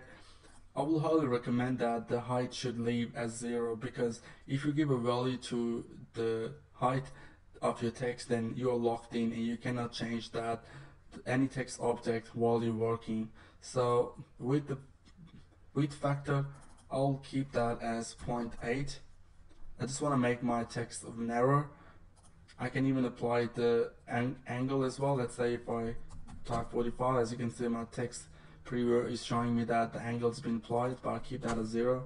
I can apply upside down effect to my text. I can apply backward text. I can even apply vertical text. So for now I'll leave that as it and then I apply and I click on this mine text style and I click on set current and I close now you have successfully created a new text style so now we will create single line text object Okay, so click on this flyout menu in your annotation panel and select single line text object. Zoom in to this bedroom and now it's going to ask me to specify the first point. So I click here and now it's asking me to specify height. By default it's set to 1 feet but I want to change it to 9 inches. So I'll give a value 9 press enter and now it's asking me the text angle. So I keep that at zero by pressing spacebar and now I just start typing text. Bedroom.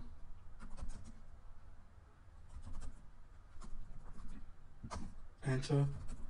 Okay double enter for exiting the command and now if I select object so as you can see that these two are separate text object now I realize that I want to change the height of these two text objects. That's very easy and simple. Just select these two objects and type PR for properties. Press spacebar. In the properties panel, as you can see now, we got two text objects selected. I give you an overview of these properties for the text. Here you can change your color.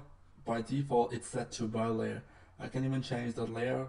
I can give it line type and down here in the text I can change the style to let's say in the style text style dialog box we had few text style I can change that to whichever I want but I want to keep that to mine I can justify the it to middle and I can change the height as well I can give a rotation angle I can even change my width factor. As you can see that by default it's 0.8. It's because our text style has this width factor. So I'll change the height to 1 feet and as you can see that our text object has been set to 1 feet apart. I'm gonna move my text object by selecting move command, give a base point, and I'm gonna move it to middle. The best way to write a text object is by copying the existing one. So I'll select my copy command, select these two objects, give a base point, and then I'll copy that to my next bedroom.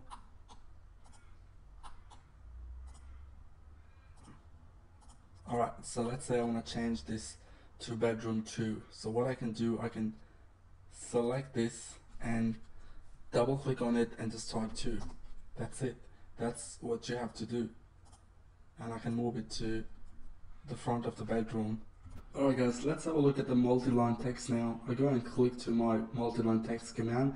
The shortcut command from keyboard is mtext I click on it. Now I'm going to specify my first corner point. And now what I have to do is I have to move my cursor down to specify a rectangle where my text is gonna be. So I'll click about here and now I've got this rectangle, a box here. In the multi-line text, you got a few options on your panel in the text editor. So you got your styles, you can change those styles right there. You can match the layer. Let's say I've got a text here on some other style. I want to match it to a specific style, so I can use this command. I can specify my text here, text font style here. I can specify a color and let's say I'll type living area. And now if I just hold and drag from here and make my rectangle bigger. So let's say I want to I want to keep that text in the center. So there's an option called justification. Click on it and you get middle center and say click here and your text would be in the middle here I've got left, right.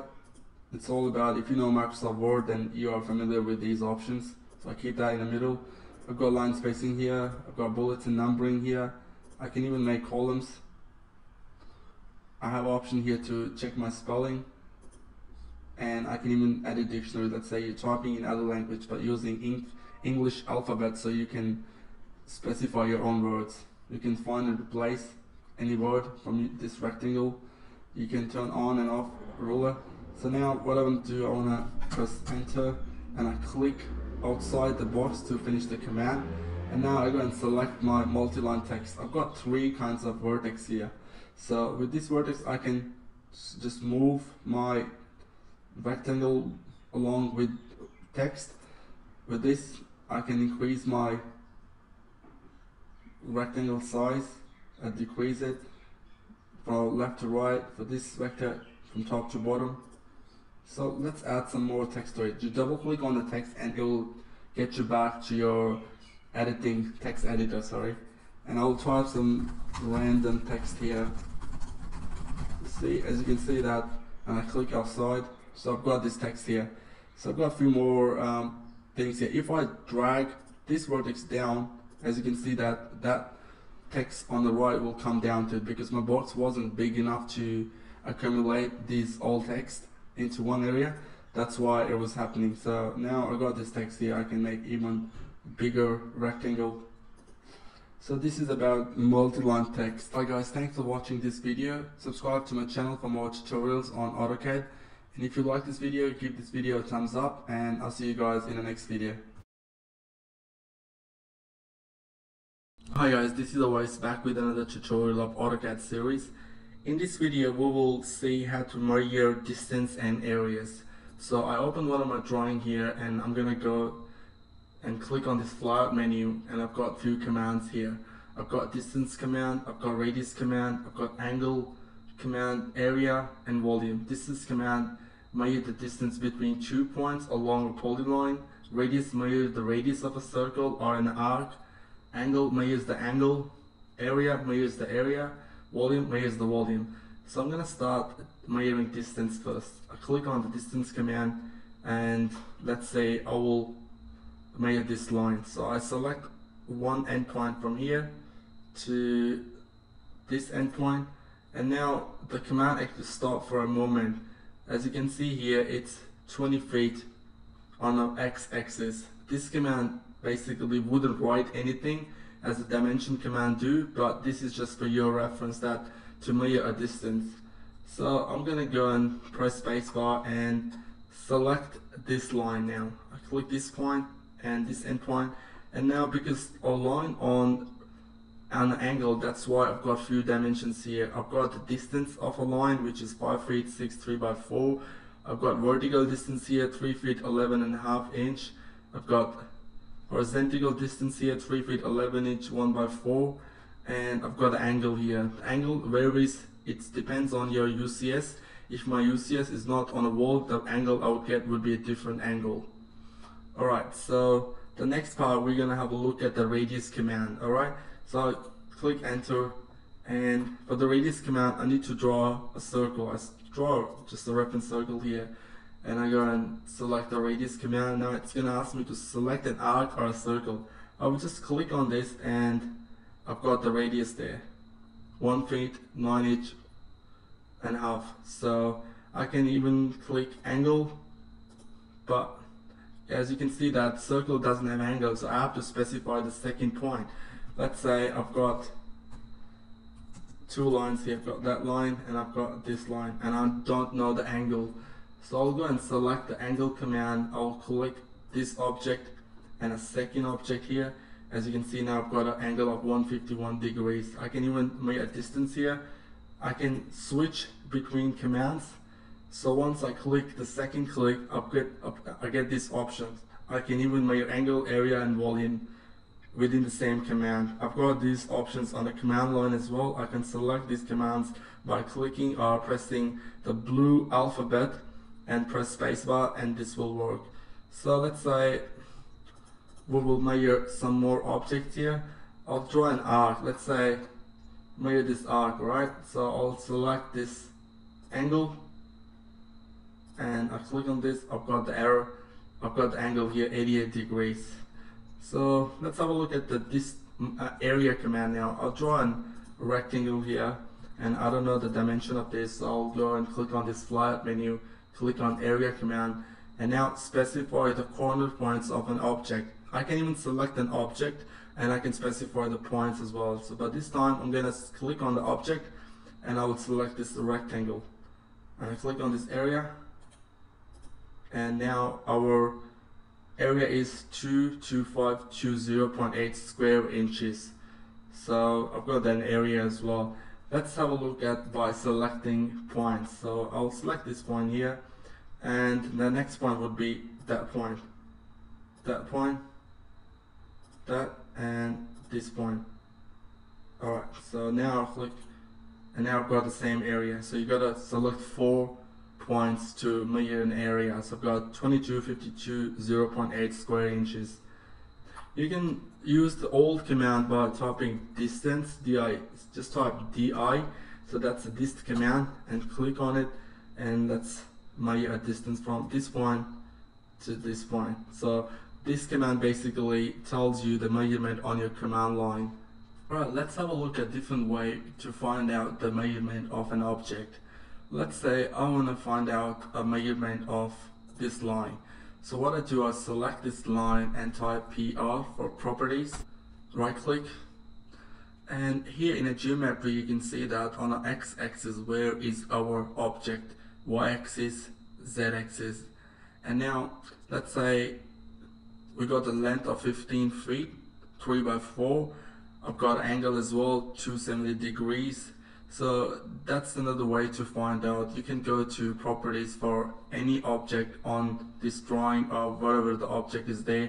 You might some object will give you a distance or measurement of object will give you a give you very um, brief information what your object is, what the angles are. So it's good way to find out the measurement or distance or type of your object while going to the properties. So there's another command called QP that's a quick property command. Just quick uh, information about your object.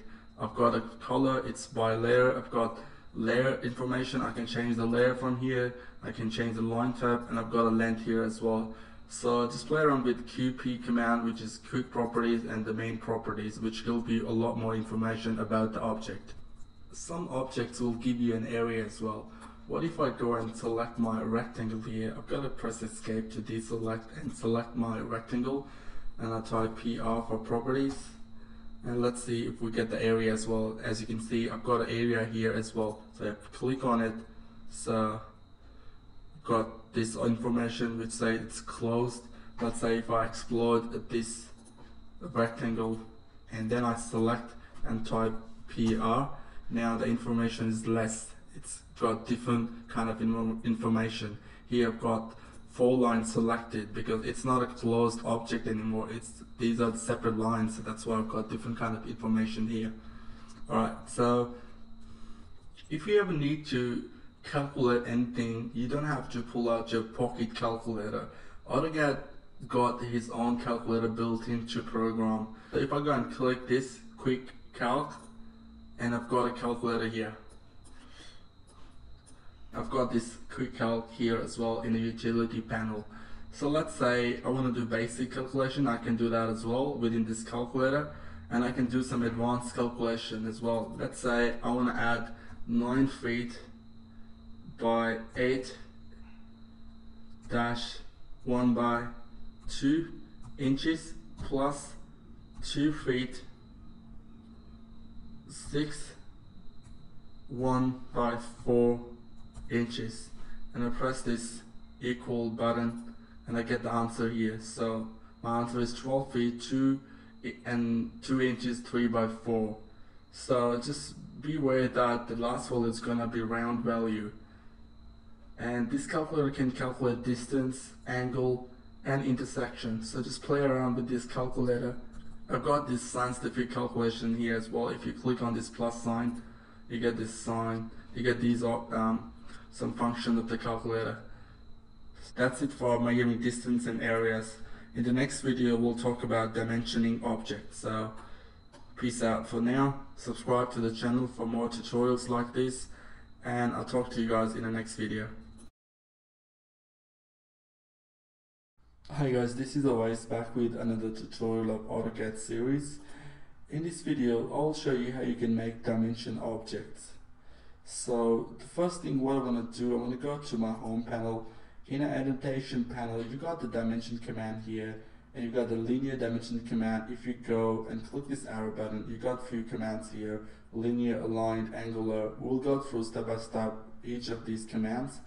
So I want to start dimensioning, but first thing what I want to do, I want to go to my annotate panel where I get this complete dimension panel. So the first thing, let's change our dimension style. Click on this arrow button and you get this dialog box here. I've got two dimensions already there, but I want to create a new one. So I'll click a new and I give this name my D style. Click continue or press enter. Now I've got this dialog box. In the preview window, I will see whatever changes I make in this dialog box. So let's say I want to change the color of the dimensions. I can give a color red, so these lines changed to red. So I want to keep them parallel. I can even define line type, line weight, and I can even hide dim line 1. If let's say if we hide dim line 2, so that line's been hidden. Down here I've got extension lines. These are the extension lines. So I can give a color, I can change line type, I can even hide them so I'll change that by layer so this is extend beyond dim lines. If I increase the value as you can see that I've got I'm getting the lines extending beyond the dim lines. These are the dim lines so the lines are extending. But I want to keep that to zero. I'll give a value to zero and offset from origin. So that means basically if I increase the value you see these lines are getting offsetted from the point you pick for your dimension so I'll keep that to zero as well. And I'll just make this about 9 inches. That looks a bit better. Okay so now let's go to your symbol and arrow. So in arrowheads, let's say we got these arrowheads there, right? I can change the design of them, like I got architectural lines, but they're not showing basically. So what I have to do is I have to keep a value a little bit, increase the value here,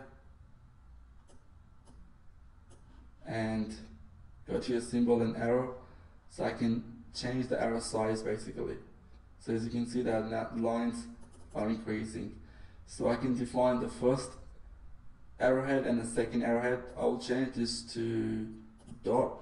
I like that dot one. I will increase the value. And now as you can see that there are the dots on every arrowhead. So there are a few options here, but I don't want to talk about it in this video. I'll talk about this in a later video. So let's go to your text. Text is the second most important tab you need to change. So the text height, make sure it's 9 inches or it depends what kind of drawing you're working on. If you are working on mechanical drawing, the text height would be very smaller. But on architectural drawing, I keep that as a 9 inch, which looks way better when you print your drawing. So I've got these color options, I've got the text style option here. I can fill color to it, but go back and give it value to none. I can align with dimension line. Let's say if I go and click this radio button on horizontal, so you see that doesn't matter what angle your dimensions are, it, it will show, the text will show as horizontal value. So but I want to keep that aligned with dimension. And now let's go to your fit. I'll leave it for the next video and let's go to primary units. Here you need to make sure that your unit format is on architectural and precision should be same on your units. Remember when you set up your drawing, you you gave a value to your precision, so that should be same. I think mine was one by eight, so I keep that one by eight. And now I click OK, so we're almost done. So I'll click on this My D style and click Set Current, and I close this. Alright guys, our dimension style has been set as you can see that I've got this my D style here. So I can start making dimension objects now. So I'll go and select this command, dimension command. And now before I select anything, I just want to show you a few options here. You can press down arrow to get the menu and you can click here as well on your command line. So I got angular, baseline, continues So there's few there's a lot of options here.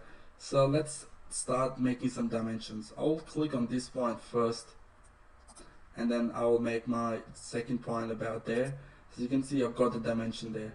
So I click and I've got the dimension there. Let's try a circle. What if I want to select a radius of this line? I can go to this arrow button and I can select the radius but I don't have to do that in AutoCAD 16 because AutoCAD 16's got really advanced dimension command. So I'll just click on this dimension command and now if I hover over my cursor to the circle, as you can see it automatically detects that that's a circle and it starts giving me a radius. I've got the diameter options here as well down on the command line and I can change that to diameter. So I'll click here and then I can move wherever I want to for the second click and then there you go I've got my radius there Let's try this arc with dimension command. So I'll hover my cursor and I've got this arc there. You click once and then you choose where you want to keep that dimension and second click would end that command. So as you can see even I finish my dimension the command is still running. So let's go back up there and my command is still on. What I want to do I want to show you this continuous option. If I click here it's asking me to specify extension line origin. So I'll select that one and I click the second point about here third point here. So as you can see that when I click the dimension starts from the previous dimension finished. So with that option I can keep dimensioning as much as I want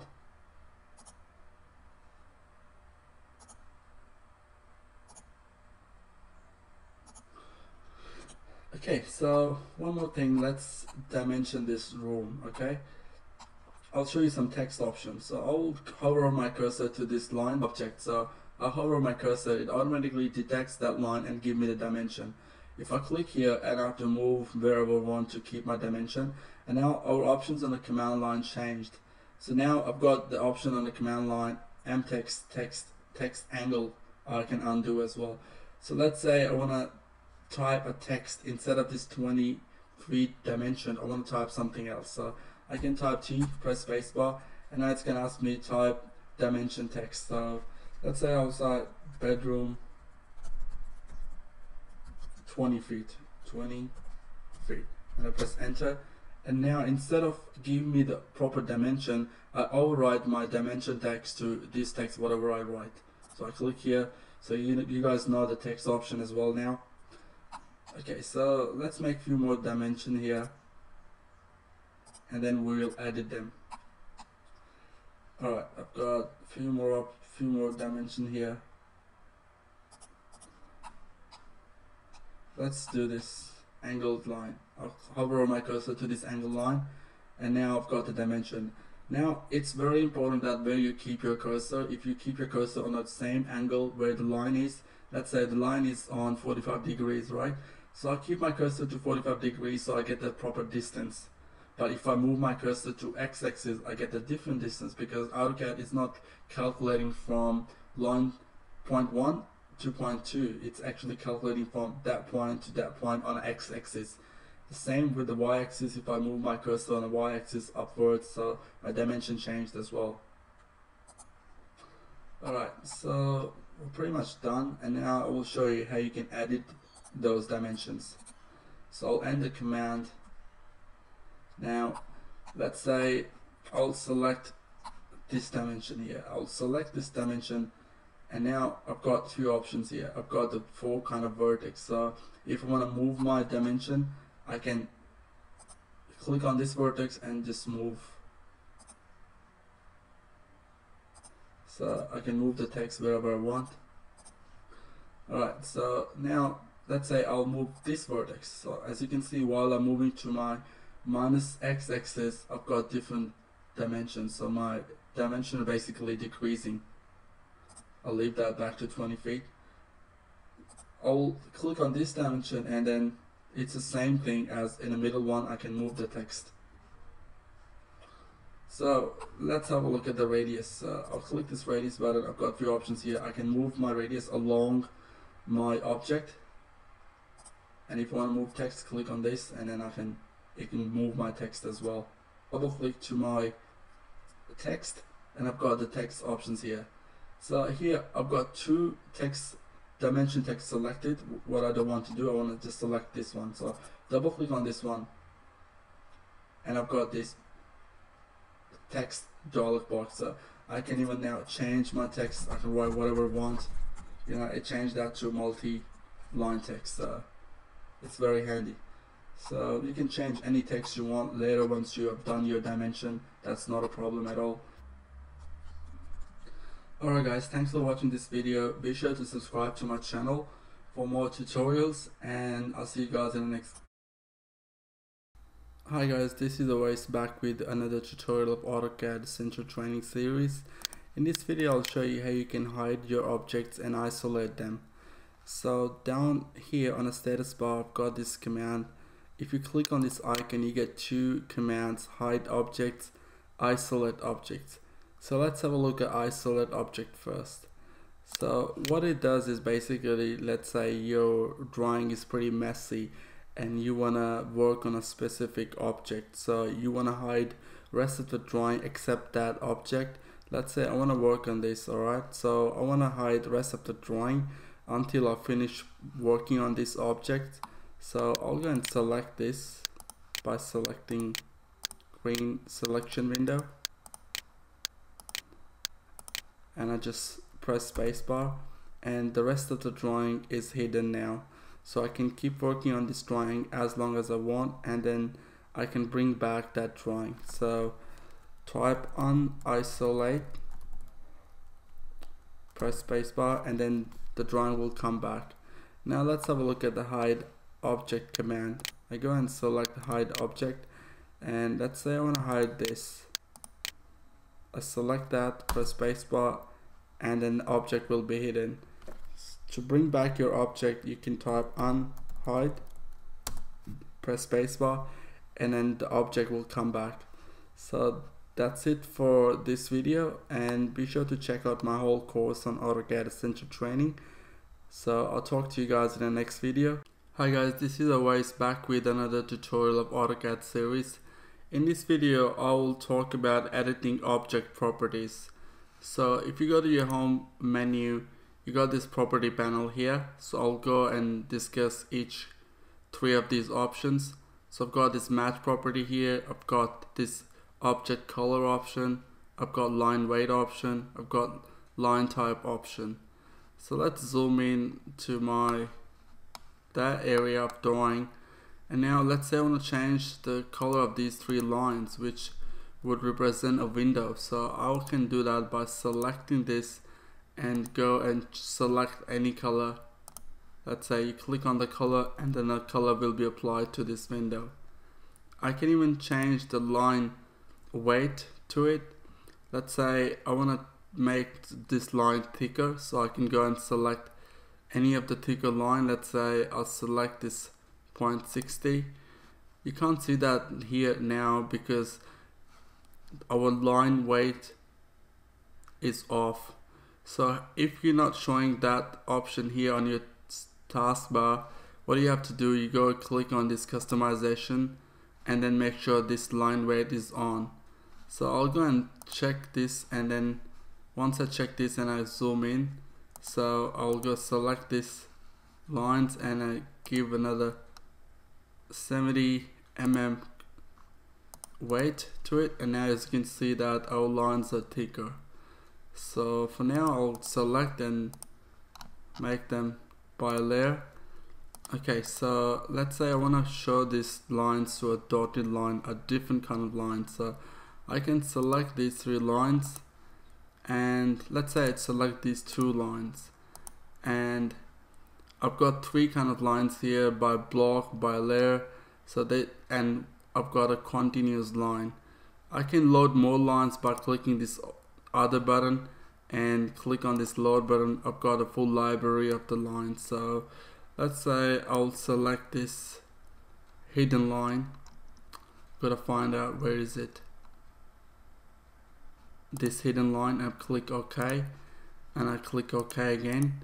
And now if I go to my line type properties I've got this hidden line there. So I'll select these two lines and I click on hidden. So now a line has been changed to hidden line. If I zoom in you can see that I've got the hidden line there. You can even change the scale of the line type. So select these two objects type PR press spacebar. And now in the properties you see that we got two lines selected. I can even change the color I can change the layer and I can change the line type as well. So I can go continuous or whatever I want. So here we got option line type scale. Let's say I give a value of 0.6 and now our line's gone more thicker so select these two lines type PR press spacebar and give a value to 3 or maybe give a value to 5 so you see that you give a value 5 and now you can see the exactly dashed lines uh, you can call it hidden line. So now I'll show you a match property command. Let's say I'll select this command and now it's gonna ask me to select the source object so this is going to be my source. And now I can select the destination object and I select this command and then that line will change exactly the same where the other where your source object was. So I can keep selecting any line I want to and that will change to the that will change um, that will match the property to the source object. So I click or press enter to end the command and now let's have a look a few more things here I'll go and undo this first by clicking this button or you can type U and press enter Alright, so if you click on this property arrow button, you get this another option here, transparency. You can even apply transparency to your lines as well. And you can specify by block, by typing a transparency value or by layer. alright so just let's turn off this line weight and I'll show you one more thing here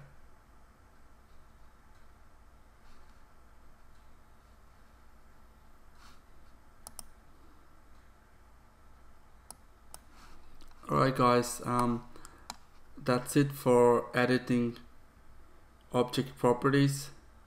Alright guys that's it for editing properties. So I'll there's one thing I want to mention here that you make sure that you keep these three options by layer and instead of changing that line type or line weight or color here you should do that in a layer menu. So keep those options for the layers. In the next video I'll talk about layers how to make them how to manage them and what are the commands you can use in the layer panel. So I'll see you guys in the next video. Thanks for watching. Subscribe to the channel. And peace out. Hi guys. This is Awais back with another tutorial of AutoCAD series. In this video I'll show you how you can create layers and modify them. So just go to your home menu. Here we got the layer panel. So I've got a few options here. I'll go through step by step each of them. So first of all what we want to do we want to create layers. Why we want to create layers to differentiate between objects? Let's say I've got different kinds of objects in this drawing. I've got walls I've got windows door I've got interior and I've got bathroom stuff here. So it's a good practice that you make layers from the start of your drawing and keep working on them because later on when your project go bigger and bigger it's very hard to change any object to a specific layer. So what I want to do now is I want to create some layers. So how you can do that you click on this layer properties panel and here I've got three layers.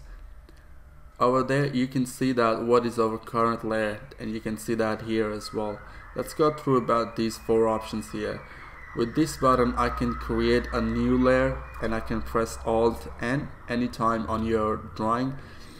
I can create a VP frozen layer. I can delete layer and I can make that layer current.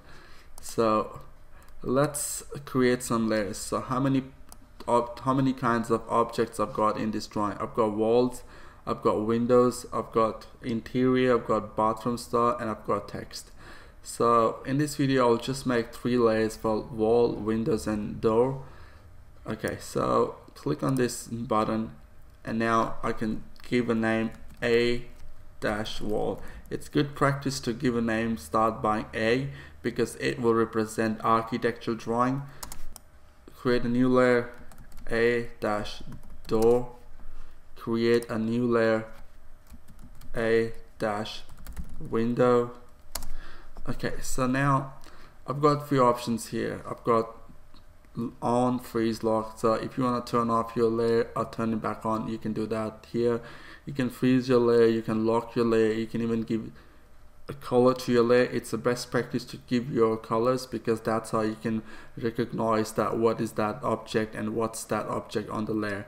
So I'll start giving some colors to my three of these layers. I will give these layers to color red for the wall. I'll change door color to blue. Or click OK. I'll change this color to yellow. My layers are ready now so before I get to my drawing and start applying those layers I just want to mention one thing. Let's say you got these things on the top of your layer. You got status you got all the descriptions of your line type color whatever it is.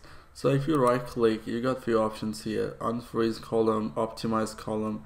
So if I go optimize all column so now as you can see you can't read the name. You can't see that it's if it's saying on frozen or line weight.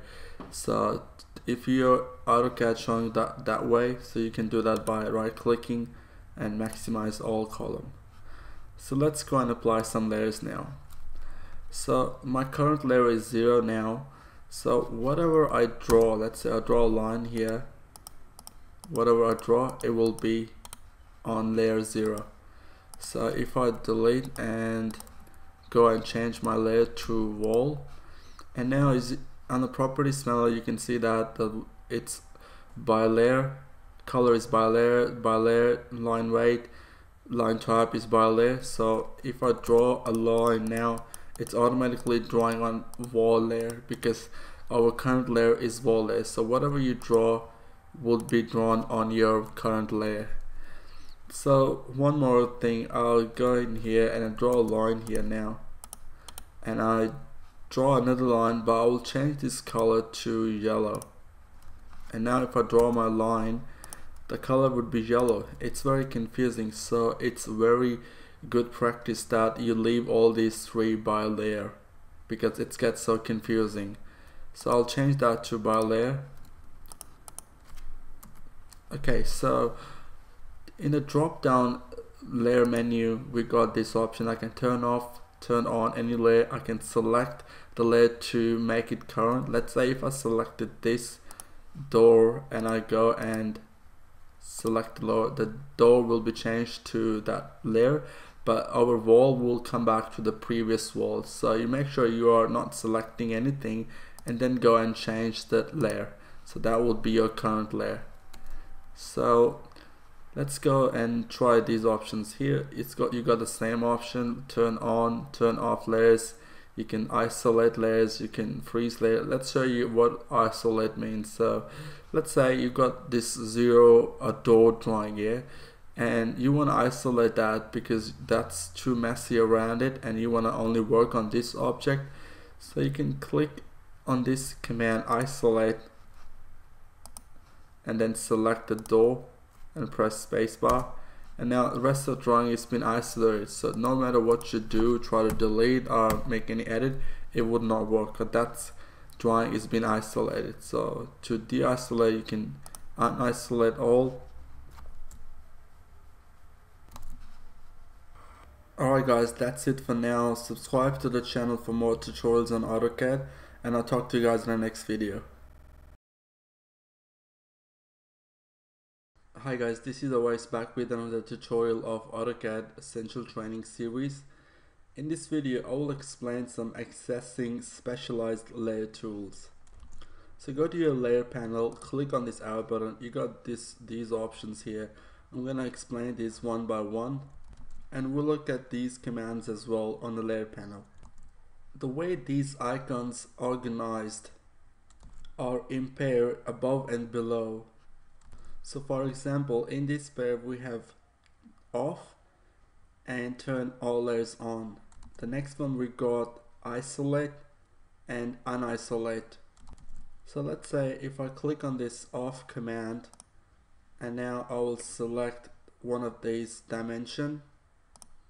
So as you can see that all the dimensions are hidden now. So the command is still on. If I click on one of the door so all the doors disappeared as well.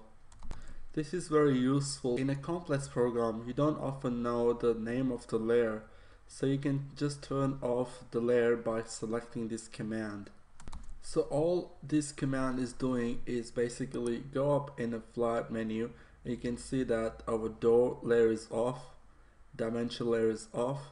So to bring back those objects, all you gotta do is turn on all layers. So click on this command everything will come back. You can freeze any layer by clicking on this icon and just keep going. Or you can just turn them back on. So tar all layer. So it will come back on. We got a command called isolate and unisolate. That works a bit differently so let's say you've got a very big drawing and you're gonna work on some particular objects uh, but there's a lot of mess around that object layer. So to do that I'll click on this isolate command and let's say I just want to isolate the windows alright? So I'll click on the window and I press spacebar and now all the other objects has been isolated so all I got is the window command. Even I try to delete this wall, it wouldn't work because those objects are being isolated. So only objects you can work on now is a Windows layer. so whatever is on Windows layer you can work on them rest all has been isolated you can do that here as well there's a command called isolate object so if you select this command and let's say you select the window press enter and now this is about isolating an object not a layer. So that command works for the layer that command works for the object. So I'll go and click and click on end object isolation. This will bring back all my drawings. So I'll click on unisolate and this will bring back all my drawing. So I'll zoom extents. We got we got a command here make current let's say you're on a 2d window drawing and you got like hundreds of layers and you don't know what this layer is called for this object. Let's say a door and you don't know what's the layer for this so you can just click on make current select that door and now your current layer will change to whatever the layer was on the object. So now it says 2d door. So that's very useful command when you have a lot of layers and you don't know which layer is what. So next we're gonna look at the match layer command. Let's say I draw a line about here which is on door and what I want to do I want to make dimension on this layer. So I can click on this and then now it's gonna ask me select an object. So I'll select this line and press spacebar and now it's gonna ask me destination layer. I can even type the name but I don't know the name so I'll just click on this dimension layer as you can see that this line is on dimension layer now. Once I select this on the top you can see that it changed to dimension. We got some additional commands in this flyout menu. Layer state in the next video but let's have a look at these commands. So the layer previous command is basically undo for a layer. If I click on this it's gonna just revert back to the state what I did just before with the layers alright so what I do I'll just go and click undo to bring my back. Okay so now I'm on 2d door. I click this layer panel and I've got this change to current layer. So let's say I've got this line here I want to change it to wall. So what I can do I can make my current layer 2d wall. And now I'll select this command and I select that object that that and that. So press spacebar and now all these objects whatever I selected will be on 2d wall layer. So I undo now. Okay so the next command we got is a copy object to a new layer. Let's I select this command. I'm gonna go and select this line press spacebar and now it's gonna ask me select object destination. So I'm gonna go and click name and I'll select this 2d wall click OK. So now the line the line is on um, is been copied to the new layer.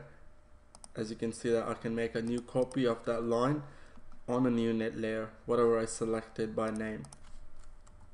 So next next command we're gonna look at is a layer walk. So it's very interesting command. Let's say I toggle this on and now I zoom out. Let's zoom out extents first and go to your layer click on layer walk. And now I've got all the layers selected. This is very interesting command because it lets you walk through layer by layer. And let's say I'll just select zero layer and as you can see there is nothing on a zero layer. 2d door I've got all the doors there. 2d wall I've got all the walls there. So let's say now whatever is on 2d wall I can see that and I know that these two stairs these two objects are not doesn't belong to to the wall. So you can check that by using this layer walk command. So I just go through. As you can see that this line is not a dimension. So I click close and I delete that. I will change this to whatever it's supposed to be. So I delete that now. And let's have a look at the next command so we got this merge command. What it does it merge selected layers into a targeted layer removing the previous layer from a drawing. So let's say I want to merge I'll change this to the layer 2D door and I want to merge these two objects to 3D wall 2D wall.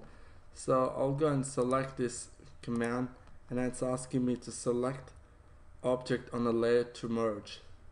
So I'll select this and that and then I will press spacebar and now I'll select a targeted layer. I can even give a name or I can select that targeted layer. I want to select my name so I will select 2d wall press OK. And you it's asking me do you wish to continue yes? And now whatever the layers are selected that will be changed to that targeted layer so press U spacebar to undo. Let's have a look at next command. This is basically delete the object on the layer.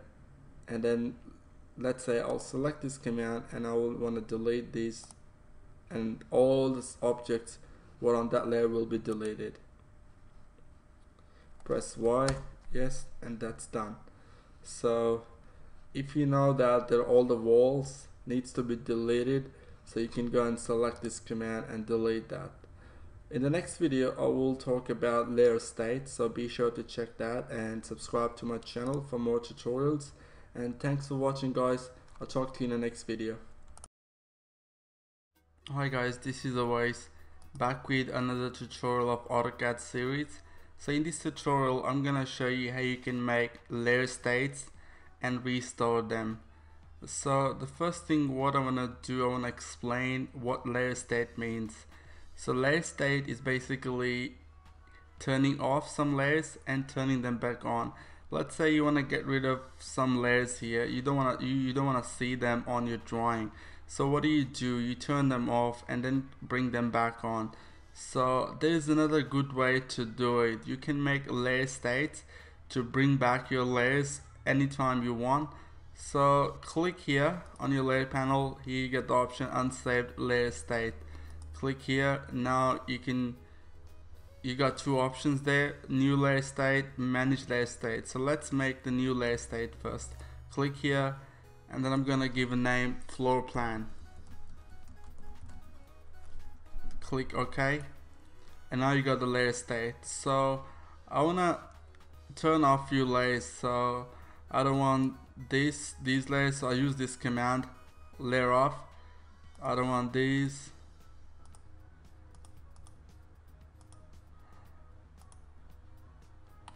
Alright yep. So these are the few things I don't want in my plan. So I just want to keep wall and window. So press spacebar I'm gonna go zoom extents and now go back to your layer state and create a new layer so this time I'm gonna type a name state 1 okay so now we got two layer states. So let's have a look what it does basically. Just click here click here and hover over your cursor there.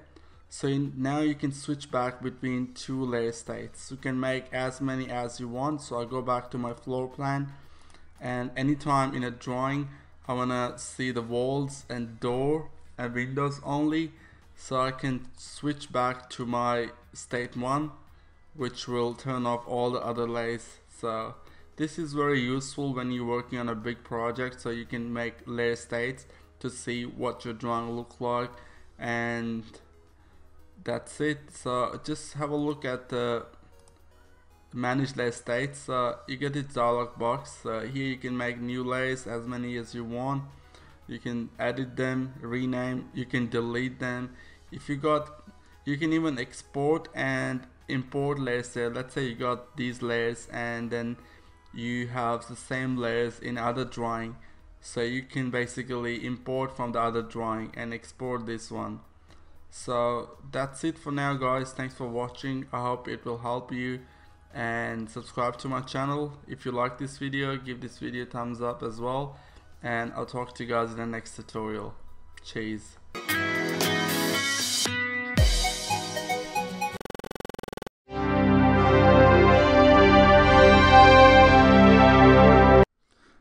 This is Awais back with another tutorial. In this tutorial we'll talk about altering object display order. So I've got a circle here, I've got a rectangle here, they both are hatch objects. So let's say I will move this rectangle about here and what I want to do I want to hide this rectangle part overlapping the green circle part at the back. So there's a command called dr. Basically it's a draw order, but the alias is dr. Uh, so press spacebar and now I wanna, doesn't matter which one I select first. So let's say I'll select this rectangle and I press spacebar and I'll get two options. I've got two options here. It's first options above object, second under object. So it's front and back. If you want to send it to back or you want to bring it to front. So let's say you got four objects at the back, right? So you can send it all the way back with one command, but this time I want to use this. So I will use under object, press U, spacebar, and now it's gonna ask me select the reference object. So that would be my reference object, and I press spacebar. As you can see that that the rectangle is gone backward. So let's let's um, type a text here about there. So I'll type a text and just a random text. And now I will move this text about here. So let's say I've got two objects on the top of this rectangle now. Just move my text a bit here. So so now I've got two objects. I've got this circle and I've got this text. So just type dr select this object and now we're gonna use front. Press front.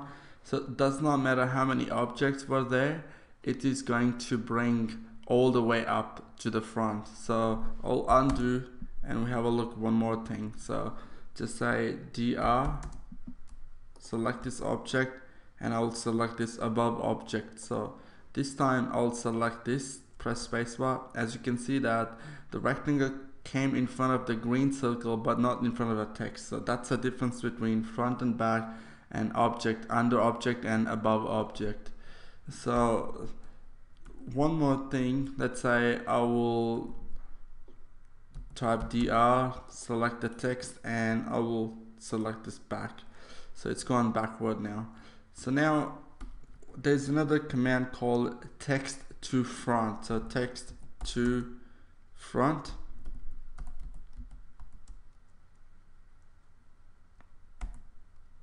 So text to front and I will type A for all. And any text is there anywhere on your drawing and that will come at the front so there are a few commands that um, I can't cover that in this video uh, but for now that's it and thanks for watching and I'll talk to you guys in the next tutorial cheers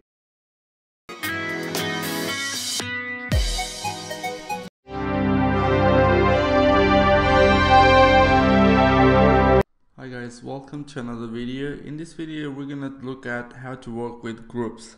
So I'm just gonna zoom in here. I've got this drawing open so I'm going to zoom in about here.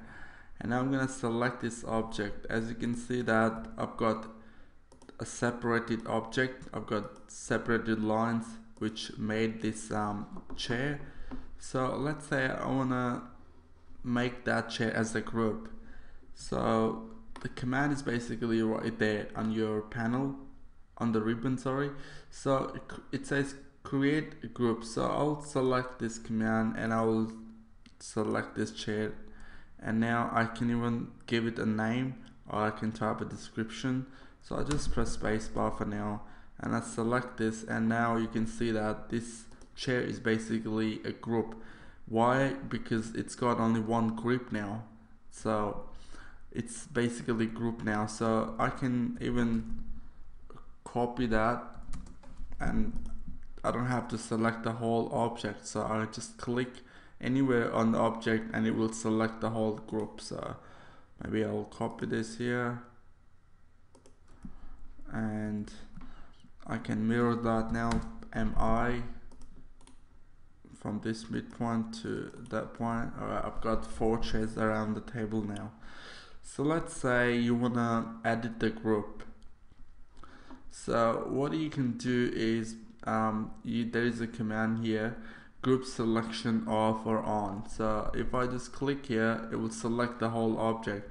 So if I turn off this command and now I go back and select my group as you can see that um, I can't select the whole group because that group selection is off so that's why. So I can go back and let's say I'll toggle this back on and my group will come back as it was so there's not many difference. So if you want to edit the group you can do that by clicking this group edit command click here and you want to click the group and now you can add object remove object. So I'll just turn off my selection first and then I'll select this line and I'll just change the radius to show you guys alright and now I'll go and turn this on. So as you can see that anything you do with the objects by turning this off and when you turn this back on the group will come back as a group so. Okay so now let's say I will draw another rectangle here. I'll change my layer to zero first and I will mirror this. Maybe that doesn't look good so I'll delete that. And I will draw another rectangle like that. And I'm going to mirror that. Okay. So now I've got two objects which are not part of the group so I can do that as well. So I can first of all I can turn off this selection and I want to trim off these lines.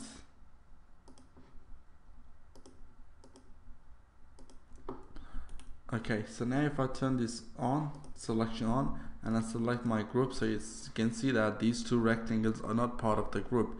So how do we add them? So you select this command you go group edit first of all you can type the name of the group but I'm gonna select that. And now I'm gonna click on add objects. So I'll select this object that object that object that object and press spacebar. And now if I go and select this it's a complete group now. So that's how you can add or remove objects from your group. Okay so at any point you want to break your group so you can do that by just clicking this command ungroup and select that and group has been exploded now. As you can see that my group selection is on but it's been exploded. So if I go and select this these are the the groups now that anything you change with this it doesn't really affect on any of the other group in your drawing. So if I unselect if I check this and uh, if I click this and turn it off and I select this now as you can see there is no group exist in the drawing now because there are but we can't select them because that selection is off. So always keep that on. So let's have a look at the shortcut commands now. For the group you type group and you got the command. For the ungroup type ungroup.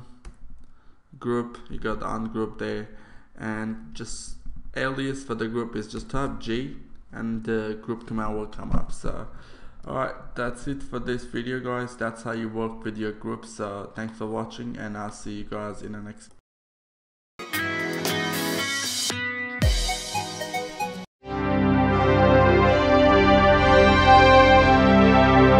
Hey, what's going on guys? This is Awais back with another tutorial I'm gonna cover a few topics in this video. I'm gonna cover the whole chapter regarding blocks.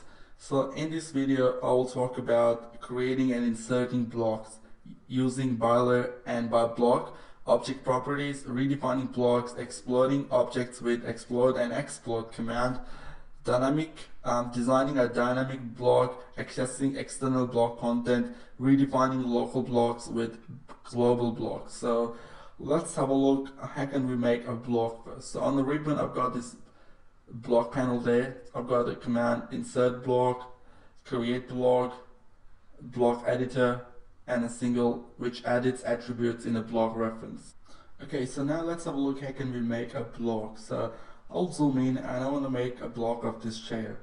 So click on this dialog box, you get this, um, click this uh, command, you get this dialog box, and every block need a name. So I'll type the name chair 2, chair, maybe type sofa, and then you can specify a base point on a screen, or you can pick a point as well, and you can type the values as well. So I'll go and pick a point, and I want to pick up this point. It's very important that which point do you pick because at the time you're inserting those blocks, then you gotta your gripping point would be that point, the one you pick right now. So I'll select this, and as you can see that it's telling the x and y value as well. And now I can select the object as well, which is my block. So as you can see, I got no preview here. So once I click this button and I go and select this and I press spacebar, as you can see, I've got the preview of the block now. So it's telling me you can retain that, you can convert to block, and you can delete that and then make that as a block. Okay, got two options here, so I'll code that later. So make sure that your block units are inches, and I click OK. So now if I click here, now it's got a block. Now I've got a block here. So now I delete that for now, and what I do, I'm going to go and insert that block. So now I'll click on this insert command, and now in there you see all the blocks in your drawing so I go all the way down and as you can see that I've got this sofa block there which I just made. So I click here. And as you can see that I got the block but I have to specify insertion point. And as you can see that my gripping point is where I selected the when I was making a block. So it's very important that which point you select. And I click here. As you can see now my blocks are there. So I press spacebar again. And then you can type a name. Uh, you know the previous use block was so sofa, so name was already there. If you press spacebar again, a right click, then you can get the sofa again. And now I'll click, and as you can see that I can even give the scale factor as well. So I'll cover that in, in a few seconds. Okay, so now let's have a look a few more features of inserting blocks. Okay, if you click on this arrow button, you get this um, drop down menu which gives you a different kind of colors of the blocks. I'll discuss that. Uh, that's basically inheritance. I'll cover that in a moment, so, but have a look at this. If I click on this more option, and now I get this dialog box. The shortcut key for that is will I'll go click this, I cancel, and I'll type I, press spacebar, and you get the same dialog box. Okay, so here we got a few more options now. Let's say I can insertion point specify on the screen, that's fine, or I can do type of values as well. Scale factor I can specify on screen or I can keep that value as well. Okay, so the rotation on screen, I'm gonna go and check that and I'll click OK and now I've got this block there. So what I'm gonna do, I'm gonna just drop it in the middle and as you can see that I've got the rotation now. I can even try up the angle because my ortho is on. I can um, make a rotation for this block. So this is very useful with typing I, we get four more options. Okay guys, so far we have learned how to create and insert blocks. So now I'm going to show you a few more things. If you double click on your block, you get this edit block definition dialog box. Click OK. And then now you are in the editor, block editor um, workspace, I guess. So you got all these new options here. You got a new palette, which are basically used in when you're making a dynamic block. For now, this is that's it. So I'll cover a few of these options in a minute. So you can even check your dimension of your block, aligned, linear. You can show some objects, hide them. There's a few more options, edit block, save block. And now I'm gonna go and close this for now. And then it's gonna ask me if it's if I made any changes. Let's say if I make any changes. Let's say I will turn this off, alright? Uh, maybe I can just get that or I can just change this to another layer. Let's say I will stretch polar stretch.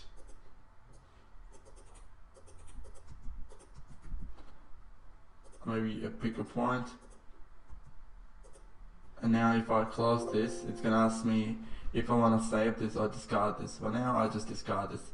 So now uh, we'll look at how to redefine blocks Alright, so now what I want to do, I want to copy this about one, two, three, and I want to mirror them at the that point. Alright, so now I'm going to show you how you can redefine blocks. So let's say you, I want this block So all these blocks are referenced by one block. So I double click on this one and I click OK. And now I'll select this arc and I change that to this, okay? So now I'll close that and I'll save this changes to sofa. As you can see that the reason why all the blocks are referencing to one block, that's why they all updated. They all updated to the arc. So that's how you can um, make changes to, because anytime you make changes to one block, it's going to update the rest of the block which are referenced by that block. Okay, so now what I want to do, I'll show you another example, the power of the block. So now I'll come here, as you can see this is not the part of the block, even though that looks like the same shape we have on the right there. So what I want to do, I want to make a bit of, I'll delete this line, I'll delete this line, and what I do now, I'm gonna chamfer that, maybe delete this arc, and just change that to make that a line. Okay so get rid of stuff here. Right and then just mirror that to from the midpoint to that point draw another line here and just for the reference I just want to draw a line here and I'll copy that. One two three four. Alright so that's the new chair we got. So what I want to do I want to make another block. So type B press spacebar. And now the name we have on the previous block was sofa. So I type sofa and now I'll pick a point. So as I remember that the pick point was about here for the previous block so I click that. It gives me the coordinate values on x and y axis and now I can specify object. I'll select this object right click and then I'll delete this object. Instead of converting to block I'm gonna delete this. So that will still make a block but it will delete this uh, object. So I'll click OK.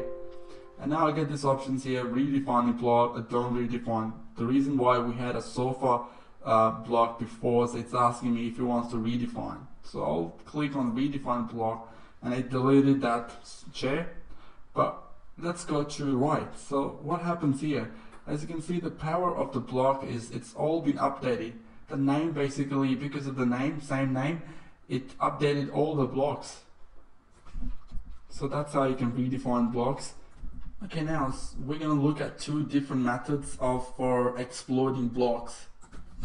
Alright, let's have a look how can we explode, but let me explain first. What I wanna do, I wanna um, keep these two chairs the way they are, but I wanna change this um, these all four and four eight layer chairs to without this arm resting. So what I can do, I can explode this block. So I'll type x e explode. Or you can type, I can click um, this explode command.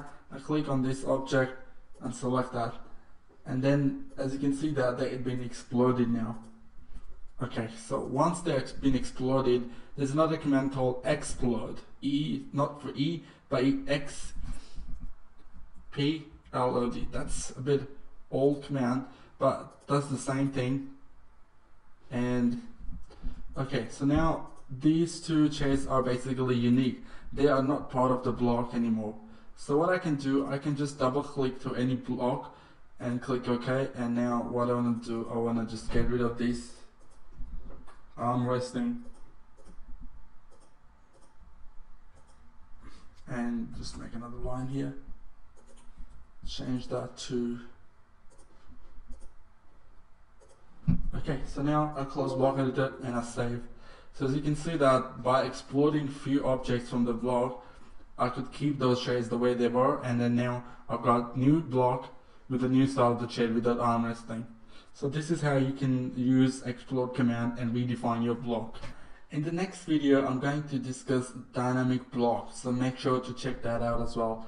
Alright, for now, peace out. take care and uh, subscribe to my channel and I'll talk to you guys in the next video.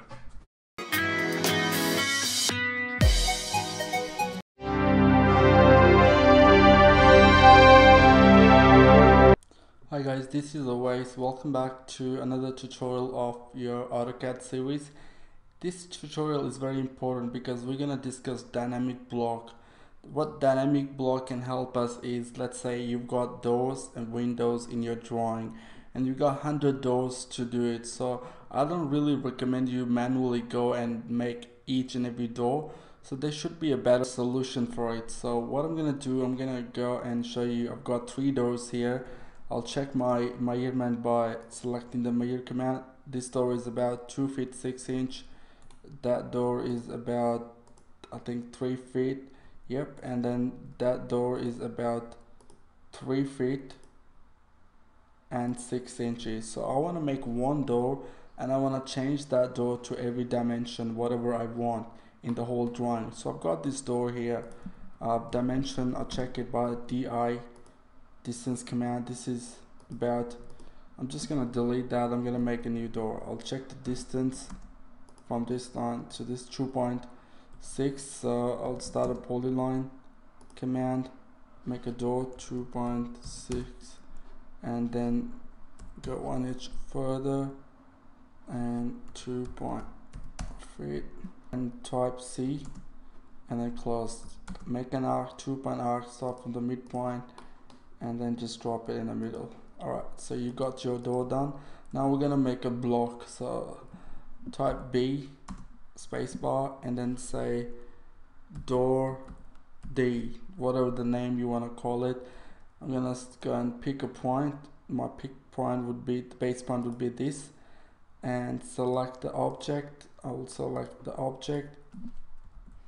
And now once I'm selected the object you make sure that um, doesn't matter which one you choose but you can choose only one at a time. So I delete because I don't want this door to stay here. So the, the main thing is you need to check this on. Open in block editor. So I check this on click OK. So that door will open in a block editor now so I've got this door here so what I want to do I want to add a flipping functionality a rotational functionality and scaling functionality to it Go to your parameters in a palette, click on flip, and now the base point would be select the base point by here, and then second point, which is the end point of reflection line, would be that one. And then just click about here. Now you got this arrow button.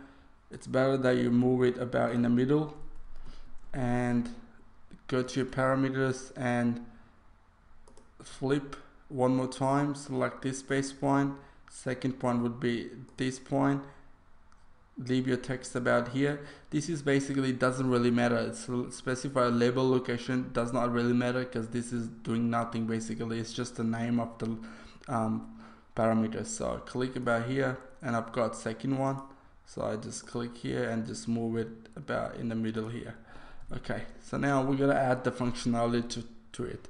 So go to your action tab in your this palette click on flip.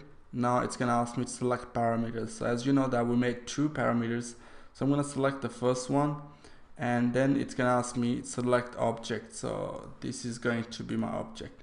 Press spacebar done. Now go back to your flipping in action tab click on this parameter and then select the whole object done so we got two functionality there Okay, so now let's add some rotational. Why don't we go and just check it out, how does that work? So you gotta close that and then save, type I, and from the list, I'm gonna select this door D, what we made before actually, I selected the other one. So I click here and I've got two functionality here. So I can flip.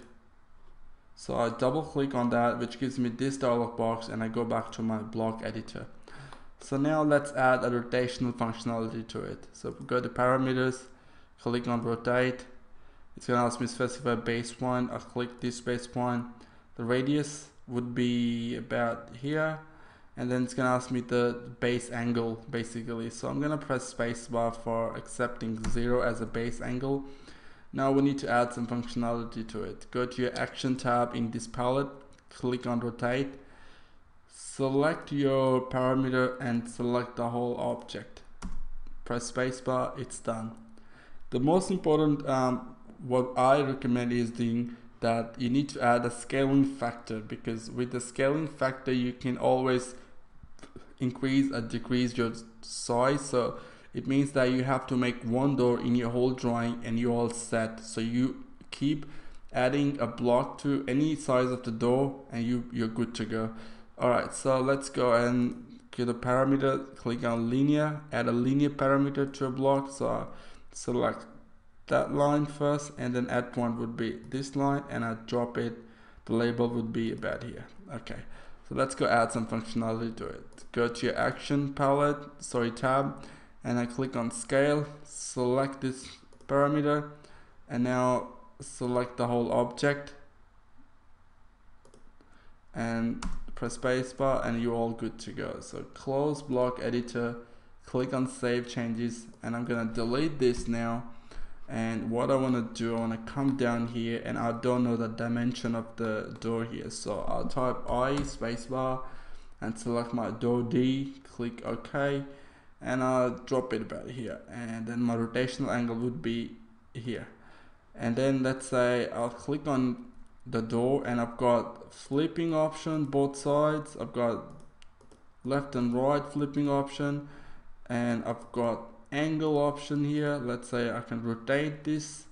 So I want to rotate here. I can rotate that there. And let's drop the same block about here so top I spacebar select the D click OK and now I'm gonna drop it here. So I'm just gonna for now I'm gonna drop like that okay and I select that. I'm gonna flip it to the downwards and I flip it to this side okay so now I'm gonna add see that? So what I want to do I want to basically select that and I'm gonna flip that side. And I will move this to this side. Okay so now I can oops I've got to move this to the middle midpoint. And now I select that and I can just increase the size. This is so good. Alright I've got this door done. Let's add this door now. So type I spacebar select that door. Start from here angle would be midpoint and then just click here and then just grip that arrow button and then just drag it down. So let's check the dimension of our doors. Go to mirror select and this point I've got three feet and I've got three feet both sides. So it's a perfect door now. Let's check this one excuse me. And I'll click here 2.6 2.6 all set. That one's all right so I'll check the distance again. 2.6 3.6 all set. I click here and I want to flip that to this side. I want to basically flip that and then I will move that to I can move that here. Alright so all good. So this was about dynamic blocks. You can make amazing blocks with using this um, block editor panel I've got another video coming out which I will discuss the whole functionality of these parameters. I'll go through each and every one and show you what to do with these um, parameters and actions. And in that video I'm, I'm, including these as well. So be sure to check that out. Once I'm done with that video I'll drop the link for that. So make sure that you subscribe to my channel and I'll talk to you guys in the next video. If you like this video give this video a thumbs up as well which is gonna help me a lot and thanks for watching see you in the next video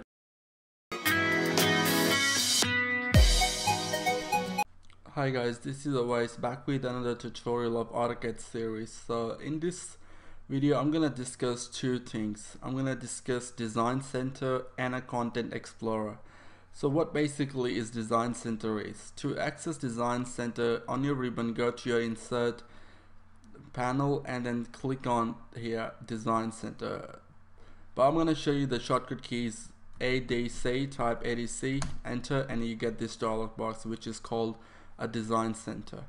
So I'm just gonna go back so I can show you where you need to go in the design center.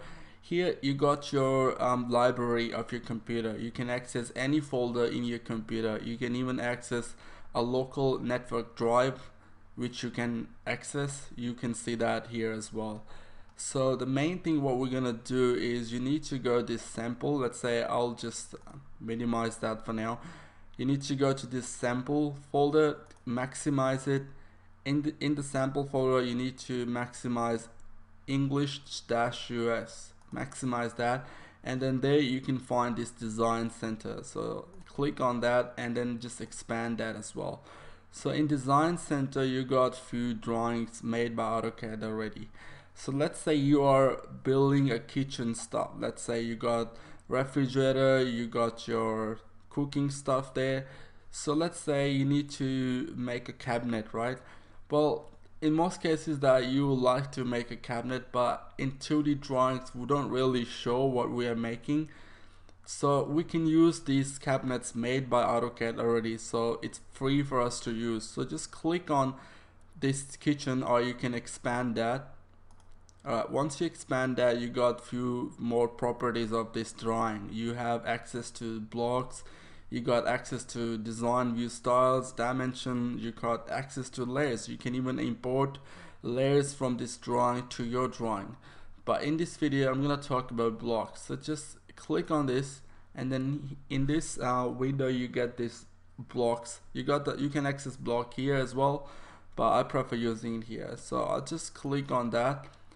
You need to double click to open that block. So in that file we got these blocks made for us and it's very easy to use. So we got base cabinet we got dishwasher we got phone jack. So let's say in the kitchen area right I want to use this microwave. So it's already been made and in 2d drawings all we have to do is just use them. So to bring these blocks to your drawing you can do it two ways. You can just click and drag and it just drop it there. Or you can just double click and it will pop up the insert menu. And you can type the name you can change that name to your block and click OK which is going to let you draw but it's going to give you a few more options. Once you do that you get the um, option of rotation angle. I want to keep that zero and I press spacebar now which will drop that. If you drag that it will come automatically on a zero degree angle. So let's show you a few more uh, files we got here I use kitchen all the time because I work for architecture stuff. So if you work for electrical stuff, let's say you got this all basic electronics. So I expand that and go to the blocks. So you got battery, capacitor. I don't know about these stuff, but just to show you guys, you can use these as well. Alright, let's go to home space planner. If you expand that, go to your blocks, you got you got a lot of stuff here which you can use um, for your drawing. Let's say I've got dining set here I've got desk here. If you click on that once it will you can see the preview of that block here. You got the sofa you got piano baby a lot of stuff here. So all you have to do is just drag them or double click to insert as a block. So this is about um, design center. I hope you like it Alright, now let's talk about Content Explorer. It's a new service that was introduced in, I think, AutoCAD 2012. It's basically you can access internet and there's of there's thousands of um, objects already made by AutoCAD or any other people who upload that for you guys to use. So I'll close that and I type Content Explorer.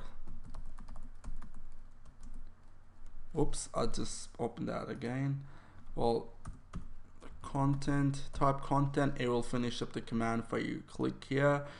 Alright so now I've got this um, dollar box here which is called content explorer. I'm just gonna increase the size of it so you guys can see that. Alright so in this folder you got a few folders. Let's say you got a lot of products here. You got beams casework ceiling system chairs. Trust me there's like thousands of them available here. Alright so now to access the internet library you need to make sure that you're signed in your Auto, Autodesk 360 and you have access to the library. Let's find some chairs alright? So I will first let me show you you have to click on this arrow button and go to your Autodesk Seek. So make sure you're not on an Autodesk content service. If you are in there then you have to search through your um, local library let's say you got a few stuff in your drawing um, design center but you don't know where to find them. So you can search for them right there. Just type the name and it will bring up for you. But in this video I'm just gonna access the online Autodesk Seek library. So I'll double click on these chairs alright? Once I click it's gonna go browse the internet and show me products whatever available. Let's say I've got this chair. I like this chair right so to access that to bring that in your drawing so you got two you can see the number of files here as well. So double click that it will open that drawing. So in this um, chair you got one 2d file and you got your 3d file. So you can use both. So let's say I want to use this 2d chair in this room alright so to bring that you can just drag that. It's so easy. And just leave your cursor there. And now it's gonna ask you for the block name because it's gonna convert that chair to a block. And it's bringing that from the internet. So it's gonna ask you to enter a name. So I'll type chair. Chair one. Maybe I had a another block before. So I click OK. It's telling me that chair one already exists. So I have to redefine click on yes and once you click on your drawing it's gonna ask you to enter the scale factor. But I want to keep that one so I'll just press enter. Now it's asking me scale factor Y so I just enter again. Now I can I just zoom in to show you what's happening basically in the drawing. So now after applying my scale factor I've got this um, rotation it's asking me to specify rotation but I want to keep that zero. You can even type whatever the angle you want but I'm just gonna type enter. Now it's asking me to block attributes. I can type part number options. I can give it tags or whatever you need. So I'll just click OK. And there you go. We got the chairs from the internet. Like the the stuff we available in Design Center they're not really good and they've been there for like since AutoCAD 2000 so but on the internet there's a lot of cool stuff there. Let me show you the 3d model of that. I just drag that here and just drop it there. It's actually syncing that 3D model because the size is a bit increased.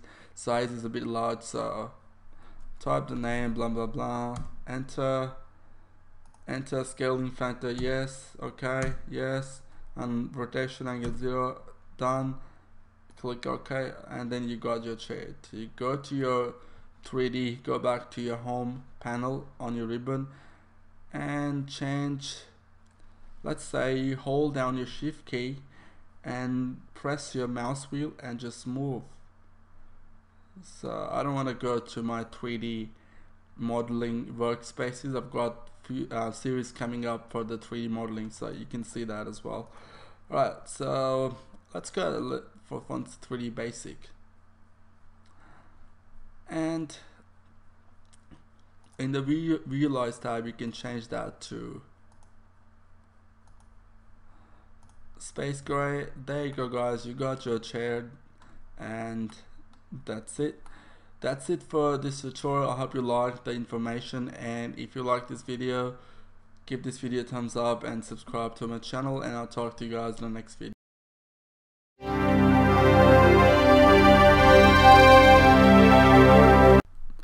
Hey what's going on guys? This is Awais back with another tutorial. This video is going to be a bit longer because I'm gonna trying covering a lot of stuff in this video.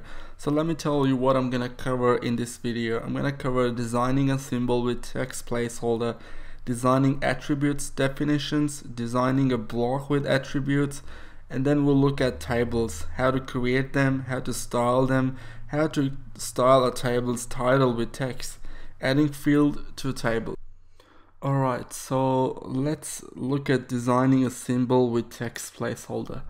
So what I want to do, I want to go to my home panel on the ribbon. So let's have a look. Do we have a text layer?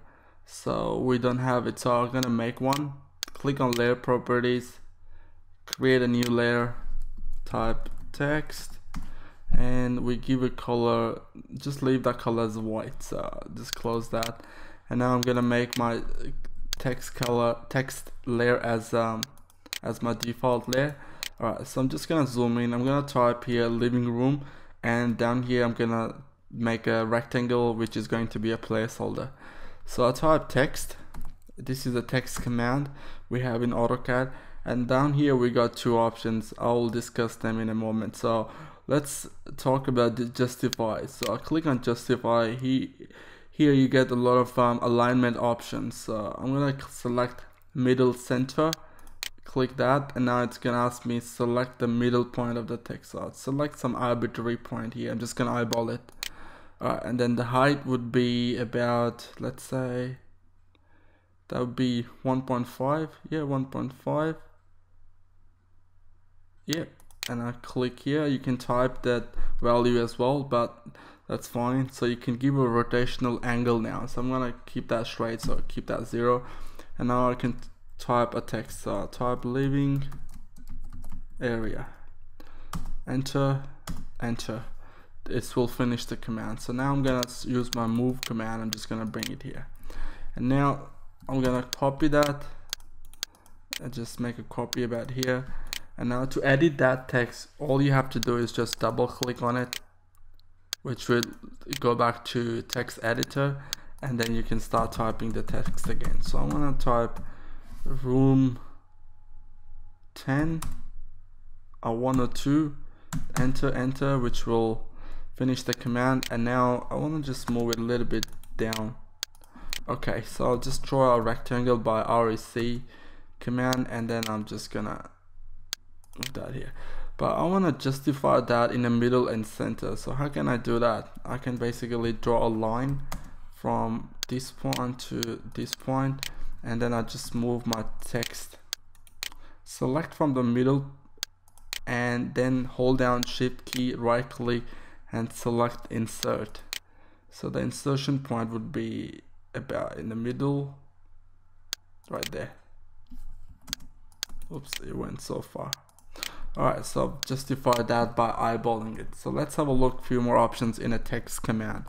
Let's type text and then you got this alignment option. You can justify them by left center right align middle. Just want to show you one uh, fit options here. Let's delete this and then go back to your text. Click on justify click on fit. Now it's gonna ask you to first base point so I'll select that and then second base point is that one. Alright. And then I press enter and now I can type text.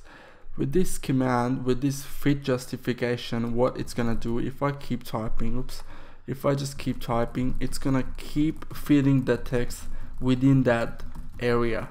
So let's say I wanna type here about so many stuff so I'll type text and I will justify that and use fit. Select this like this. So I want to type a bigger sentence here.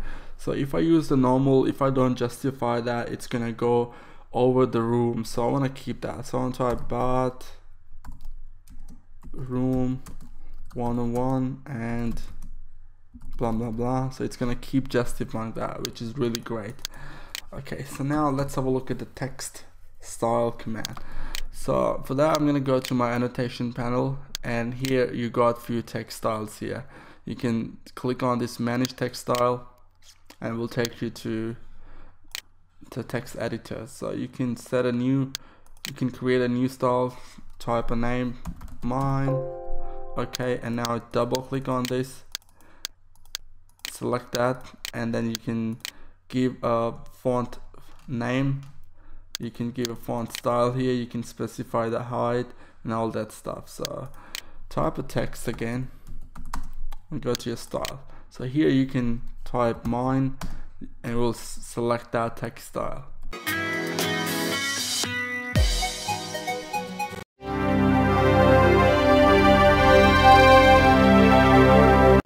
Hey guys, what's going on? This is Awais back with another tutorial. In this video, I'm gonna teach you how you can make tables and add data to it. So let's start by making a table first. So you go to your annotate panel on the ribbon and there you get the ta table panel here. So I click on this table which will bring that dialog box here.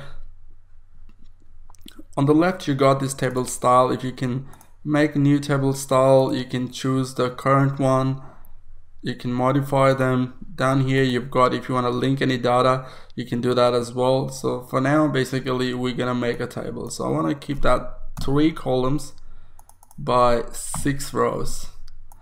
And then set cell styles to tiles header and data. So the table is structure is basically based on title header and data.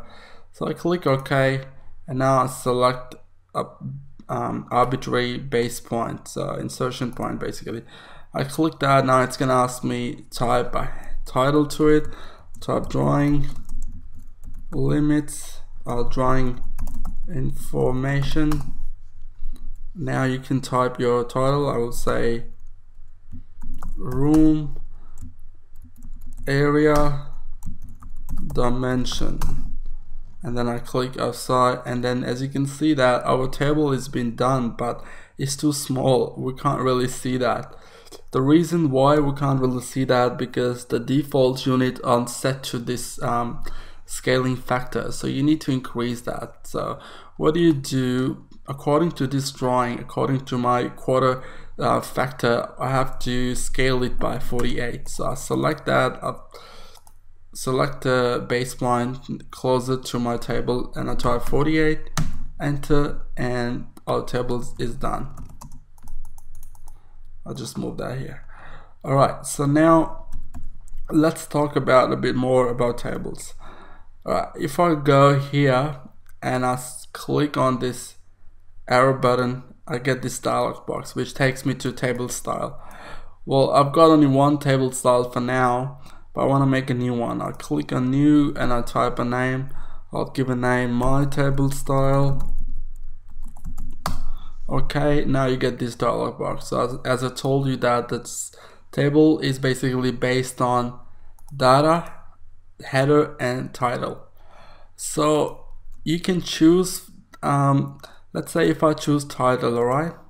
And then I can, in the general properties, I've got this fill color, I can define a fill color to it. I can align the text. I want to align the text um, to maybe top left to show you guys, but I don't really recommend that. But you can type it. You can specify a type as well. You can specify margins from top to bottom in the in a cell. So now let's go and go to your text. Okay, so text if you click here, as you can see, you got only three text styles here. You can, if you want to make a new one, you want to change the text of it, you can click on this box, it will take you to the text style. So once you're in the text style, you can modify the current one. I'm going to just modify my current one and I'll change that to, let's say, Time New Roman. That's the most popular text style. I can specify font style, bold, bold italic, italic, and regular. Alright, so I can do up and down, backwards. There's a lot of common features you see here. So I apply and I click on set current and I close this. As you can see, if I want to edit that to my header, I can do that as well. I have to go to header and then now I can go to general. I can apply the effects to it. Text, I'm gonna change. I've got three of them here. I can apply that same text style to the header as well. I can change the text color. Let's say I want to change this to maybe green. Green looks great. So, all right. So now I'll click OK, and now I've got we got our text style now. And now I'm gonna click on this, and I'm gonna make it set current. Close. And now, if you can see, now basically our select your table and then go here and then change that to my table so now you've got your text applied on your table very easy and very useful. Tables are basically used when you have to um, write any data about your write any information about your drawing for the client. All right, so let's look at a few more features of the table. If you click on this and then you see that you are in the table cell panel now, it's a new panel, it's a temporary panel for just to modify these tables. So what I can do with it. All right, if I click here, and as you can see that I've got this insert above, I'm in the row panel, so I can insert a rows to it. I can delete those rows. I can insert below, delete them, insert columns left, or you can delete them. So, well, I'm gonna just type U and I go back to my table.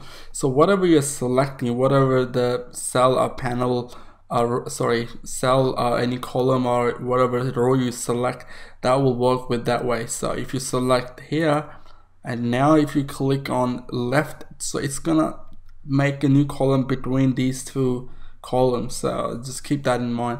You can merge those cells. Let's say I'll merge these two, click merge, and I can just merge row, I can just merge column, so I can, but now I'm gonna merge it all. So as you can see, I've merged all the cells here. Alright, so next what we got here, I've got this styling here one more time, that's the same text styles. You can do that as well, you can edit borders. Well, well I'm just gonna make it a bit more thicker. So I've got these borders now around your table if I click outside, as you can see that uh, we got the border applied. So, alright, so you've got your cell locking. You can lock the cell if you got big and bigger table. Now you got insert. If you want to insert any block to it, so you can do that as well. You can add any fill to it.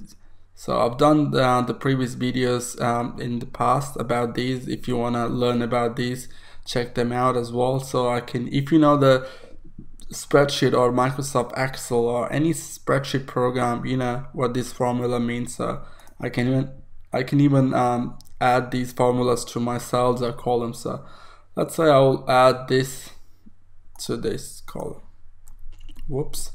I'll select this column. I'm just gonna add the formula to it and to add them just now I've got A6 and C6. So what is A6? A6 here and then C6 here. So what I'm gonna do, I wanna just edit that to A5 to A6. Type A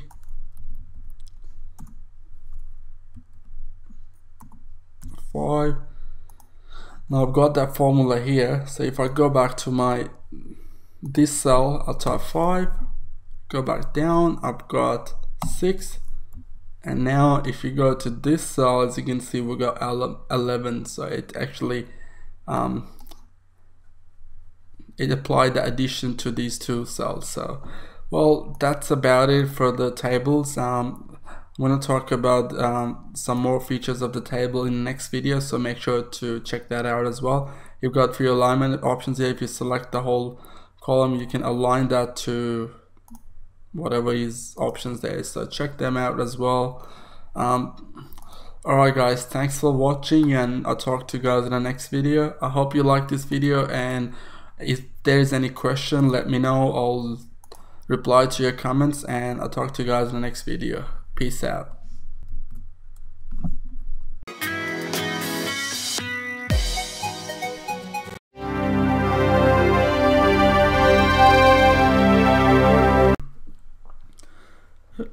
Hey what's going on guys? This is Awais back with another tutorial. In this tutorial I'm gonna show you how you can make a layout so to make a layout first of all what you have to do is go to your option. I'm gonna go to my option by typing OP enter and now in the display tab you need to uncheck these two and you need to make sure that you got four of them are checked. So the first one says display layout and the model tabs which are basically these tabs here.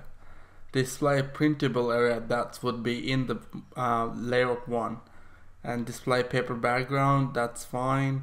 Display paper shadow that's fine too. And you gotta click apply. Click OK. So now let's say you can um, access your layout by hovering over your cursor here. If you don't see that here you can go to view menu and turn on this file tab. So you will see these things. So I'll turn off this file tab now you can hover over your cursor you can see your model you can see your layout 1 and layout 2 and in there you got two options. You got plot and publish. But alternatively you can access these things over here in the top uh, sorry bottom right corner.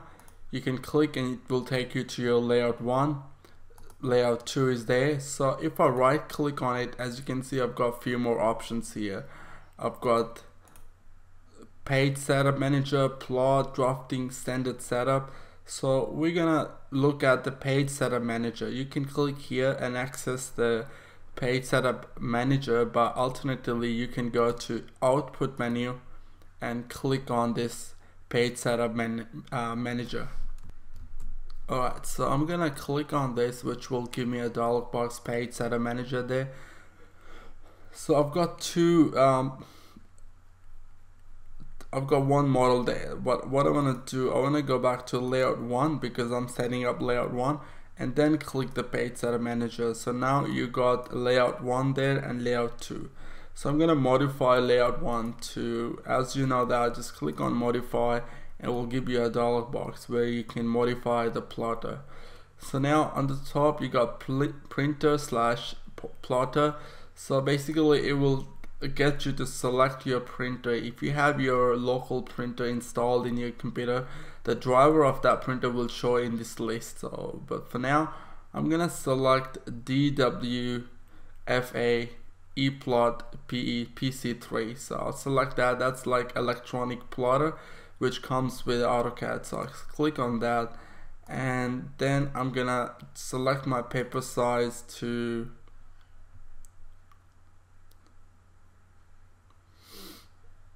Alright, select this Archie D 36 by 24 inches.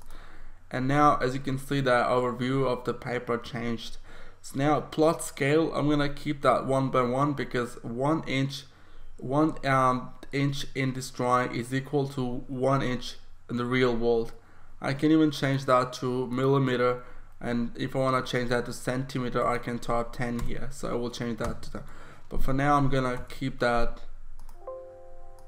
just type 1 and change that to inches. Okay so now our plotter is set now. Click OK.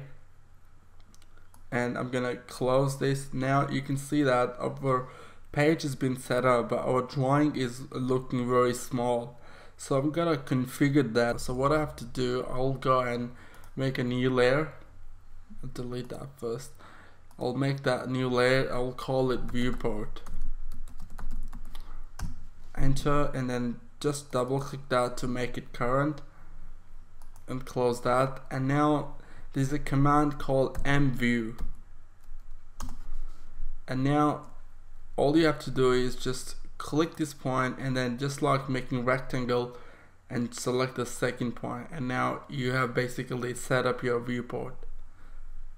To print that if you want to learn about how to print that on your plotter with the exact dimension then check out my next video from my playlist. And thanks for watching and I'll talk to you guys in the next video